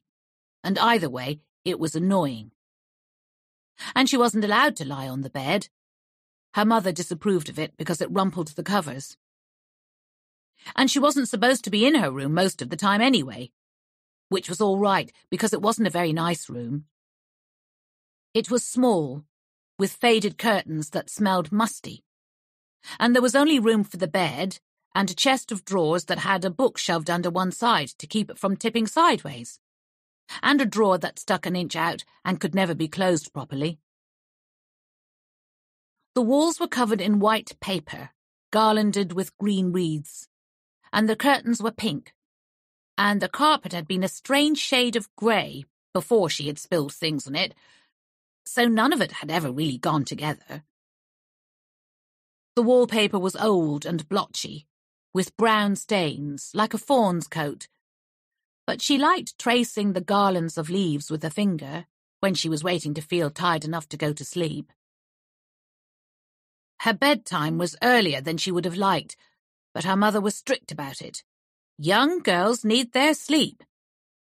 And it was useless to protest that she wasn't sleeping, but lying in the half light, listening to life going on without her. She wasn't allowed to put posters up, like the boys. And there wasn't room for a bookcase. But there was a shelf where she kept her dolls, and she had five books on it. Ballet shoes, which made her wish she had two sisters instead of brothers, and made her wish she liked ballet lessons, but she did not. Charlotte's Web, which made her love spiders. Harry Potter and the Philosopher's Stone, which was hallowed twice over because Sadie had given it to her, and she had read it and reread it until she knew it more or less off by heart. A book of Bible stories, either terrifying or boring, or incomprehensible, with hideous illustrations that reminded her of rainy day trudging around the National Gallery. And her book of Greek and Roman mythology, which was the second best thing she had ever read after Harry Potter. Rosalie flattened out her notebook. She was writing a new story about the Minotaur. Or really, what had happened after the Minotaur, when Theseus had forgotten to change his sails from black to white because he was so excited to go home, and his father had thrown himself off a cliff, maddened by grief, assuming his son was dead. Rosalie tried to imagine her own father throwing himself off a cliff because he was maddened by grief, and could not. But she did know all about one small mistake made with the best of intentions, followed by disaster. Rosalie put her head down on her arms, squeezing her eyes shut. That was what had happened on holidays with Sadie. But she hadn't known when she took the picture of the swimming pool. She hadn't seen them. It was Magnus who had pointed it out. And then everything had gone wrong. Rosalie? At the sound of the stranger's voice, Rosalie sat up, rubbing her eyes. He was leaning around the door of her room, the dark-haired man who had been talking to her mother. Are you all right? He stepped inside the room and crouched in front of her, setting down his leather bag on the floor. What are you up to, Rosalie? How do you know my name? she asked, instead of answering him. Your mum told me. Are you friends with her? He smiled. Is this your room? It's very nice. Rosalie decided instantly that he was another adult who told lies when it suited them, because there was no world in which her bedroom could be described as very nice. You like reading, do you? Do you like Harry Potter? He's great, isn't he? She nodded, although it wasn't really Harry Potter himself who was great as far as she could see. He was so slow to realize what he could do with his powers, which was frustrating. When you knew exactly what you would do if someone came unexpectedly and told you you were actually a wizard. What are you doing? Writing? She put one hand across the page in front of her so he couldn't read it. It's not finished. But you finished another one, didn't you? Because you wanted to show it to your mum. I'd love to read it. He had a soft voice and kind eyes behind his little round glasses. But he smelled funny. A bitter kind of smoky smell that made Rosalie's nose sting. I'm actually a writer myself. It's my job. So I'd be really interested to see it, if you didn't mind showing it to me. She had been sitting on her story, flattening the page under her, and it was warm when she handed it to him. He sat on the edge of her bed and smiled at her before he started reading. It was the first time anyone had read anything of Rosalie's the way she read books, concentrating on every word, line by line. He didn't say anything while he was reading, unlike her dad. And he didn't hand it back to her with a comment about her handwriting after a quick glance, unlike her mother. And Sadie had always sighed and said she didn't know anything about writing, and she was too busy to stop and read something when she had so much to do and couldn't Rosalie see it was a bad time? But this man was really interested.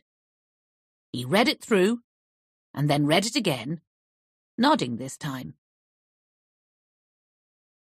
You did a really good job on this, Rosalie. A really good job. I like the way you describe the snakes on her head hissing. And this line about Perseus being braver than handsome. I like that a lot. You're a very good writer.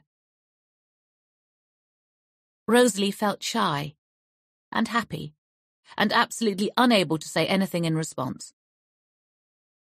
I bet English is your favourite subject in school. It was always my favourite, too. Which school do you go to? What are you doing? Her mother, in the doorway, staring at them. Rosalie, what have you said? Nothing. She hasn't said anything. I it was me. He was standing now, the story crushed in one hand, forgotten. It's not her fault. You shouldn't be in here. You shouldn't be talking to her. This is so inappropriate. I can't even begin to. You know you shouldn't have done this. Get out of her room. Rosalie's mother was shaking with anger, her eyes bright and hot. The man picked up his bag and slid out of the room without speaking to Rosalie, not even goodbye. He had shoved her story into his jacket pocket, but she was afraid to ask for it back. It wasn't her fault. He had found her. He had sat on her bed. He had asked her questions and wanted to read her story. And she had known it was wrong. She had just wanted him to tell her she was special, that she was as different as she felt, that she had power no one knew about. Her mother had shut the door, but they were standing right outside, and Rosalie could hear everything she was saying. The man was completely silent, which was the right course of action, Rosalie had found, when her mother's voice was low and sharp and terrifying, and her words came out so quickly they all ran together. Well, you've made quite the mistake here, haven't you? You obviously came here with an agenda. You want to write a profile of me that implies I'm not a good mother, and I'm a white supremacist, and you're prepared to go and interrogate a child to get evidence against me. She's pathetically trusting. She wouldn't have the first idea why you were talking to her, or that she should be wary of you. You took advantage of her, and you know it was wrong. I was just checking she was okay. She seemed upset. As if it's your place to do that. As if it was appropriate for you to lie so you could make your way up here and find her where there was no adult supervision. I suppose I should be relieved that you were both fully clothed. It wasn't like that. His voice was louder now, angry. No one shouted back at Rosalie's mother. No one except Magnus, and he always regretted it in the end. Here's what's going to happen. If you write anything about me, anything at all, even the most basic and bland profile, I will publicize the fact that you approached a vulnerable child in her bedroom alone and lied to do so, and that you were interrupted before you could do anything else, but that I have grave concerns about how safe you are around young children. You will lose your job, and you won't find it easy to get another one. You might be able to damage my reputation, but believe me, you'll regret it when you lose yours entirely. Silence. Rosalie held her breath. Now, when you leave, I'm going to call your editor and explain to them that you were rude and intrusive and behaved inappropriately. I think you'll find this interview simply won't have happened. Helena, get out. Footsteps retreated from the door, moving down the hall, and then down the stairs. And the front door banged, and a car engine started just below Rosalie's window, and the car drove away. She went to the window to see it. Small, red, gone. When Rosalie turned back, the door was open again, and her mother was standing there, watching her. Although she couldn't have put it into words, she had a child's instinctive and immediate understanding of what was happening. That her mother was angrier than she had ever been before. That she had not vented enough of that anger on the man to relieve her feelings.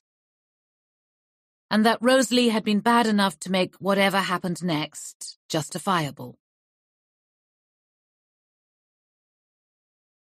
J. Magnus, come on, it's easy.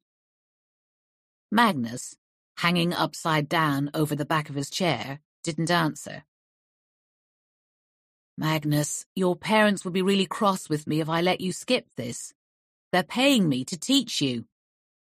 That's their choice. Magnus straightened up, turned, and plumped down on the seat. His face was glowing red, and his hair was wild. And it's my choice not to bother trying to understand any of this. You have to understand it. You're failing maths, your mum said. Your mum said you were a fucking dork. Shut up. Jay said it too fast, giving away his real feelings. Better to have ignored it, obviously, but he'd reacted. Magnus gave him a slow smile, and he was able to translate what it meant. I know what annoys you now. Look, it's just a simple equation. It's like a puzzle.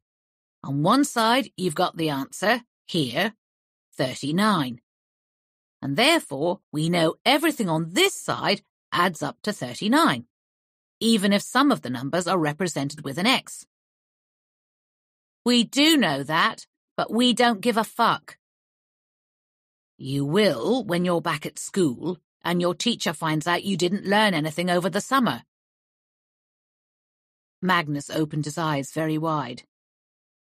It's not my fault. I had a shit tutor. I'm not shit. Jay kept his voice level this time. And I'm trying to teach you. But you said yourself, you're choosing not to understand any of it. The twelve-year-old's face contorted with rage. I don't care. What Jay wanted to do was scream back, I don't care either. Throw the maths paper in the little turd's face and walk out. But he held on to his temper. He needed this job.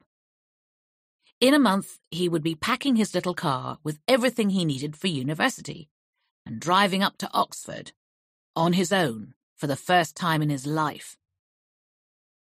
It was strictly forbidden to work during term time because the terms were only eight weeks long, and he understood that and respected it. He didn't want the distraction from his studying, which he knew would be demanding, but ultimately rewarding. Equally, it was vital for him to have some money, because his fucking stepdad had made it clear to him that he was on his own now that he was 18. Going to Oxford was his chance to reinvent himself, which had started already with the way that he'd told everyone he was to be known as Jay, and had grown his hair out so it hung over his eyes and curled on his neck, and the new trainers he'd bought at staggering expense with the first money he'd got from tutoring. He wasn't the old version of himself anymore. The wimp who got bullied in school, who was afraid to open his mouth most of the time. Oxford would be different. But he'd need money to enjoy it, or he'd end up staying in his room on his own the whole time. Like you do now. No. Intolerable. He had to make this work. Jay leaned back and crossed his ankle over his knee, folding his arms across his chest. It was a smug pose, but he'd earned the right to it. I am going to Oxford, and you, Magnus, are going to get expelled. You think you're never going to understand this, so you're getting angry with me to distract me. It must make you feel really thick that you can't get the hang of it, because it's easy, let me tell you. I'm not thick. I didn't say you were. I'm telling my mum you call me thick. You can if you want, but I didn't. I said, you feel thick because you haven't understood this yet. But you can. Come on. Look at it with me. 39. And then, on the other side, we have a 3 outside the bracket, and inside the bracket. This is too hard. Magnus was fidgeting, his face still brick red. He was on the verge of tears. It's so simple. Jay stared at the paper in front of him, trying to find a way to explain it. 3 by 2x plus 5 equals 39. He could read it like a sentence. As so often, he found himself trying to communicate it to Magnus telepathically. X equals 4. X equals 4. It would possibly be easier for them to learn telepathy than algebra. What are you doing? Rosalie had wandered into Magnus's room unobserved. She was standing beside them, staring at the page. What's that? Maths, he and Magnus said in unison. And Magnus added, It's too hard for you. You won't understand it. Explain it. She put a finger on the page, pointing. Why are there letters if it's maths? Because it's evil, Magnus sounded sulky and tired. Time for a break. Before the words had fully left Jay's mouth, Magnus had shot to his feet. Can I get a snack? If your mum says it's okay. But you have to come back here in ten minutes. Yep, I will. He slammed out of the room, and Jay listened to him rattling down the stairs, and the silence as he jumped the last few steps on each flight. Ten minutes. That would be half an hour if he was lucky. Magnus didn't wear a watch, and also Jay wasn't totally sure the kid could tell the time. Meanwhile, here was Rosalie, puzzling over a sum that was far too advanced for her. She was wearing a pink cotton skirt and a white t-shirt that was a fraction too short. An inch of skin appeared when she leaned on the desk, one foot propped on the other. Explain it to me. No, I'm bored with this one. Your brother doesn't understand it, but I have to make him understand it. Jay leaned on the desk, looking at Rosalie. She had long eyelashes and a pretty mouth, like an anime character. Why don't I tell you about the question I was asked in my interview for Oxford? She turned to look at him interested. What's Oxford? A university. I'm going to study there. He took a clean sheet of paper and started drawing on it. Look, I was asked all about rectangles. Do you know what a rectangle is? Yes, I'm nine. of course. Sorry. I just. I didn't know. It was happening again as usual. Why couldn't he ever manage to talk to people? What he meant and what he said seemed to be two completely different things. What about rectangles? Rosalie asked, and he recovered. She was actually interested. Well, the question was, how many rectangles you can fit in a square so that you fill it. And the rectangles have to be a certain shape. The long side has to be twice as long as the short one. But they can be any size, as long as they fill the square completely, with no overlapping. She considered it. What if you had a really big square and really tiny rectangles? You'd fit lots in. The point is to work out if there are any numbers of rectangles that you can't fit in. Look. He started drawing, the ruler making a silky sound as he swept it over the page. Outside, someone was mowing a lawn, and downstairs there was banging on pipes. And in the garden, Ivo was yelling. But it all receded. There was only him, and the page, and the girl leaning over his elbow, watching, her breathing tickling his skin. So, one rectangle obviously won't fill the shape of a square. That means we can cross off one on our list of numbers. He wrote it to one side of the page with a line through it. But two would. Yes, definitely. Side by side. Or one under the other. He drew a line and showed her how to measure the rectangles, one centimetre by two, in his neat little box.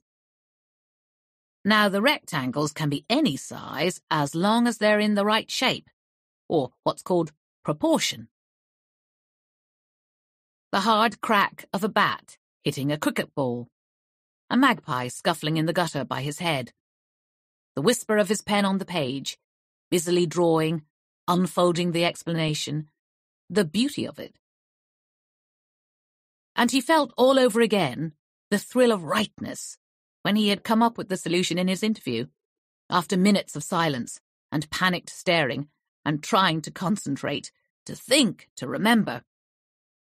Because if you divide the rectangles in two, you get squares. And we know you can divide each of those squares into rectangles again. And our number is going up in threes because every time we divide one rectangle into four rectangles, we go up three numbers because 4 minus 1 is 3, and we've already counted the 1. So any number of rectangles we have can go up in threes. He was talking faster, the words spilling out of his mouth, explaining it badly, but striving to get to the point anyway. And then we know multiples of the numbers that work will also work, don't we? And we start seeing that we could go on forever. I know. Like a pattern. It just goes on and on. She pointed at the list of numbers he had been scrawling beside the shapes, so he could tick them off or cross them out. Eight, nine, ten. All of them work. You checked them. And it goes up in threes. So there won't be any gaps after that. And you only need to work it out for the little numbers. No gaps, he repeated. Rosalie, you are seriously clever, sweetheart. Did you know that? I'm bored, Rosalie said, and slid off the chair, pushing her hair off her face with the back of a hand that was none too clean. No, don't go. Stay here for a while. He got to the door before her, just in time to slam it shut and hold it there. She was very small when he was standing up. Tiny. Uh, stay here, little one. There's... Uh, there's something else I want to show you.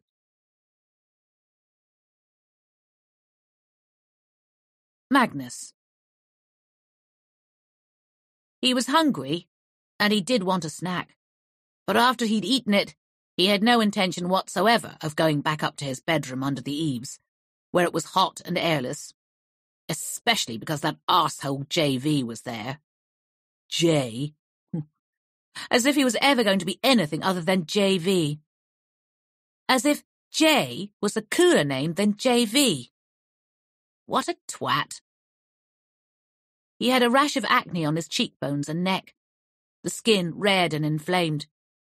And he smelled weird. A musty odour from his body, overlaid with detergent and deodorant, and whatever he put in his hair that made it look as if it would be hard to the touch. Wax? Gel?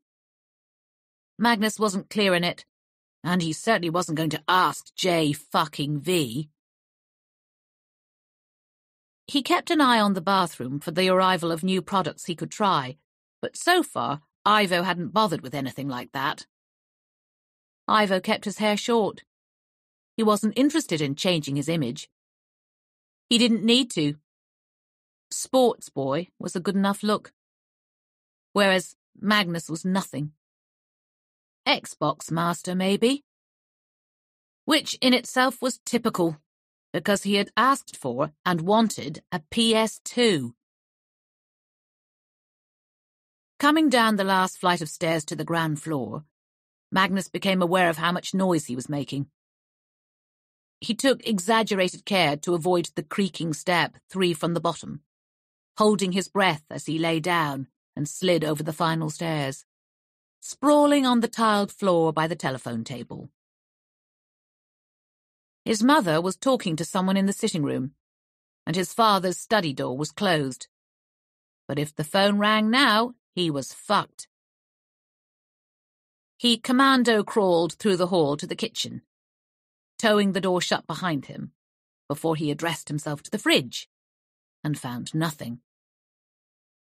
He grabbed a banana from the bowl on the table and sidled out through the back door. In the fresh air, it was possible to shake off everything that had happened that day. Magnus ate the banana and dropped the skin behind a shrub, then set off at a run towards the river. The garden sloped downwards, and he had a route that involved jumping off a small outcrop in the rockery and vaulting over a low wall. Ivo said you couldn't call it parkour, but he was working up to doing a front flip off the rockery instead of just a jump. The trouble was that his front flip wasn't 100% reliable and there had been a couple of times where he'd under-rotated and face-planted, or missed his landing and tipped backwards. That was okay when he was in the gym at school, or on grass. Painful, winding, but not dangerous. If he front-flipped off the rockery, though, he'd be landing on concrete, with chunks of granite behind him. The potential for serious physical harm was too high even for Magnus. He gave a war cry and settled for jumping higher than ever before as he levered himself off the rocks and flew through the air. Magnus, you dick! He landed awkwardly, his ankle buckling under him and pain spearing up through his calf and knee. He crouched, clutching his leg, twisting to see Ivo marching towards him, looking furious. What's your problem? We're practicing here, shithead. You almost got hit by a ball. Why did you have to shout at me like that? My fucking ankle, Ivo. You deserved it. Ivo, ice cold, hands on his hips, looking down his nose at Magnus as usual. Magnus felt the rage begin to bubble up from the pit of his stomach. Fuck you. You don't own this garden. One day I will. Mummy told me she's leaving the house to me. She can't do that. She doesn't want us to sell it. She wants it to stay in the family. That means it has to go to one of us. And she picked me because I'm the oldest. That's... that's not fair. There was nothing Magnus could do about being born second, after all. I think it's sensible. Ivo looked past him, his eyes sweeping over the back of the house with proprietorial pride. So he wasn't aware of Magnus shifting his position, preparing to attack. Under his palm, a rock moved, and his fingers closed around it, without him even consciously deciding to pick it up. Magnus! No! Nathaniel was already running towards them, full tilt and Ivo made the mistake of looking at him instead of Magnus. He was completely unprepared when his brother reared up and bowled the rock at his head. None of the three of them would ever forget the sound it made as it collided with Ivo's skull. He crumpled to the ground, his mouth open in a scream that was at first silent. For a moment, Magnus stared down at him, petrified by horror.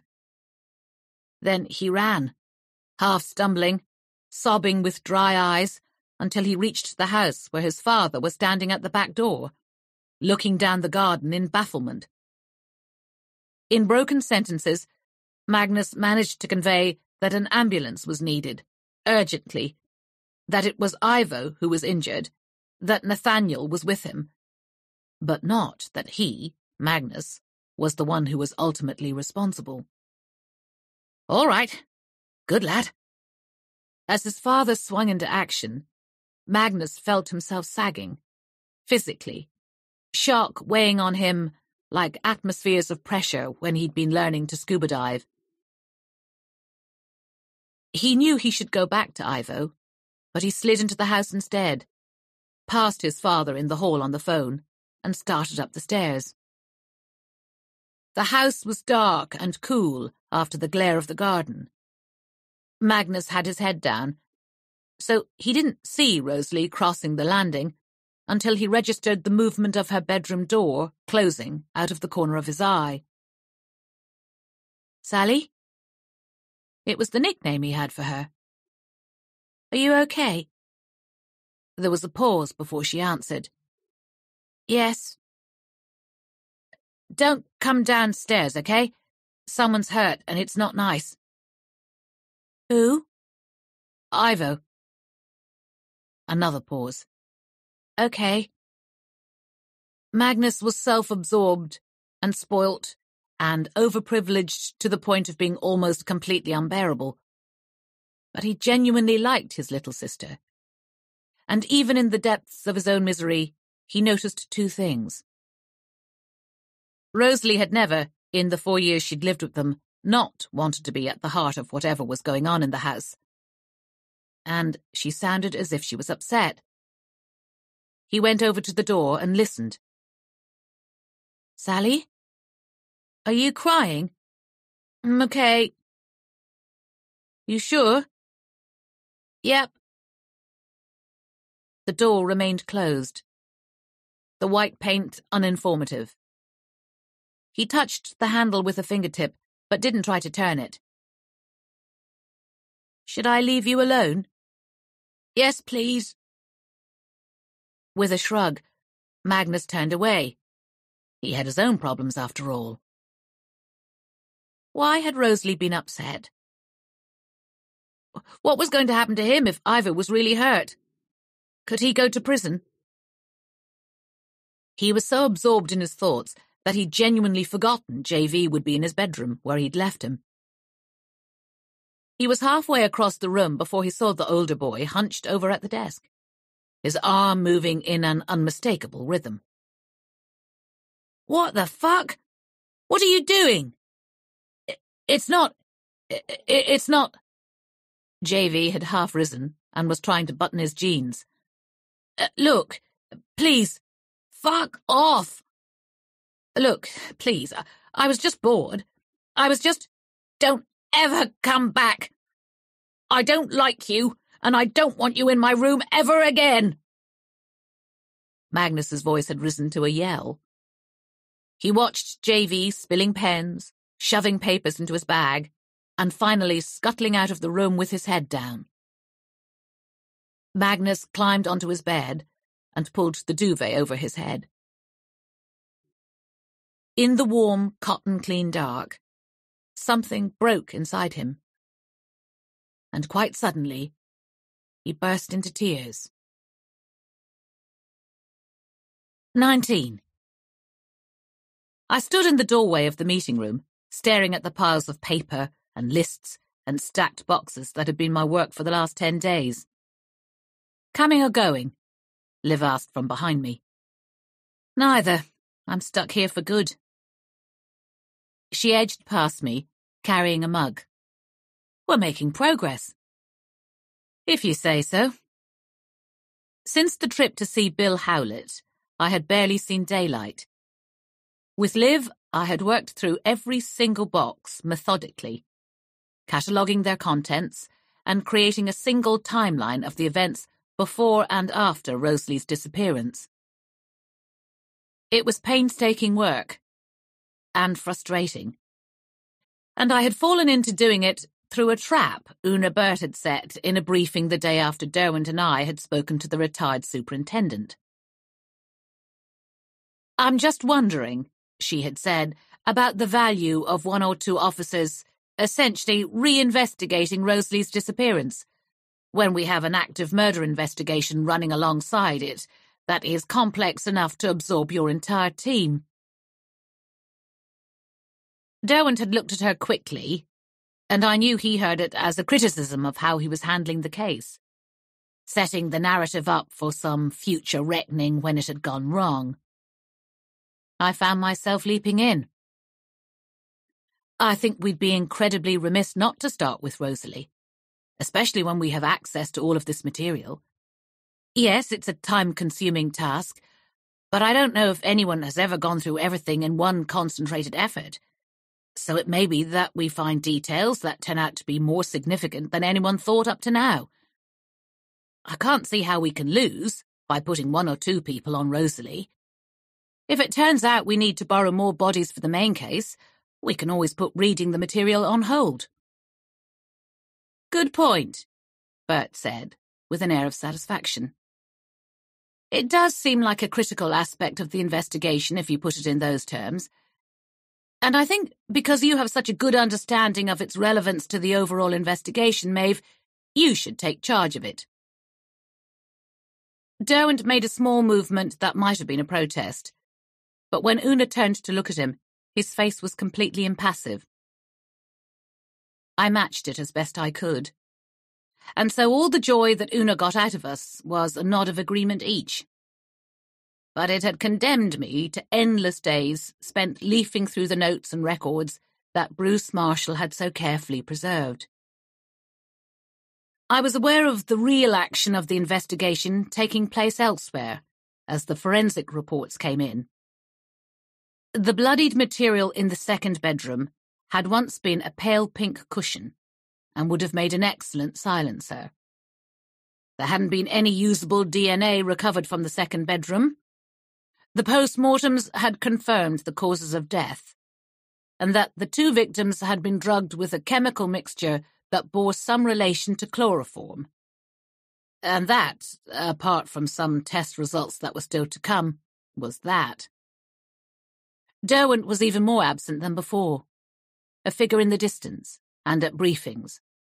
And a voice on the phone, checking, irritably, to see if I had finished with the boxes yet. When I arrived at work, he was already there. And when I left, his jacket still hung on the back of his chair but I rarely spoke to him. So much for working together. From what I saw of him, he looked neither well nor happy, and I had too much time to think about it as I ploughed through witness statements and diaries and photographs and newsprint.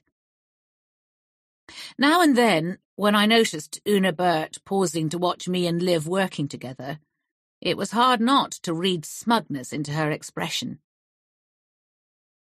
I dropped a file back into its box and carried it across the room to the wall of boxes we had looked at already. I pushed the box into place at the top of one stack and wiped my hands on the seat of my trousers, regretting it instantly. Did that leave a mark? No one will notice. Someone always notices. From the door, Derwent drawled, Are we dusting your arse for prints, Maeve? The boxes just breathe dirt, as you'd know if you'd spent any time in here over the last week and a half. I twisted to see the damage and swiped at the fabric, irritated. What do you want? I want to see if you've finished this wild goose chase yet. I know you think you're going to find her even though better police than you tried and failed. But can we just accept the trail has gone cold? The chances of solving this mystery are nil, and it's a massive distraction from the actual case. I looked at him, surprised at his tone. It was flat, entirely lacking in his usual mischief. You agreed this was important. I didn't disagree. That's a fine distinction. He was staring at the whiteboard, it contained a list of anyone, no matter how obscure, who had contact with the family that summer. And a timeline we had rewritten a hundred times as new nuggets of information appeared. The list of names was long. Workmen, students, a cleaner, colleagues of Bruce's, friends of the family. Everyone who had been caught up in the hurricane of the original investigation. Derwent folded his arms with a wince, as if his shoulder or back was hurting. He had cut himself shaving, I noticed, which was unlike him. A straight graze just above his collar that had bled into the pristine whiteness of what looked like a new shirt. The folds and creases down the cotton were unmistakable, straight out of the packet. Maybe I should go. Liv was edging towards the door. Stay, we said in unison, and she stopped, but she was still poised for flight.